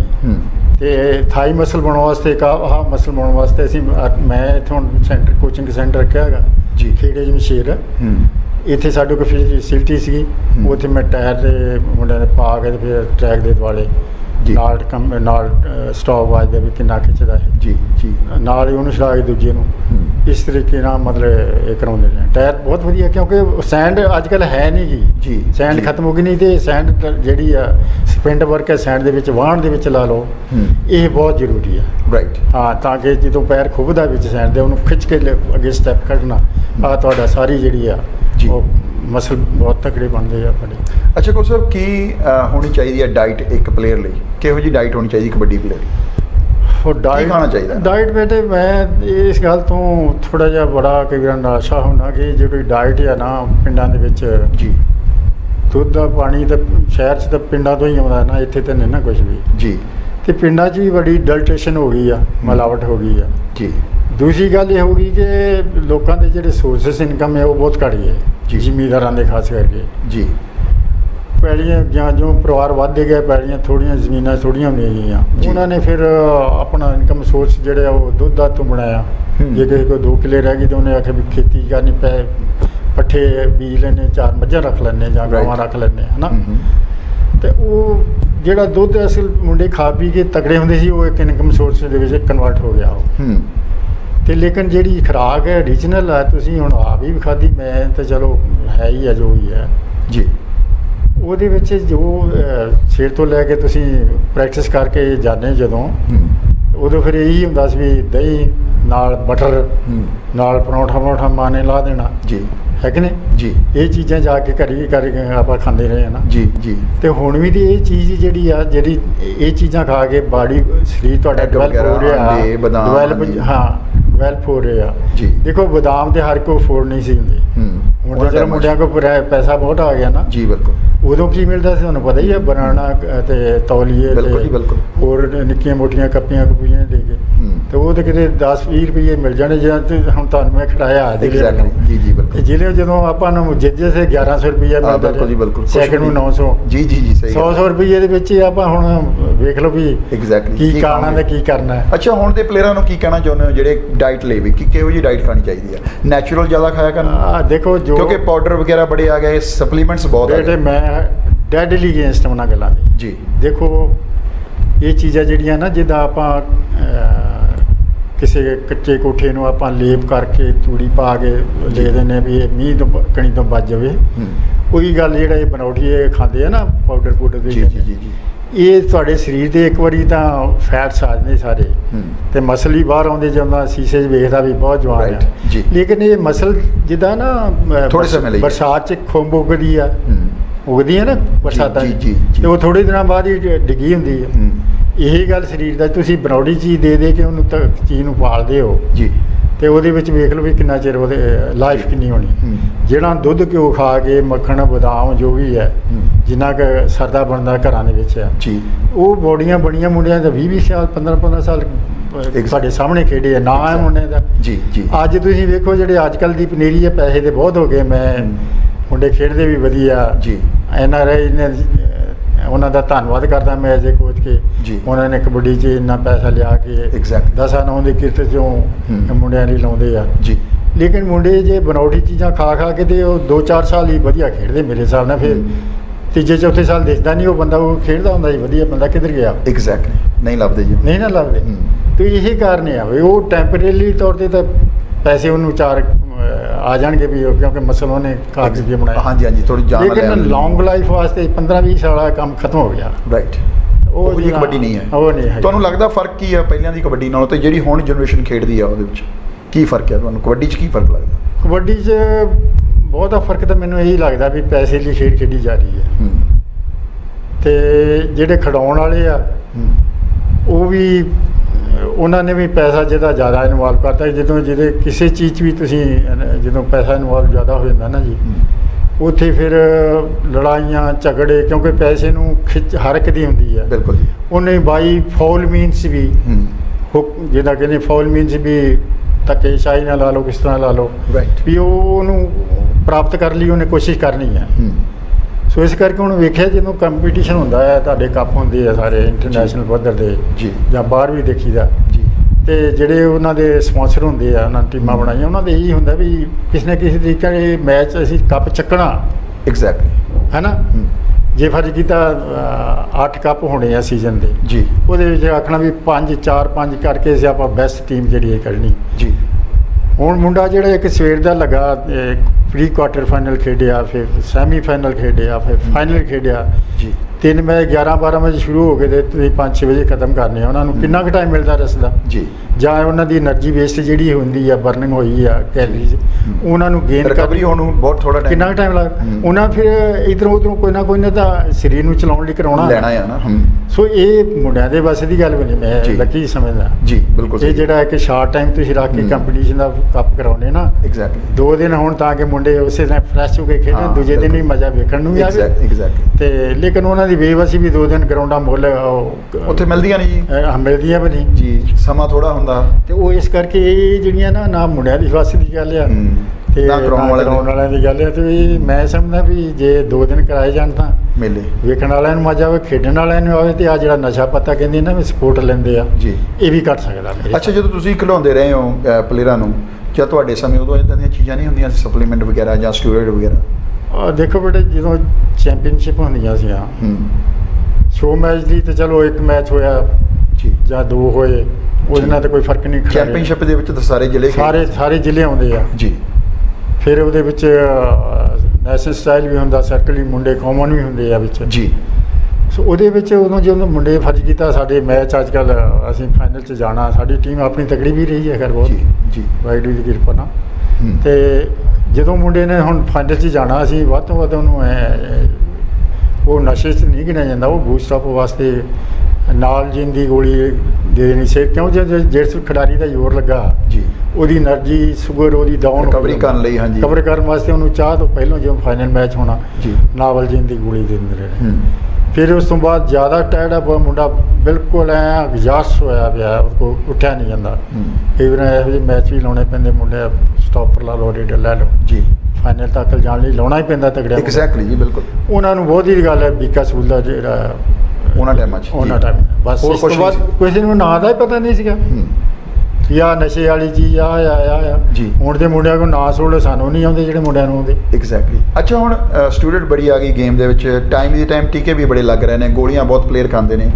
ਬਹੁਤ ਪਲੇਅਰ ਬੈਨ ਵੀ ਹੋ ਚੁੱਕੇ ਨੇ ਪਿਛਲੇ 2-3 ਸਾਲਾਂ ਤੋਂ। ਗੇਮ ਦੇ ਵਿੱਚ ਕਬੱਡੀ ਦੇ ਵਿੱਚ ਸਾਰੀਆਂ ਫੈਡਰੇਸ਼ਨਾਂ ਨੇ ਬਹੁਤ ਜ਼ਿਆਦਾ ਕੋਸ਼ਿਸ਼ ਕੀਤੀ ਹੈ ਕਿ ਇਸ ਜਿਹੜਾ ਇਹ ਕੋਡ ਜੁੜਿਆ ਹੋਇਆ ਨਾ ਗੇਮ ਕਬੱਡੀ ਸਾਡੀ ਨੂੰ ਡਰੱਗ ਦਾ ਉਹਨੂੰ ਖਤਮ ਕੀਤਾ ਜਾਵੇ। ਉਹਨਾਂ ਨੇ ਇੱਕ ਉਪਰਾਲਾ ਕੀਤਾ ਕਿ ਸਟੂਡੈਂਟ ਚੈੱਕ ਹੁੰਦੀ ਆ ਜਿਹਨੂੰ ਆਪਾਂ ਡੋਪਿੰਗ ਟੈਸਟ ਕਹਿ ਦਈਦਾ। ਉਹਦੇ ਚ ਸਟੂਡੈਂਟ ਟੈਸਟ ਚੈੱਕ ਹੁੰਦੀ ਆ ਔਰ ਟਾਈਮ ਦੀ ਟਾਈਮ ਉਹ ਨਸ਼ੇ ਵਾਲੀਆਂ ਚੀਜ਼ਾਂ ਵੀ ਚੈੱਕ ਕਰਦੇ ਆ। ਇਹ ਟੈਸਟ ਹੋਣੇ ਜ਼ਰੂਰੀ ਆ ਤੁਹਾਡੇ ਹਿਸਾਬ ਨਾਲ? ਹੋਣੇ ਚਾਹੀਦੇ ਨੇ? ਬਿਲਕੁਲ ਹੋਣੇ ਚਾਹੀਦੇ ਆ। ਅਵਲ ਤੇ ਮੈਂ ਸਮਝਦਾ ਵੀ ਪਲੇਅਰਾਂ ਨੂੰ ਇਹ ਨੌਬਤ ਆਉਣ ਦੇਣੀ ਨਹੀਂ ਚਾਹੀਦੀ। ਜੀ। ਜੇ ਇੱਕ ਇਹੀ ਧਾਰ ਲੈਣ ਵੀ ਨਹੀਂ ਇਹ ਕੋਡ ਹੈ ਹੂੰ। ਤੁਸੀਂ ਵੇਖਿਆ ਹੋਣਾ ਲੱਗੀ ਜੀ ਵੀ ਜਿਹੜੇ ਮੁੰਡੇ ਖਾ ਕੇ ਖੇਡਦੇ ਆ। ਜੀ। ਇਹਨਾਂ ਦਾ ਫਿਊਚਰ ਤਾਂ ਨਹੀਂ ਬਹੁਤਾ ਵਧੀਆ। ਨਹੀਂ ਨਹੀਂ, ਹੈ ਹੀ ਨਹੀਂ ਜੀ ਫਿਊਚਰ ਖਾਤਾ ਤੁਹਾਡੇ ਸਾਹਮਣੇ ਹੀ ਆ। ਜੀ. ਮਤਲਬ ਜਦੋਂ ਮੈਂ ਹੁਣ ਕਹਿਣਾ ਨਹੀਂ ਚਾਹੁੰਦਾ ਕੁਝ ਵੀ। ਜੀ ਜੀ ਜੀ। ਵੀ ਜਿਹੜਾ ਬੱਚਾ ਲੈਣ ਲੱਗੇ ਵੀ ਪ੍ਰੋਬਲਮ ਹਾਂ ਗਾਂ ਜਦੋਂ। ਪਰਿਵਾਰ ਵਧਾਉਣਾ ਘਟਾਉਣਾ ਉਦੋਂ ਵੀ ਪ੍ਰੋਬਲਮ ਹੁੰਦੀ ਹੈ। ਵਧਾਉਣ ਦੇ ਵਿੱਚ ਵੀ ਫ਼ਰਕ ਪੈ ਰਿਹਾ ਬਹੁਤ ਪੈ ਰਿਹਾ। ਬਹੁਤ ਜ਼ਿਆਦਾ ਕਿਉਂਕਿ big time side ਜੋ ਵੀ ਤੁਹਾਡੇ ਆਪਣੇ ਨੈਚੁਰਲ ਚੀਜ਼ਾਂ ਹੁੰਦੀਆਂ ਬੋਡੀ ਵਿੱਚ ਕੁਦਰਤ ਨੇ ਦਿੱਤੀਆਂ ਉਹ ਡੈਮੇਜ ਕਰ ਦਿੰਦੀਆਂ। ਜੀ, ਜੀ, ਉਹ ਡੈਮੇਜ ਕਰ ਦਿੰਦੀਆਂ। Exactly. ਇਸ ਕਰਕੇ ਉਹ ਵੇਖਿਆ ਤਗੜੇ ਤਗੜੇ ਮੁੰਡੇ ਬੜੇ ਰੋਂਦੇ ਆ ਹੁਣ। ਜੀ। ਸੋ ਇਸ ਕਰਕੇ ਮੈਂ ਸਮਝਦਾ ਵੀ ਉਹ ਤੇ ਬਹੁਤ ਵੱਡਾ ਕੋਡ ਹੈ। ਜੇ ਮੁੰਡੇ ਹੀ ਛੱਡ ਜਾਣ ਪਹਿਲੀ ਗੱਲ ਤੇ ਬੜੀ ਚੰਗੀ ਹੈ। ਮੈਂ ਤਾਂ ਬੇਨਤੀ ਕਰਦਾ ਜੀ ਬਿਲਕੁਲ। ਵੀ ਕਬੱਡੀ ਲਈ ਆਪਣਾ ਗਾਂ ਪੀੜ੍ਹੀ ਕਿਉਂ ਖਤਮ ਕਰਨੀ? ਪੀੜ੍ਹੀ ਦਾ ਮਤਲਬ ਅਗਲੀ ਨੈਕਸਟ ਜਨਰੇਸ਼ਨ ਨੈਕਸਟ ਜਨਰੇਸ਼ਨ ਜਦੋਂ ਬੱਚਾ ਨਹੀਂ ਹੋਣਾ ਤੁਹਾਡਾ ਉੱਥੇ ਤੇ ਤੁਹਾਡੇ ਕਮਾਇਆ ਪੈਸਾ ਕੀ ਕਰੂਗਾ ਦੱਸੋ? ਬਿਲਕੁਲ ਸਹੀ ਗੱਲ ਹੈ ਕੋਠੀਆਂ ਕੀ ਕਰਨੀਆਂ ਕਾਰਾਂ ਕੀ ਕਰਨੀਆਂ? Exactly. ਜੇ ਅਗਲੀ ਤੁਹਾਡਾ ਅਗਲਾ ਪੀੜ੍ਹੀ ਖਤਮ ਹੋ ਗਈ। ਜੀ ਬਿਲਕੁਲ। ਸੋ ਇਸ ਕਰਕੇ ਮੈਂ ਸਮਝਦਾ ਵੀ ਉਹ ਉਹ ਤੇ ਪਹਿਲੀ ਗੱਲ ਤਾਂ ਹੋਈ ਦੂਜੀ ਰਹਿ ਗਈ ਟੈਸਟ ਵਾਲੀ ਗੱਲ। ਟੈਸਟ ਜਿਹੜਾ ਡਾਊਟਫੁਲ ਹੋ ਰਿਹਾ ਲੱਕੀ। ਅੱਛਾ ਜੀ। ਹਾਂ। ਤੁਹਾਨੂੰ ਕੀ ਲੱਗਦਾ? ਮੈਨੂੰ ਐਂ ਲੱਗਦਾ ਵੀ ਇਹ ਨਾਂ ਦਿੱਤਾ ਜਾਂਦਾ ਟੈਸਟ ਦਾ। ਉਹ ਤੇ ਇੱਕ ਹੋਵੇ ਗਵਰਨਮੈਂਟ ਵੱਲੋਂ ਏਜੰਸੀ ਹੋਵੇ ਇੱਕ ਅਪਰੂਵਡ ਜੀ। ਵੀ ਉਹਦੇ ਥਰੂ ਹੀ ਟੈਸਟ ਹੋਣ ਜੋ ਜੇ ਕਰਦੀ ਹੈ ਟੈਸਟ ਜੋ ਰਿਜ਼ਲਟ ਦਿੰਦੀ ਹੈ ਉਹਨੂੰ ਹੀ ਮੰਨਿਆ ਜਾਵੇ। ਹੋਰ ਤੀਜਾ ਇੱਥੇ ਤਾਂ ਹੁਣ ਕੋਈ ਕੋਈ ਹਾਇਰ ਕਰ ਲੈਂਦਾ ਕੋਈ ਕਿਤੋਂ ਕਰ ਲੈਂਦਾ। ਜੀ ਬਿਲਕੁਲ। ਤੇ ਅਖਬਾਰਾਂ ਦੇ ਦਿੰਦੇ ਨੇ ਟੈਸਟ ਕਰਾਇਆ ਨਹੀਂ ਲੇਕਿਨ ਮੇਰਾ ਮਨ ਕਰਦਾ ਮੇਰੀ ਆਤਮਾ ਕਹਿੰਦੀ ਹੈ ਜੀ। ਇਹਨੇ ਰੀਅਲ ਸੈਂਸ ਕਿਤੇ ਨਹੀਂ ਕੋਈ ਗੱਲ ਹੋਈ ਹੂੰ ਹੂੰ। ਸੋ ਕਹਿੰਦੇ ਜੀ ਰੈਂਡਮ ਟੈਸਟ ਕਰਾ ਲੈਣੀ ਹੈ ਉਹ ਨਾ ਇੱਕ ਨਾਂ ਦੇ ਥੱਲੇ ਉਸ ਚੀਜ਼ ਦੇ ਤੇ ਸਾਰੀ ਗੱਲ ਹੋ ਰਹੀ ਹੈ। ਜੀ। ਦੂਜੀ ਗੱਲ ਕਈਆਂ ਫੈਡਰੇਸ਼ਨ ਨੇ ਜਿੱਦਾਂ ਹੁਣ ਟੋਰਾਂਟੋ ਵਾਲਿਆਂ ਨੇ ਅਹ, ਪਿਛਲੇ ਸਾਲ ਕਰਾਇਆ ਸੀ, ਤੁਹਾਨੂੰ ਪਤਾ ਹੀ ਹੈ ਨਾ। ਜੀ, ਜੀ, ਬਿਲਕੁਲ। ਉਹ ਇਸੇ ਕਰਕੇ ਕਿ ਮੁੰਡਿਆਂ ਨੂੰ ਥੋੜਾ ਜਿਹਾ ਉਹਦਾ ਦਿਮਾਗ ਵੀ ਇਹ ਹਟ ਜਾਣ। ਹਾਂਜੀ। ਦੁੱਖ ਤੇ ਹਰ ਇੱਕ ਨੂੰ ਹੀ ਆਉਂਦਾ ਹੈ ਨਾ। ਬਿਲਕੁਲ ਖਿਡਾਰੀ ਇੱਕ ਨੌਜਵਾਨ ਜਿਹੜਾ ਗਲਤ ਕੰਮ ਕਰ ਰਿਹਾ ਤੇ ਦੁੱਖ ਕਿਹਨੂੰ ਨਹੀਂ ਆਉਂਦਾ? ਐਗਜ਼ੈਕਟ ਸੋ ਉਹਨਾਂ ਨੇ ਸਟੈਂਡ ਵੀ ਲਿਆ। ਹੂੰ। ਪਰ ਉਸ ਦੇ ਬਾਵਜੂਦ ਹੀ ਫਿਰ ਕਈ ਮੈਂ ਵੇਖਿਆ ਵੀ ਅੱਗੇ ਹੋਰਨਾਂ ਨੇ ਵੀ ਸਟੈਂਡ ਲਿਆ ਤੇ ਉਹ ਦੂਜੇ ਜਿੱਦਾਂ ਨਿਊਜ਼ੀਲੈਂਡ ਜਾਂ ਪਤਾ ਨਹੀਂ ਕਿਹੜੇ ਕੰਟਰੀ ਕਹਿੰਦੇ ਤੁਸੀਂ ਛੱਡੋ ਤੁਹਾਡੇ ਟੈਸਟ ਨਹੀਂ ਨਾ ਦਿਓ ਹੋਰ ਕਿਤੇ ਸਾਡੇ ਹਾਲ ਆ ਜਾਓ। ਸਾਡੇ ਸਾਡੇ ਖੇਡ ਲੋ ਹਾਂਜੀ। ਅਸੀਂ ਤੁਹਾਨੂੰ ਜੀ ਆਇਆਂ ਨੂੰ ਕਹਿੰਦੇ। ਹੂੰ। ਹੁਣ ਜਿਹਨੇ ਜਿਹਨਾਂ ਸਟੈਂਡ ਲਿਆ ਉਹਦਾ ਫਿਰ ਕੀ ਬਣੂ ਉਹਨਾਂ ਤੇ ਉਧਰੋਂ ਪੈਸੇ ਮਿਲ ਜਾਣੇ। ਐਗਜ਼ੈਕਟਲੀ ਹੈਨਾ? ਸੋ ਇੱਕ ਹੋਣਾ ਚਾਹੀਦਾ। ਇੱਕ ਹੋ- ਇੱਕੋ ਟੈਸਟ ਉਹ ਉੱਥੋਂ ਪਾਸ ਹੋ ਕੇ ਜੀ। ਉਸ ਚੈਨਲ ਦੇ ਥਰੂ ਸਾਰੇ ਪਲੇਅਰ ਜਾਣ ਹੂੰ। ਔਰ ਉਹ ਨਾਲ ਸਰਟੀਫਿਕੇਟ ਹੋਵੇ। ਹੂੰ। ਠੀਕ ਹੈ? ਜਦੋਂ ਕੰਪੀਟੀਸ਼ਨ ਬਾਹਰ ਇੰਟਰਨੈਸ਼ਨਲ ਤੇ ਹੋਣੇ ਜਾਂ ਇੱਥੇ ਹੋਣੇ ਆ ਉਹ ਸਰਟੀਫਿਕੇਟ ਹੋਵੇ ਮੈਂ ਉਸ ਨੂੰ ਗੱਲ ਮੰਨਦਾ ਵੀ ਵਾਕਿਆ ਟੈਸਟ ਹੋਏ। ਇਹ ਤੁਹਾਡੀ ਗੱਲ ਸਹੀ ਹੈ ਜੀ ਬਿਲਕੁਲ ਤੁਹਾਡੇ ਇਹ ਜਿਹੜਾ ਤੁਸੀਂ ਸੁਝਾਅ ਦਿੱਤਾ ਇਹਨੂੰ ਮੱਦੇਨਜ਼ਰ ਰੱਖ ਕੇ ਇਸ ਸਾਲ ਜਿਹੜਾ 2020 ਦਾ ਸੀਜ਼ਨ ਚੱਲਿਆ ਜੀ ਕਬੱਡੀ ਦਾ। ਕੋਸੋਵੋ ਦੇ ਵਿੱਚ ਇੱਕ WKDC ਸੰਸਥਾ ਬਣੀ ਆ ਜਿਹਦਾ ਨਾਮ ਹੈ world kabaddi doping committee doping ਹਾਂਜੀ ਡੋਪਿੰਗ ਕਮੇਟੀ ਬਣਾਈ ਗਈ ਹੈ ਜੀ। ਉਹ ਉਹ 8 ਫੈਡਰੇਸ਼ਨਾਂ ਨੇ ਵਰਲਡ ਦੀਆਂ ਨੇ ਰਲ ਕੇ ਬਣਾਈਆਂ ਜਿਹਦੇ 16 ਮੈਂਬਰ ਹੈ ਜੀ। ਹੂੰ ਹੂੰ। ਸੋ ਉਹਦੇ ਚ ਤਕਰੀਬਨ ਤਕਰੀਬਨ ਸਾਰੀਆਂ ਫੈਡਰੇਸ਼ਨਾਂ ਹੈਗੀਆਂ New Zealand Australia England Toronto ਤੋਂ ਵੈਨਕੂਵਰ ਤੋਂ ਅਮਰੀਕਾ ਤੋਂ ਇੱਥੇ ਦੀਆਂ ਫੈਡਰੇਸ਼ਨਾਂ ਜਿੰਨੀਆਂ ਵੀ ਆ ਇੰਡੀਆ ਦੇ ਵਿੱਚ। ਸੋ ਸਾਰੇ ਮੈਂਬਰ ਆ ਉਹਦੇ। ਉਹਨਾਂ ਨੇ ਇਸ ਸਾਲ ਇਹ ਰੱਖਿਆ ਸੀ ਜੀ ਮੁੱਦਾ ਕਿ ਆਪਾਂ ਨੂੰ ਟੈਸਟ ਇੱਕ ਥਾਂ ਤੇ ਹੋਣੇ ਚਾਹੀਦੇ ਆ। ਸੋ ਕਾਫੀ ਫੈਡਰੇਸ਼ਨ ਨੇ ਇੱਕੋ ਥਾਂ ਤੋਂ ਟੈਸਟ ਕਰਾਏ ਉਹਦੇ ਰਿਜ਼ਲਟ ਵੀ ਆਏ ਆ ਤੇ ਉਹ ਪਰ ਸਿਰਫ ਸੀਗੇ ਜੀ ਡੋਪ ਟੈਸਟ ਸਿਰਫ ਸਟੂਡੈਂਟ ਚੈੱਕ ਕਰਦੇ ਸੀ ਤੇ ਜਿਹੜੇ ਟਾਈਮ ਦੀ ਟਾਈਮ ਵੀ ਚੈੱਕ ਕਰਦੇ ਸੀ ਉਹਨਾਂ ਨਾਲ ਨਾਲ ਪੜਾਸ਼ ਕਰੀ ਜਾਂਦੇ ਸੀ ਟੂਰਨਾਮੈਂਟ ਚੱਲਦੇ ਆ ਦੋ ਟੂਰਨਾਮੈਂਟ ਲਈ ਬੈਨ ਜਾਂ ਤਿੰਨਾਂ ਲਈ ਅੱਛਾ ਸੋ ਬੈਟਰ ਹੋਇਆ ਜੀ ਤੁਹਾਨੂੰ ਸਿਰਫ ਨੌਲੇਜ ਲਈ ਮੈਂ ਦੱਸ ਰਿਹਾ ਕਿ ਇਹ ਜਿਹੜਾ ਤੁਹਾਡਾ ਇੱਕ ਸੁਝਾਅ ਸੀ ਉਹ ਆਲਰੇਡੀ ਇਹ ਚੱਲ ਰਿਹਾ ਸਿਸਟਮ ਇਸ ਸਾਲ ਤੋਂ Good. 2020 ਤੋਂ ਇੱਕ ਸੰਸਥਾ। ਬਣੀ ਆ ਸੋ ਇੱਕ। ਸੰਸਥਾ ਦੇ ਅੰਡਰ ਹੁਣ ਹੋ ਰਹੇ ਨੇ ਗਾਂ ਵੀ ਸਾਰੇ ਟੈਸਟ ਬਹੁਤ ਮੈਂ ਤੇ ਬਹੁਤ ਲੋੜ ਹੈ ਇਸ- ਕਰਦਾ ਵੀ ਇਹ ਜੀ। ਇਸੇ ਤਰ੍ਹਾਂ ਹੀ ਚੱਲੇ ਤੇ ਤਾਂ ਕਿ ਜਿਹੜਾ ਲੋਕਾਂ ਤੇ ਵੀ ਕਿਉਂ ਬਦਨਾਮੀ ਬੜੀ ਹੈ ਐਗਜ਼ੈਕਟਲੀ ਲੋਕੀ ਪੈਸਾ ਦੇਣ ਨੂੰ ਤਿਆਰ ਹੈ ਲੇਕਿਨ ਕਈ ਕਹਿੰਦੇ ਯਾਰ ਉੱਥੇ ਤੇ ਉਹ ਖੇਡਣਾ ਡਰਾਗੀ ਖੇਡਣੀ ਛੱਡੋ ਪਰ ਜਵਾਨੀ ਥੋੜਾ ਖੇਡਣੀ Exactly. ਇਦਾਂ ਵੀ ਲੋਕ ਗੱਲਾਂ ਕਰਦੇ ਬਦਨਾਮ ਹੋ ਗਈ ਜੀ ਬਹੁਤ? ਜੀ ਜੀ। ਇਹ ਤੇ ਬਹੁਤ ਵੱਡਾ ਵਧੀਆ ਉਪਰਾਲਾ ਇਹਨਾਂ ਫੈਡਰੇਸ਼ਨ ਜੀ, ਸਹੀ ਮੈਨਾਂ ਚ ਇਹ ਕਰਦੇ ਜੀ ਨਹੀਂ ਬਹੁਤ ਵਧੀਆ ਉਪਰਾਲਾ ਕੀਤਾ ਜੀ। ਬਾਕੀ ਨਾਲ ਦੀ ਨਾਲ ਦਰਸ਼ਕਾਂ ਨੂੰ ਦੱਸਣਾ ਚਾਹੁੰਦਾ ਜੀ ਜੇ ਤੁਸੀਂ ਹੋਰ ਵੀ ਨੌਲੇਜ ਲੈਣੀ ਹੋਵੇ ਤੁਸੀਂ ਸੈਮੀਨਾਰ ਦੇਖ ਸਕਦੇ ਹੋ YouTube ਤੇ ਟੀਮ ਪੰਜਾਬੀ ਨੇ ਸੈਮੀਨਾਰ ਕਰਾਇਆ ਸੀਗਾ ਸਿੱਖ ਯੂਥ ਦੇ ਨਾਲ ਰਲ ਕੇ ਸਰੀ ਦੇ ਵਿੱਚ ਸੋ ਅਮਰੀਕਾ ਤੋਂ ਡਾਕਟਰ ਸੀ ਕੋਸਾ ਉੱਥੇ ਸੱਦੇ ਸੀਗੇ? ਇੰਡੀਆ ਤੋਂ ਸੱਦੇ ਸੀ ਕੈਨੇਡਾ ਦੇ ਡਾਕਟਰ ਸੀ। ਜਿਹਦੇ ਚ ਪ੍ਰੋਪਰ ਵੇ ਦੇ ਨਾਲ ਉਹ ਘੰਟੇ ਡੇਢ ਘੰਟੇ ਦੀ ਵੀਡੀਓ ਆ ਡਾਕਟਰ ਸਹਿਬਾਨ ਪਲੇਅਰਾਂ ਨੂੰ ਦੱਸ ਰਿਹਾ ਕੀ ਖਾਣਾ ਚਾਹੀਦਾ ਔਰ ਕਿਵੇਂ ਇਸ ਚੀਜ਼ ਤੋਂ ਅਸੀਂ ਬਚ ਸਕਦੇ ਹਾਂ। ਉਹ ਟੀਮ ਪੰਜਾਬੀ ਨੇ ਪਿਛਲੇ ਸਾਲ ਸੈਮੀਨਾਰ ਕਰਾਇਆ ਸੀ। ਸੋ ਦਰਸ਼ਕਾਂ ਨੂੰ ਦੱਸਣਾ ਚਾਹੁੰਦਾ YouTube ਤੇ ਤੁਸੀਂ ਦੇਖ ਸਕਦੇ ਹੋ, ਸਾਰੀ ਨੌਲੇਜ ਲੈ ਸਕਦੇ ਹੋ ਪਲੇਅਰ ਵੀ ਨੌਲੇਜ ਲੈ ਸਕਦੇ ਨੇ। ਕਿਵੇਂ ਬਚ ਸਕਦੇ ਹਾਂ ਆਪਾਂ ਸਟੂਡੈਂਟ ਤੋਂ ਔਰ ਕਿਹੜੀਆਂ ਕਿਹੜੀਆਂ ਚੀਜ਼ਾਂ ਸਾਨੂੰ ਖਾਣੀਆਂ ਚਾਹੀਦੀਆਂ। ਅਹ ਕੋਸਬ ਕੀ ਕਹਿਣਾ ਚਾਹੁੰਦੇ ਹੋ ਲਾਸਟ ਤੇ ਪਲੇਅਰਾਂ ਨੂੰ ਜਾਂ ਤੁਹਾਡੇ ਜਿਹੜੇ ਚਾਹਣ ਵਾਲੇ ਤੁਹਾਨੂੰ ਦੇਖ ਰਹੇ ਮੈਂ ਤੇ ਇਹੀ ਕਹਿਣਾ ਵੀ ਜਿਹੜੀ ਪਹਿਲੋਂ ਕਬੱਡੀ ਖੇਡੀ ਜਾਂਦੀ ਸੀ ਨਾ ਜੀ। ਉਸ ਨਾਲ ਉਸੇ ਲਾਈਨ ਤੇ ਖੇਡੀ ਜਾਵੇ ਉਸੇ ਸਪੀਡ 'ਚ ਖੇਡੀ ਜਾਵੇ। ਜੀ।